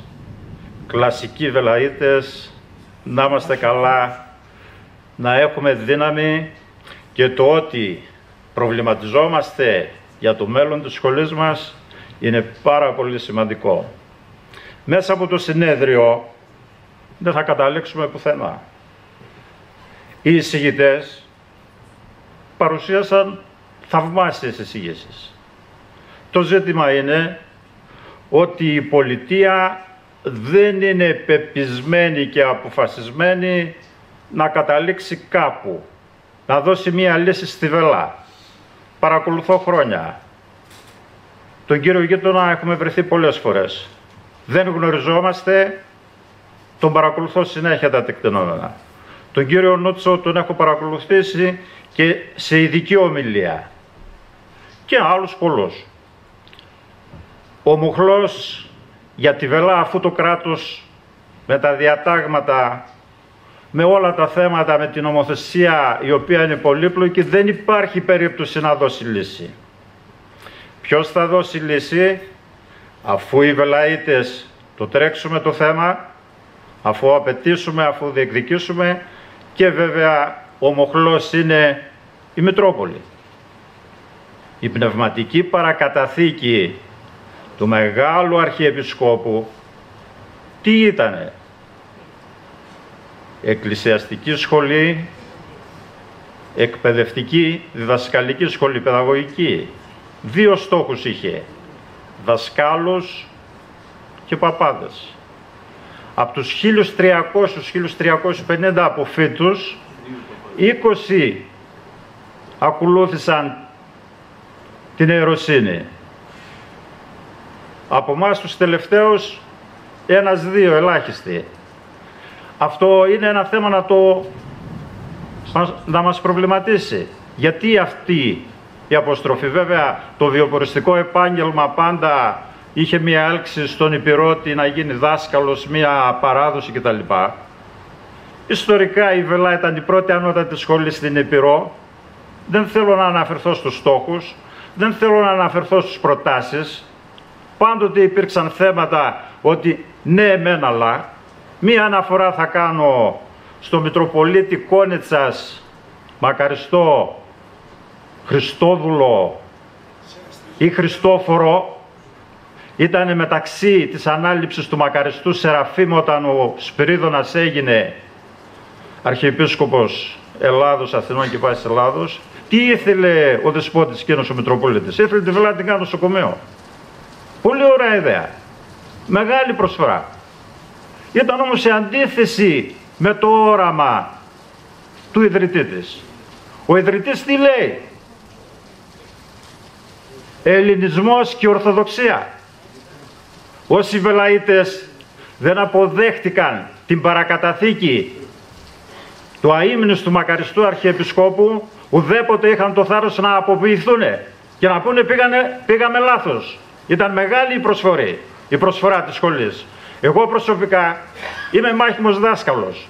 Δούλεψα σε όλες τις φτωχές περιοχές της Ελλάδος.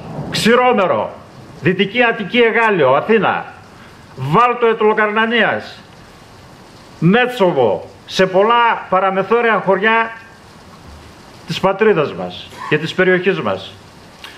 Δεν κέρδισα τίποτα. Αν υπολογίσουμε και την οικονομική κρίση η οποία επιβάρυνε το, την κοινωνική και οικονομική ζωή της χώρας, το μόνο που τέλος πάντων με παρηγορεί είναι ότι προσέφερα σε μαθητές, σε φτωχά παιδιά, σε αγροτόπεδα της πατρίδας και σε παιδιά εργατών. Όλα τα υπόλοιπα είναι κουβέντες περιτές. Και θα πω και κάτι άλλο αν μου επιτρέψετε.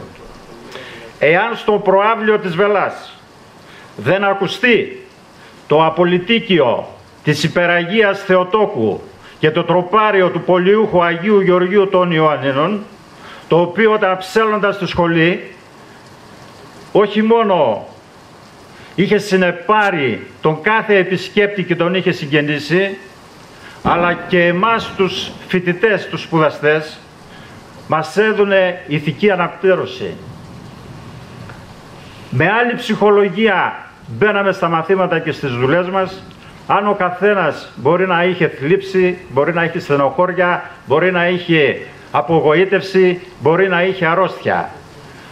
Ο ύμνος λοιπόν της Βελάς στα τροπάρια της υπεραγίας Θεοτόκου, αν δεν ακουστεί στο προάβλιο της Βελάς και πάλι όλα είναι μηδέν. Όλα είναι σκέτη απογοήτευση. Μπορούμε να κάνουμε τα πάντα. Οι εισηγήσεις εδώ του φίλου του Νίκου, κύριος Κοσμάς, υπήρξε καθηγητής μου στη Βελά. Δεν ξέρω αν με θυμάσαι χάρη. Μισό λεπτό λίγο, συγγνώμη. Όλοι έχουμε βιώματα. Εσείς φαίνεται ήσταν του αγροτικού τομέα. Εγώ είμαι και αγρότης ειδικού καθεστώτος. Διατηρώ ζώα, παραδοσιακά. Εσείς φαίνεται πηγαίνατε πολύ στα χωράφια, στον κάπου για δουλειά. Σας έλκει το αγροτικό, το γεωπονικό. Άλλοι ήταν της σχολής των αψέλων. Δεν μπόρεσε η Βελά να βγάλει ψάλτες.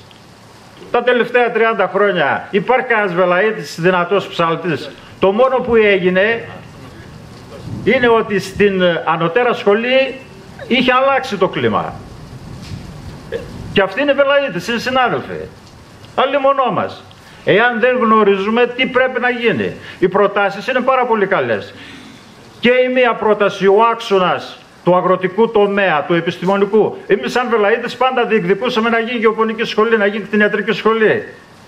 Γιατί, κύριε, πριν ήταν τόσα χρόνια, δεν εισηγηθήκατε να γίνει κτηνιατρική σχολή στα Γιάννενα; Υπάρχει στο στρατηγικό σχεδιασμό. Υπάρχει. Δεν έγινε, θα έπρεπε να γίνει. Και μιλάω για περίοδο 80. Και δεν, δεν αποδίδω μορφή σε εσάς προσωπικά. Το πανεπιστήμιο στο οποίο έγινε αναφορά δεν έπαιξε θετικό ρόλο την παρουσία της Βελάς. Δεν ήταν θετικό στην ουσία το Πανεπιστήμιο, όπως και οι εκκλησιαστικοί κύκλοι, ουδέποτε κάποιοι κύκλοι εκκλησιαστικοί δεν έβλεπαν με καλό μάτι τη Βελά.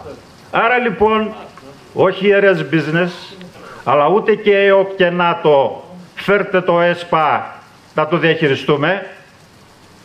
Πρέπει να είμαστε πραγματικοί, αληθινοί, όπως πραγματικά αληθινός ήταν και ο μακαριστός Αρχιεπίσκοπος. Οφείλουμε σαν Βελαΐτες, την πνευματική παρακαταθήκη να την κρατήσουμε στα χέρια, να διεκδικήσουμε. Ο Κώστας ο Καψάλης, ο φίλος, συμμαθητής, εγώ τον παρακολουθώ χρόνια. Και να σας συγχαρώ Κώστα για τις επιτυχίες σου και για την εκλογή σου. Αγωνίζεται ο Κώστας. Με πολλές μορφές στη Βελά. Βάζει πλάτη ο Δήμαρχος. Και ίσως είναι από τους λίγους και συγχαρητήρια Κώστα. Και όφιλες να το κάνεις σαν Βελαίτης αυτό.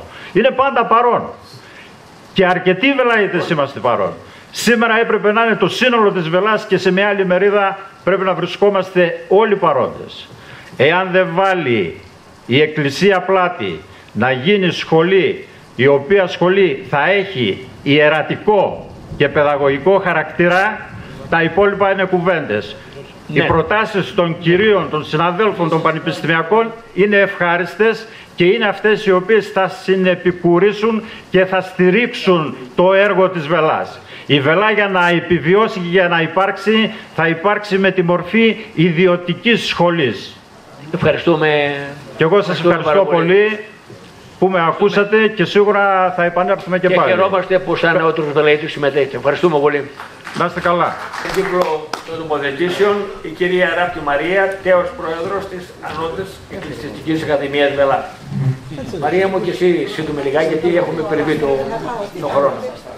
Κύριε Πρόεδρε και των δύο συλλόγων αποφύτων ε, της, Εκκλησια- της Βελάς, σας συγχαίρω για την πρωτοβουλία αυτή, την οποία πήρατε για να δείτε το μέλλον της Βελάς, αν και βλέπω την πρωτοβουλία λίγο όψιμη, τη στιγμή που ζούμε τα τελεσμένα γεγονότα.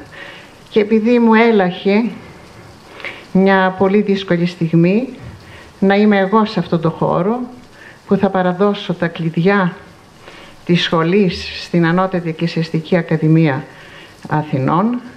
Ε, ήταν μία από τις χειρότερες στιγμές της ζωής μου, τον Αύγουστο, 31 Αυγούστου το 2022.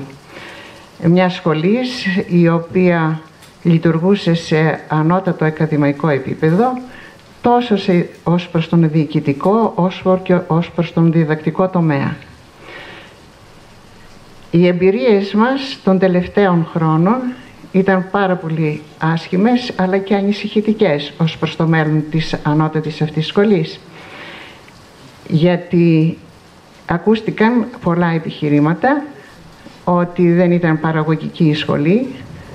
Θεωρώ ότι αυτό το επιχείρημα είναι λίγο ανυπόστατο και πρέπει να το συνειδητοποιήσουμε αφού τα τελευταία 4-5 χρόνια οι, οι φοιτητές, ο αριθμός των φοιτητών που το Υπουργείο μας έδινε ήταν 10 στο πρόγραμμα της Εκκλησιαστικής Βυζαντινής Μουσικής και εσείς καταλαβαίνετε κατά πόσον πρέπει να είναι παραγωγική.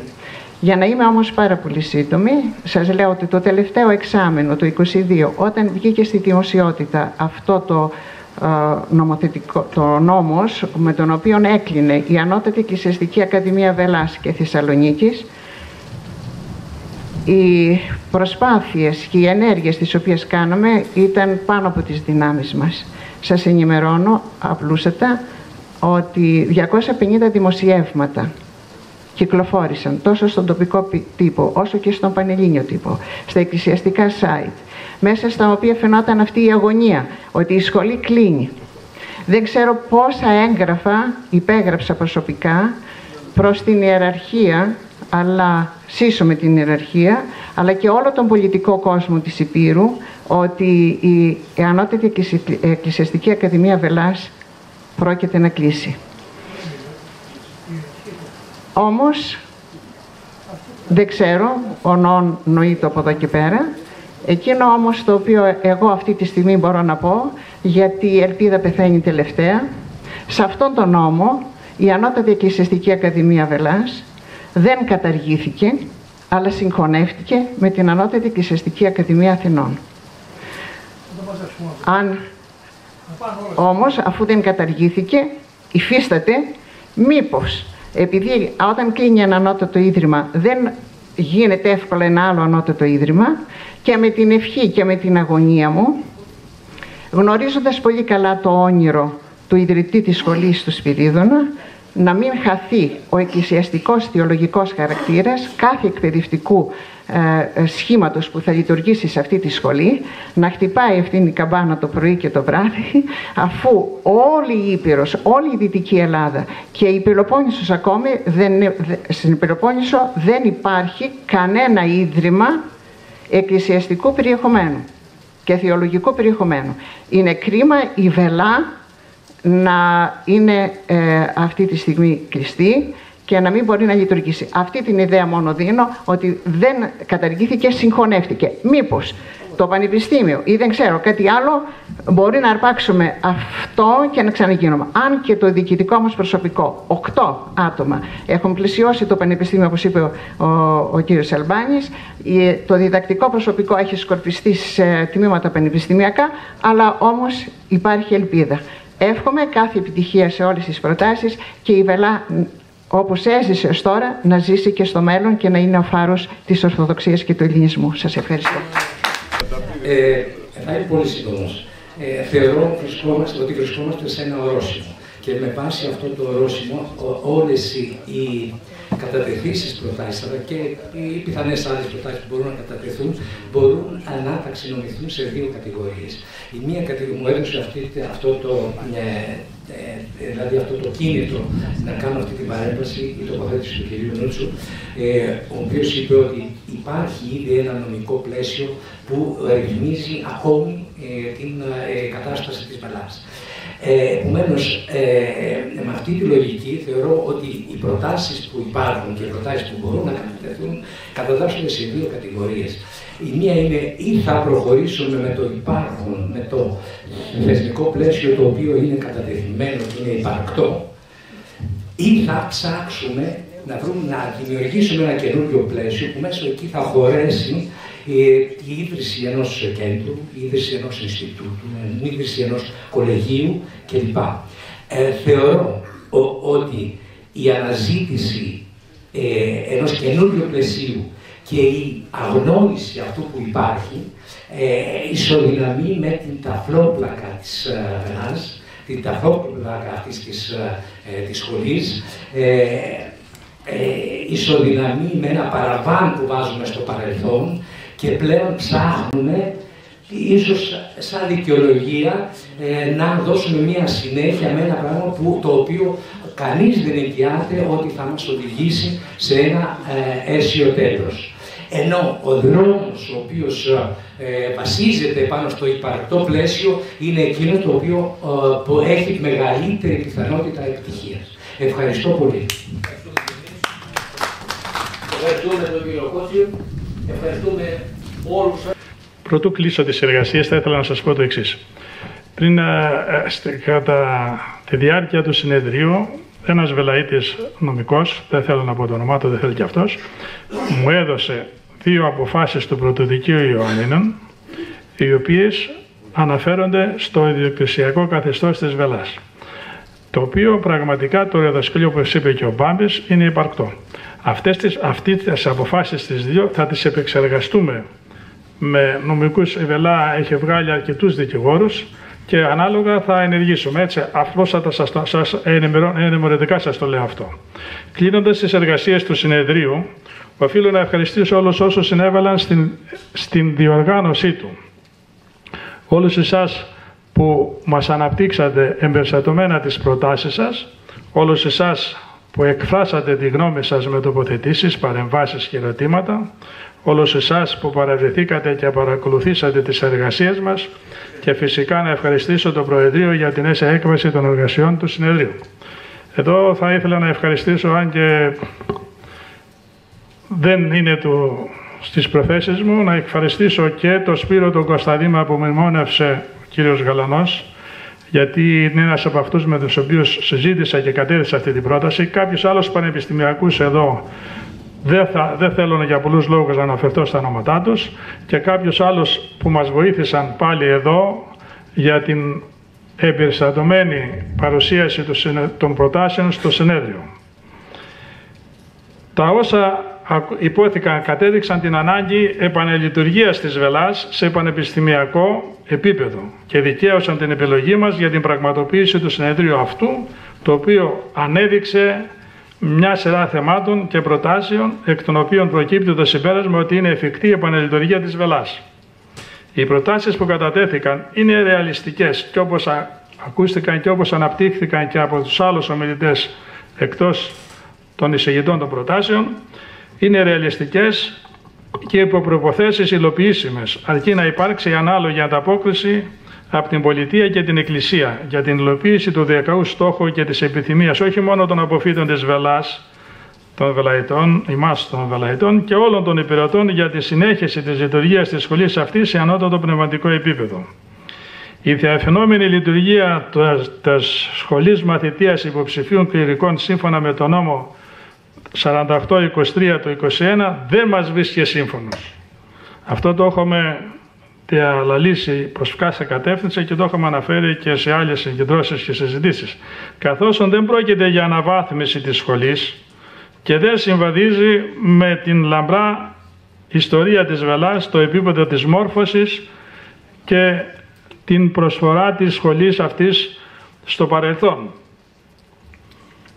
Θα ήθελα να σας πω εδώ, αν και δεν είναι του παρόντος, ανατρέχοντας στο διαδίκτυο, είδα ότι προχθές ιδρύθηκε ένας, η σχολή μαθητείας υποψηφίων κοινωνικών μόνο στη Ριζάριο Εκκλησιαστική Σχολή. Δεν αναφέρεται για ίδρυση στη, στη σχολή στη Βελά, ούτε στα Χανιά. Και να σας πω και κάτι άλλο, πάλι στο διαδίκτυο να ανατρέξετε θα δείτε ότι η Αρχιεπισκοπία, η Ιερά Σύνοδος έστειλε κύκλιο σε όλες τις Μητροπόλεις να τις γνωρίσουν μέχρι τις 13 Δεκάτου τον αριθμό των υποψηφίων προσφύτησης στα ΣΜΙΚ, ξεχωριστά κληρικούς και λαϊκούς. Αφού ενδιαφέρουν τόσο, γιατί δεν τους πάνε σε πανεπιστημιακό επίπεδο; Δεν υπάρχει προφανώς, δεν υπάρχει προσέλευση και επιθυμία. Αυτή είναι η άποψή μου. Οι προτάσεις του συνεδρίου τέλος θα κατατεθούν στο Υπουργείο Παιδείας, στους αρχηγούς των κομμάτων του Ελληνικού Κοινοβουλίου, την Ιερά Σύνοδο της Εκκλησίας της Ελλάδος, στην Άμετα, Ιερά Μητρόπολη Ιωαννίνων, στο Πανεπιστήμιο Ιωαννίνων, αν και την, την κυρία Πρίτανε την καλέσαμε, την επισκεφθήκαμε τριμελής επιτροπή του Διοικητικού Συμβουλίου εγώ, ο Γιάννης ο γιος σας και ο Σοκράτης ο Παλάφας και τη στείλαμε και προσωπική πρόσκληση. Προσωπική πρόσκληση. Όπως στείλαμε προσωπική πρόσκληση και στον κύριο Περιφερειάρχη και σε όλους τους επικεφαλείς των περιφερειακών παρατάξεων. Προσωπικές προσκλήσεις. Όχι γενικές στην πρόσκληση αυτή που πήρατε εσείς περισσότεροι. Προσωπικές προσκλήσεις. Λοιπόν, εν πάση περιπτώσει, απλώς το αναφέρω για, την, για, για καταγραφή, γιατί μην νομίζετε ότι εμείς δεν ενδιαφερθήκαμε και δεν φροντίσαμε για να, να υπάρχουν. Δεν αδιαφόρησαν τώρα, δεν ξέρω για ποιο λόγο δεν παραβρέθηκαν, ίσως να είχαν άλλες δουλειές. Και θα εκδοθούν όλες οι εργασίες αυτές, θα εκδοθούν σε ένα ειδικό τεύχος, το οποίο θα είναι στη διάθεση κάθε ενδιαφερόμενο. Σας ευχαριστώ και πάλι για τη συμμετοχή σας και την υπομονή που είχατε να καθίσετε μέχρι τώρα να μας παρακολουθήσετε. Ευχαριστώ πολύ. Σας ευχαριστώ.